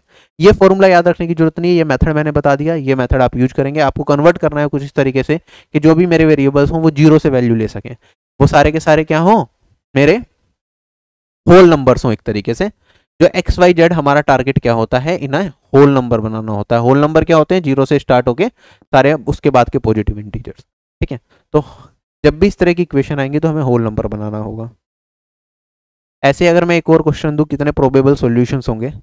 मैंने कहा A B C and D ये क्या है मेरे? होल नंबर्स हैं A plus B plus C plus D ये मुझे दे रखा है सिर्फ़ ट्वेंटी वन तो कितनी पॉसिबल वे हैं? कितने इंटीग्रल सॉल्यूशंस हमारे निकल के आएँगे। A B C and D के। तो अगर मैं इसे सोल्व करूँगा तो आप कहेंगे, सर, ये कितने लोग हैं? चार में मुझे इक्कीस को बांटना है। इक्कीस प्लस चार माइनस एक डिवाइडेड बाई चार माइनस एक, पच्चीस, चौबीस भाग, चौबीस सी तीन। This will be my answer so circular arrangement अब हम यहाँ पे पढ़ेंगे। जैसे कि अब मुझे क्या करना होगा ऑब्जेक्ट्स को एक सर्कल के अंदर अरेंज करना है। इसमें मल्टीपल केसेस बनेंगे। मेजरली दो केस होते हैं, वो हम देखेंगे और उस पर बेस्ड क्वेश्चंस क्या बनाए जा सकते हैं, वो हम देखेंगे। ठीक है? ये अच्छा है और इस पर क्वेश्चन भी एग्ज़ाम में पूछे जाते हैं। मान लो मेरे पास क्या हो नॉर्मल तीन लोग हैं ए बी सी ठीक है? इन्हें मुझे तीन प्लेसेस पे अरेंज करना है, ठीक है? तो नॉर्मल अगर लीनियर परमिटेशन है मेरे पास, तीन नॉर्मल प्लेसेस दे दिए और मुझे ए बी सी को अरेंज करना होगा तो मैं कैसे कैसे कर सकता हूँ? आप कहेंगे, सर, इस प्लेस पे तीन लोग आ सकते हैं, ठीक है? ए बी सी में कोई भी आ जाएगा, बचे हुए दो इस प्लेस पे उनमें से कोई एक आएगा और बचा हुआ पर्सन मेरा इस प्लेस में आएगा। टोटल कितने केसेस बनते हैं? मेरे पास three into two six cases बनते हैं। अगर मैं लिखना भी चाहूँ प्लेस वाइज अरेंजमेंट तीन प्लेसेस पे मुझे ए बी सी को फिट करना है। आप कहेंगे, चलो पहले मैं ए को ले लेता हूँ, फिर मैंने बी को रख दिया और फिर मैंने सी को रख दिया। ठीक है? ए को मैं यहीं पे फिक्स करता हूँ बी और सी अपनी पोजीशन चेंज कर सकते हैं। ए सी बी मेरे पास हो सकता है। ठीक है? अब मैं क्या करता हूँ? बी को पहले ले लेता हूँ, फिर मैं ए को यहाँ पे रख लेता हूँ, फिर सी लगा लेता हूँ। बी को यहीं पे रखा, ए और सी अपनी पोजीशन अरेंज कर सकते हैं तो सी और ए आ गया मेरे पास। फिर मैं सी को यहाँ पे रख लूँगा, यहाँ पे ए और बी आ जाएगा, और सी को यहाँ पे रखा, सी, बी, ए आ जाएगा। तो मेरे पास यहाँ पे छः केसेस बन सकते हैं। अगर मेरे पास तीन लोग हैं, मुझे उन्हें तीन प्लेसेस पर अरेंज करना है, ए, बी, सी को तो हम इस तरीके से अरेंज करते हैं। मेरे पास एक केस बना, ए, बी, सी, फिर ए, सी, बी, फिर बी, ए, सी, फिर मेरे पास बी, सी, ए, फिर सी, ए, बी, और मेरे पास फिर सी सी, बी, ए। ये छः केसेस मेरे पास निकल के आए। अगर यहीं मैं ए बी सी को कहता कि चलो मुझे सर्कुलर अरेंजमेंट में इन तीनों को अरेंज करके दे दो आप तो मैंने यहाँ पे एक सर्कल बनाया। आपने कहा, चलो सर कोई दिक्कत नहीं है। पहले हमने कहा कि ए बी सी को बिठाएँगे। मैंने पहले ए को रखा, उसके बाद मैंने यहाँ पे बी को रखा और उसके बाद मैंने सी को रखा। बिल्कुल मैं इसकी हिसाब से चलूँगा, ठीक है?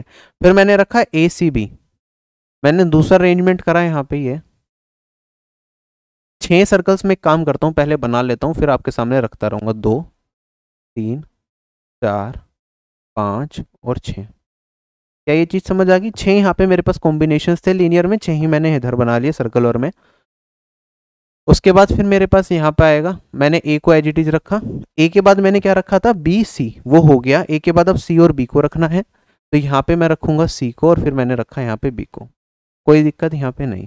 फिर है मेरे पास बी ए सी बी को मैंने रखा यहाँ पे यहाँ पे रखा मैंने ए को और मैंने यहाँ पे रखा सी को कोई दिक्कत यहाँ पे नहीं ठीक है फिर मेरे पास है यहाँ पे बी सी ए तो मैंने यहाँ पे रखा बी को यहाँ पे रखा मैंने सी को और यहाँ पे मैंने रखा ए को ठीक है उसके बाद है मेरे पास यहाँ पे सी ए बी तो मैंने यहाँ पे रखा सी को यहाँ पे रखा ए को और यहाँ पे रखा बी को यही आएगा और उसके बाद लास्ट में मेरे पास सी बी है तो मैंने यहाँ पे रखा सी को यहाँ पे रखा मैंने बी को और यहाँ पे रखा मैंने ए ये छः केसेस बन गए यहाँ पे सर्कुलर में भी? अब देखो, जब लीनियर की बात करूँगा तो मैंने सीधा कहा कि सर छः केसेस बनेंगे छः तरीके से मैं अरेंज करके इन्हें रख सकता हूँ।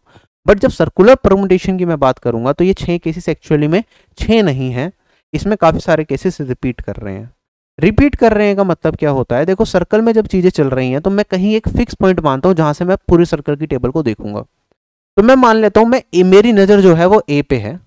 मैं ए से चीज़ों को ऑब्ज़र्व करूँगा, क्योंकि सर्कल को कहीं ना कहीं से तो ऑब्ज़र्व करोगे ना आप। ठीक है लीनियर में आप यहाँ से देखो, यहाँ से देखो, कहीं से भी देखो, कुछ फ़र्क नहीं पड़ता। लेकिन सर्कुलर पूरा गोल घूम रहा है तो कहीं ना कहीं से तो आप चीज़ों को अरेंज करना स्टार्ट करोगे। जैसे मैंने कहा, ये ए बी सी है। मैंने ए बी सी प्लॉट करा था। अब मैं ये ए से देख रहा हूँ, तभी तो ये ए बी सी है। अगर मैं इसे मान लो ए की जगह में इसे बी से देखता तो ये तो मेरा बी सी ए बी यही है। अगर मैं इसी चीज़ को सी से देखूँ तो ये मेरा सी ए बी बी है। क्या ये चीज़ आपको समझ में आ रही है? अगर मैं ए से देखता हूँ तो ए बी सी है। बी से देखता हूँ बी सी ए है और सी से देखता हूँ तो सी ए बी है। अगर मैं क्लोकवाइज देख रहा हूँ, अगर इसी को मैं एंटी क्लोकवाइज देखता ए से देखता तो मेरे पास ए सी बी बनता सी से देखता तो सी बी ए बनता बी से देखता तो सी ए बी ए बी ए सी बनता। ठीक है? तो मेरे पास मल्टीपल केसेस निकल के आ रहे हैं। तो जब भी हम सर्कुलर अरेंजमेंट की बात करेंगे, मैं एक पॉइंट को फिक्स लूँगा जिससे मैं पूरे इस टेबल को इस पूरे सर्कल को देख रहा हूँ लोग कहाँ कहाँ बैठे हैं।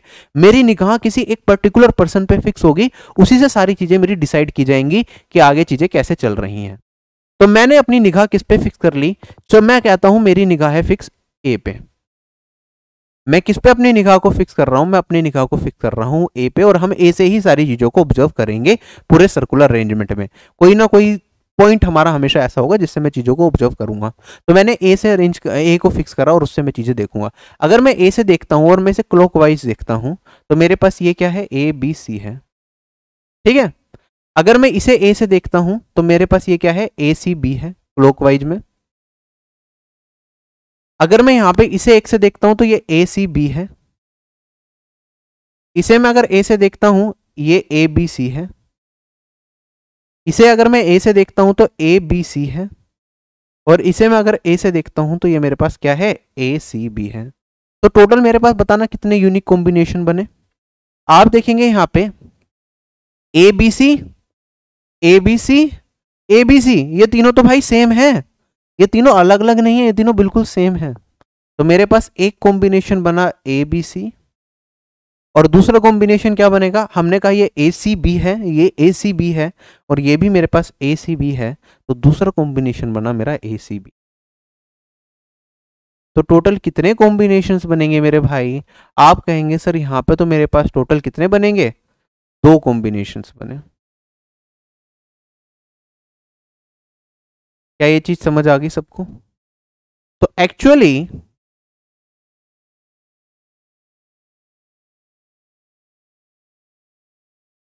एक्चुअली मेरे पास कितने केसेस बने? यहाँ पे दो ही केसेस बने, जबकि लीनियर अगर ये परमुटेशन होता तो छह केसेस बनते। सर्कुलर में सिर्फ़ दो केसेस बने। तो सर्कुलर में हमारे पास लीनियर से क्या बनते हैं? कम केसेस बनते हैं, क्योंकि चीज़ें रिपीट होनी स्टार्ट हो जाती हैं। ये मैं क्लोकवाइज देख रहा था तो मैंने दो कॉम्बिनेशन निकाले। अगर आप एंटी क्लोकवाइज देखते, तब भी टेंशन मत लो। एंटी क्लोकवाइज भी मेरे पास यही कॉम्बिनेशन बनेंगे। आप कहेंगे, सर, यहाँ से देख रहा हूँ ए सी बी बनेगा ये मेरा।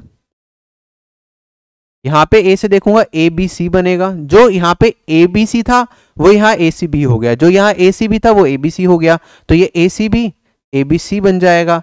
ये ए बी सी ये ए सी बी बन जाएगा। ये मेरा ए बी सी ए सी बी बन जाएगा। और जो मेरा ये ए सी बी है, ये मेरा क्या बन जाएगा? ए बी सी बन जाएगा। क्या ये पार्ट क्लियर हो गया? तो या तो आप क्लोकवाइज देख रहे होंगे चीज़ों को, या फिर आप एंटी क्लोकवाइज देख रहे होंगे, किसी भी एक पैटर्न में आप चीज़ों को देखेंगे, वो आपको सारे के सारे केसेस उसी से दिख रहे होंगे।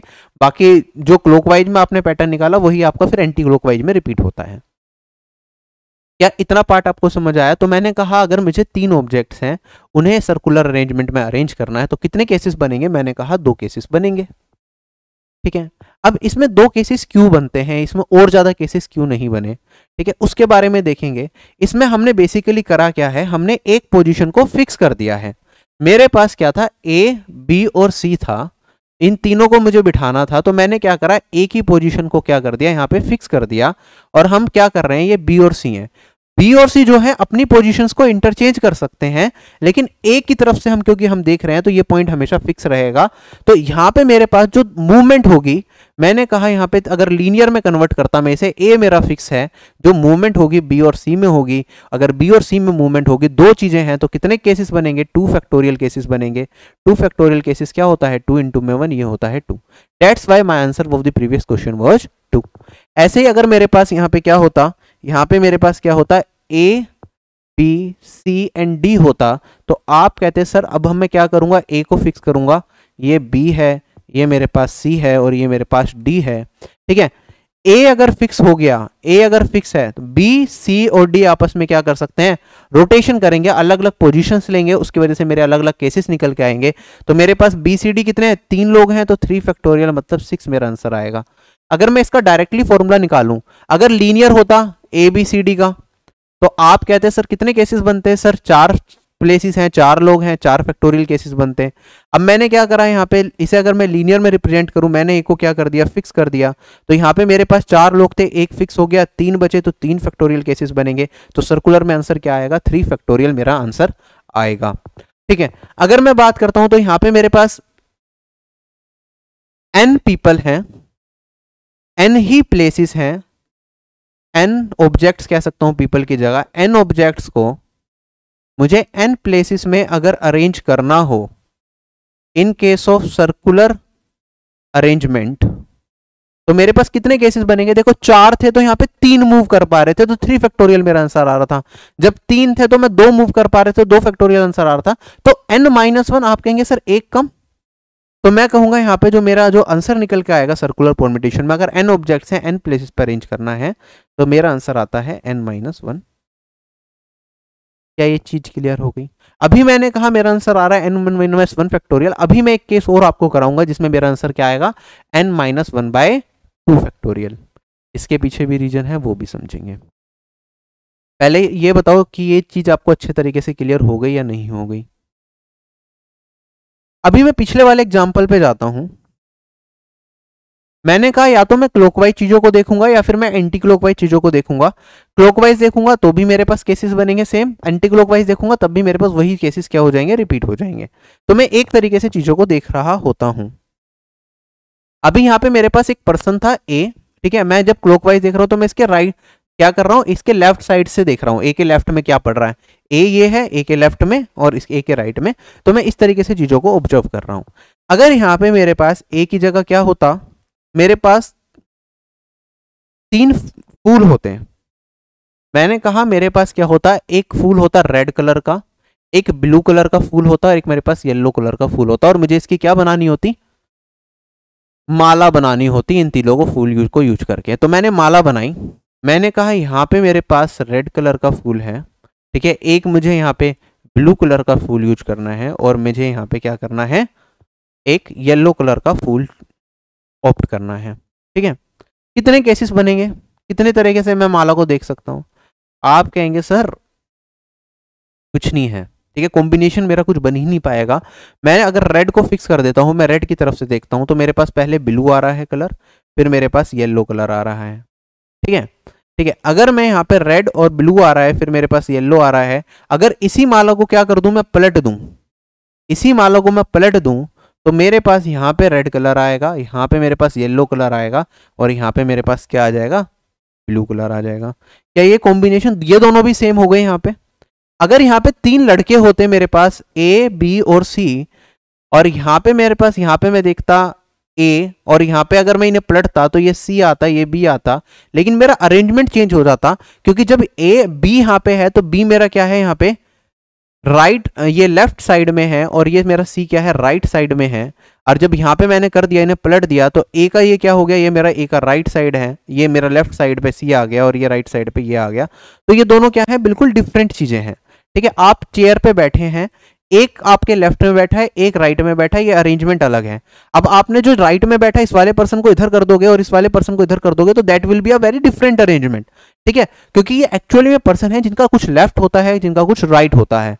लेकिन अगर मैं फूलों की बात करूँ, फूलों का लेफ़्ट राइट right क्या होगा? कुछ भी नहीं। ठीक है? फूल इधर से देखूँ या इधर से देखूँ, बिल्कुल सेम ही रहेंगे। फूलों का को कोई लेफ़्ट और राइट right नहीं होता। तो जिन लोगों का लेफ़्ट और राइट right हम डिस्टिंग्विश नहीं कर सकते, जो चारों तरफ़ से बिल्कुल एक जैसे से दिखते हैं, वो ऑब्जेक्ट्स के केस में हमारे पास जो केसेस होते हैं, वो हमारे कम बनते हैं। क्या ये चीज़ क्लियर हो गई? तो मैंने कहा, अगर मैं इसे रोटेट करता तो मेरे पास दो डिफरेंट केसेस बनते, ये दोनों की दोनों चीज़ें अलग हैं, लेकिन माला को अगर मैं रिप्लेस कर दूँ, घुमा के लगा दूँ तो ये बिल्कुल एक सी आपको दिखेगी। तो इसमें मेरे पास आंसर क्या आएगा? पहले मेरे पास तीन चीज़ें थी, तीन डिस्टिंक्ट ऑब्जेक्ट थे जो कि मैं सर्कुलर अरेंजमेंट प्लेस कर रहा था। तो कितने केसेस बनेंगे? टू फैक्टोरियल केसेस बनेंगे। लेकिन अगर मैं इसे रोटेट भी कर देता हूँ बी और वाई की पोजीशन को इंटरचेंज भी कर देता हूँ तो कुछ फ़र्क नहीं पड़ेगा। तो यहाँ पे हम टू से और डिवाइड करते हैं तो मेरा ये आंसर आएगा two by two one only one case will be there जिन लोगों को ये बीड्स वाला भी समझ नहीं आया तो टेंशन नहीं लेनी है। अभी मैं और एग्जांपल से कराऊँगा तब आपको समझ में आ जाएगा। फ़िलहाल आप ये सम, ये आपको समझ में आ गया ना? जो मैंने इधर बताया। तो कोई दिक्कत नहीं है ठीक है? अगर आपको पर्सनस वाला समझ आया है सिर्फ़ उसी के हिसाब से दो तीन क्वेश्चंस करते हैं फिर हम बीड्स वाले पे दोबारा आएँगे।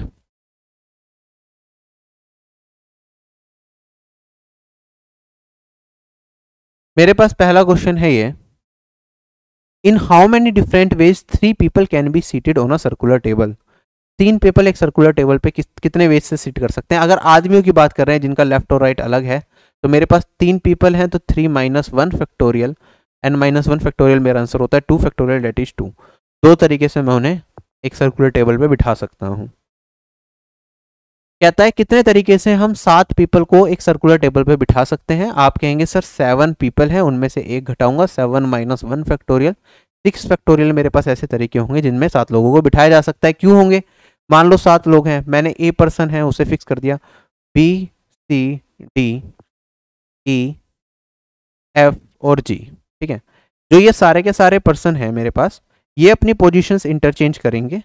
और मैं एक ही साइड से साइड या तो क्लोकवाइज या फिर एंटी क्लोकवाइज सारे पैटर्न्स को नोट करूँगा। जितने पैटर्न्स मेरे क्लोकवाइज आएँगे, उतने ही पैटर्न्स मेरे एंटी क्लोकवाइज आएँगे। तो वो उन्हें एक बार ही काउंट हम करते हैं।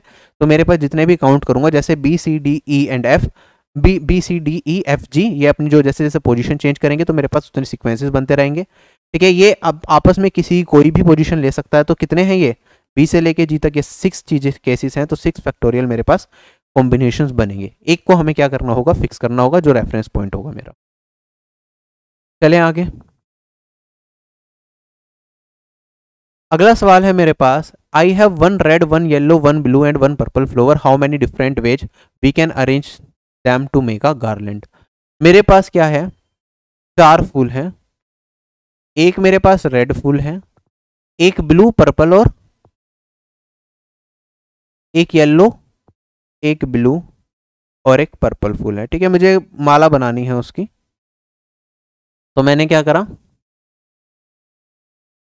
इन्हें ब्लू, रेड, पर्पल, इन्हें यहाँ पे फूलों को कुछ इस तरीके से लगा दिया। ठीक है, कितने केसेस बनेंगे? आप फटाफट से बताओ। पहले तो मैंने ये सिंपल चलो एक केस रख दिया रेड रेड मेरा फोकस पॉइंट है, जिसकी तरफ़ से मैं सारी चीज़ों को ऑब्ज़र्व करूँगा।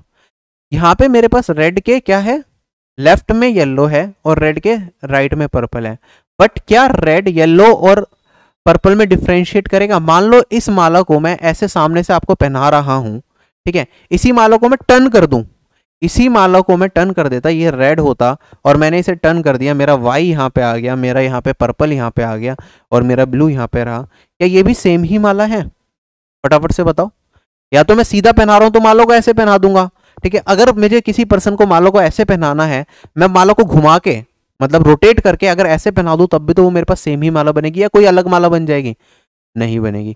लेकिन यहीं पे अगर मेरे पास पर्सन होते, यहाँ पे मेरे पास पर्सन वन बैठा है, ये उसका क्या है? राइट right हैंड है, ये उसका क्या है? लेफ़्ट हैंड है। ठीक है, यहाँ पे कोई दूसरा पर्सन बैठा है, ये लेफ़्ट हैंड होगा सॉरी अगर सामने से देखेंगे, ये राइट हैंड होगा उसका। ठीक है, ये पर्सन है।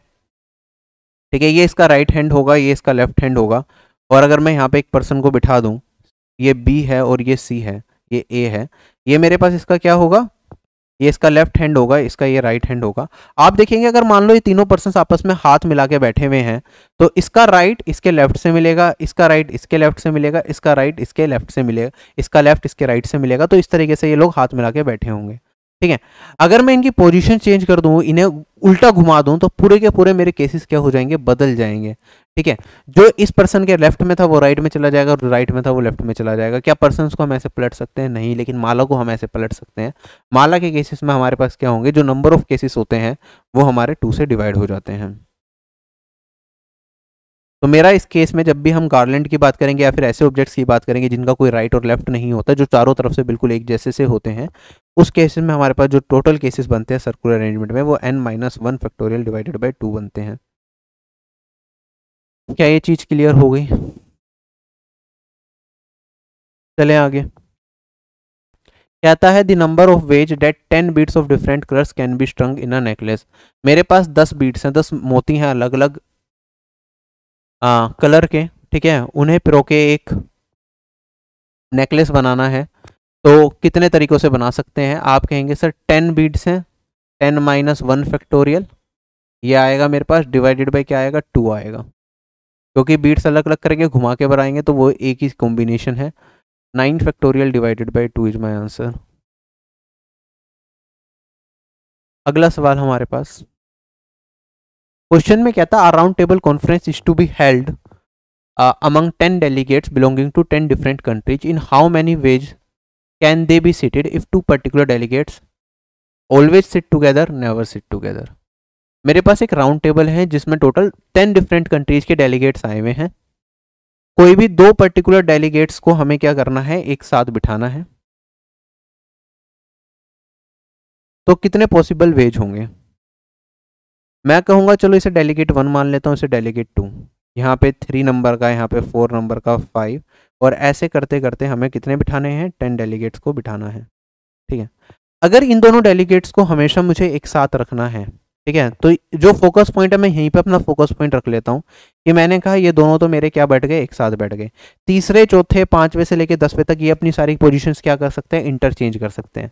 इंटरचेंज कर सकते हैं तो कितने केसेस बनेंगे? आप कहेंगे, सर एट फैक्टोरियल केसेस बनेंगे तीसरे से लेके दसवें तक। और अगर मैं बात करूँ तो ये दो हैं। ये दो डेलीगेट्स भी तो अपनी पोजिशन चेंज कर सकते हैं। ऐसा भी तो हो सकता है कि ये वाला डेलीगेट मेरा इधर आ जाए और जो ये वाला डेलीगेट है मेरा, ये वाला डेलीगेट इधर चला जाए। तो यहाँ पे मेरे पास दो केसेस बनेंगे। दो हैं तो दो फैक्टोरियल केसेस बनेंगे बेसिकली तो टू फैक्टोरियल तो मेरे पास इतने तरीकों से ये दो, इतने तरीके ऐसे होंगे जिसमें दोनों, दो डेलीगेट्स कोई भी पर्टिकुलर दो अगर हम चूज़ करें, वो एक साथ बैठ सकते हैं। सेकंड है मेरे पास नेवर टू सिट टुगेदर कभी भी साथ में ना बैठे दो पर्टिकुलर डेलीगेट्स कितने केस बनेंगे? आप कहेंगे, सर टोटल जितने भी केसेस हैं टोटल कितने केस बनेंगे अगर दस डेलीगेट को बिठा रहे हैं हम? नाइन फैक्टोरियल केसेस बनेंगे। किसी एक को फोकस मान के हम सारों सारों को बिठा देंगे। ठीक है? और अगर हम बात करें, नाइन फैक्टोरियल टोटल केसेस बनेंगे, उसमें से वो केसेस अगर मैं हटा दूँ, जिसमें दो, ये दोनों डेलीगेट्स एक साथ बैठ रहे हैं तो मेरे पास वो सारे के सारे केसेस आ जाएँगे, जिसमें ये दो डेलीगेट साथ में नहीं बैठे होंगे। तो nine factorial minus eight factorial into में two factorial. Nine factorial nothing but nine into eight factorial तो यहाँ से मैं एट फैक्टोरियल को कॉमन लूँगा। मेरे पास बचेगा यहाँ पे नाइन माइनस टू ये हो जाएगा सेवन इंटू में eight factorial. This will be the answer of this question चलें क्या आगे? अगर यहाँ पे क्या होता मेरे पास? फोर डेलीगेट्स साथ में को साथ में बिठाना होता। Four delegates to sit together कितने लोग हैं मेरे पास मान लो? बीस डेलीगेट्स हैं टोटल क्या आंसर आता मेरा? आप कहते हैं, सर, चार को फिक्स कर लेता मैं। ठीक है? तो मेरे पास बचे हुए जो सोलह होते हैं, उनमें मूवमेंट होती। तो सिक्सटीन फैक्टोरियल तो मेरे वो केस बनते हैं। जो ये चार डेलीगेट्स हैं, ये भी अपनी पोजीशन आपस में इंटरचेंज कर सकते थे। तो फोर फैक्टोरियल ये बनता तो मेरे पास इतने केसेस बनते कि ये चार डेलीगेट्स हमेशा एक साथ रहते अगर टोटल मेरे पास बीस डेलीगेट्स हैं। अगला सवाल मेरे पास। सारे सवाल ध्यान से करने वाले हैं ये। Find the number of ways in which six men and five women can dine at a round table if no two women can sit together. ठीक है? मुझे टोटल नंबर ऑफ़ वेज बताने हैं जिसमें छः आदमी और पाँच औरतों को मैं एक डाइन एक राउंड टेबल पे जिससे वो खाना खा सकते हैं। दो वीमेन साथ में नहीं बैठना, क्योंकि वो चाहते नहीं है कि दो वीमेन साथ में बैठे, बातचीत करें और वो खाने की जगह सिर्फ़ बातें ही होती रहें। तो इन्होंने ये पहले ही सेट कर दिया कि no two women can sit together, दो वीमेन साथ में नहीं बैठेंगी। हमारे पास कितने आदमी हैं? छह आदमी हैं। पाँच औरतें हैं। तो पहले मैं छह आदमियों को बिठा लेता हूँ।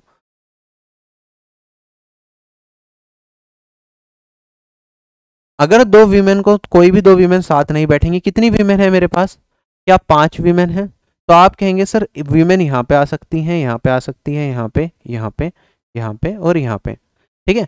ये एक एक छोड़ के मतलब दो वीमेन के बीच में एक आदमी होगा तो वो कभी भी साथ में नहीं बैठेंगे। तो यहाँ पे मेरे पास छह प्लेसेस बचेंगे जहाँ पे ये पाँच वीमेन को बिठाया जा सकता है और यहाँ पे मेरे पास छह आदमियों को मैंने पहले फिक्स कर दिया। ठीक। अगर मैं बात करता हूँ कितने केसेस बनेंगे, ये पाँच, छह आदमियों को मैंने फिक्स करा है, ये टोटल केसेस आदमियों के कितने बनेंगे? आप कहेंगे, सर, ये मैन मेरा इसके, अगर मैं इसके परस्पेक्टिव से सारी चीज़ों को देखूँ तो ये मैंने फिक्स कर दिया तो ये पाँच मैन अपनी मूवमेंट कर सकते हैं। तो फाइव फैक्टोरियल केसेस ऐसे बनेंगे जिसमें ये पाँच आदमियों की मूवमेंट होगी। ठीक है? अगर मैं बात करूँ, पाँच आदमियों की मूवमेंट ऐसे पॉसिबल है। अगर मैं फीमेल्स की बात करूँ, ठीक है? कोई भी विमेन साथ में नहीं बैठेगी। हमारे पास कितने प्लेसेस हैं? छह प्लेसेस हैं, जहाँ पे विमेन को बिठाया जा सकता है। फाइव वीमेन हैं। जब नंबर ऑफ़ पर्सन कम हो और प्लेसेस ज़्यादा हो तो मैंने बताया आंसर क्या होता है? आर पी एन तो मेरे पास यहाँ पे सिक्स प्लेसेस हैं, पाँच वीमेन हैं six P five factorial six P five मेरे पास टोटल केसेस बनेंगे। ये होगा six factorial divided by six minus five factorial that is six factorial only that is this तो मेरे पास यहाँ पे वीमेन कितने तरीके से मैं बिठा सकता हूँ? सिक्स फैक्टोरियल के तरीके से। मैन को मैं बिठा सकता हूँ फाइव फैक्टोरियल तरीके से, और दोनों को वुमेन को भी बिठाना है, मुझे मैन को भी बिठाना है। दोनों सिचुएशन एक साथ चलेंगी तो यहाँ पे क्या आएगा? मल्टीप्लाई आएगा। तो एक राउंड टेबल पे अगर मुझे पाँच छः पुरुष और पाँच महिलाओं को बिठाना है कुछ इस तरीके से कि वीमेन क्या करें? कोई भी दो महिलाएँ एक साथ ना बैठें तो कितने केसेस बनेंगे? फाइव फैक्टोरियल इंटू में six factorial option number A क्या हो जाएगा? करेक्ट हो जाएगा। चलें आगे। So that's it. This is the end of this session. I hope you loved it and you are now getting familiar with permutation and combination, you can try different questions from different books. But जितना मैंने कराया I don't think इससे बेहतर बढ़ के SSC exams में कुछ आपसे पूछ सकते हैं। बैंकिंग एग्ज़ाम्स में भी इससे मुश्किल नहीं पूछेंगे, क्योंकि कॉम्पिटिटिव एग्जामिनेशन है। ठीक है? जितना आप पूछा जा सकता है, उससे एक लेवल अप ही मैंने पढ़ाने की कोशिश करी है। तो you can rely on what I have taught and जो चीज़ें पढ़ाई हैं, बस इन्हीं अच्छे से रिवाइज करते रहें। कुछ क्वेश्चंस आप, कोई प्रीवियस बुक है जिसमें दे रखे हो तो आप प्रैक्टिस कर सकते हैं। आपसे यहीं अलविदा लेता हूँ।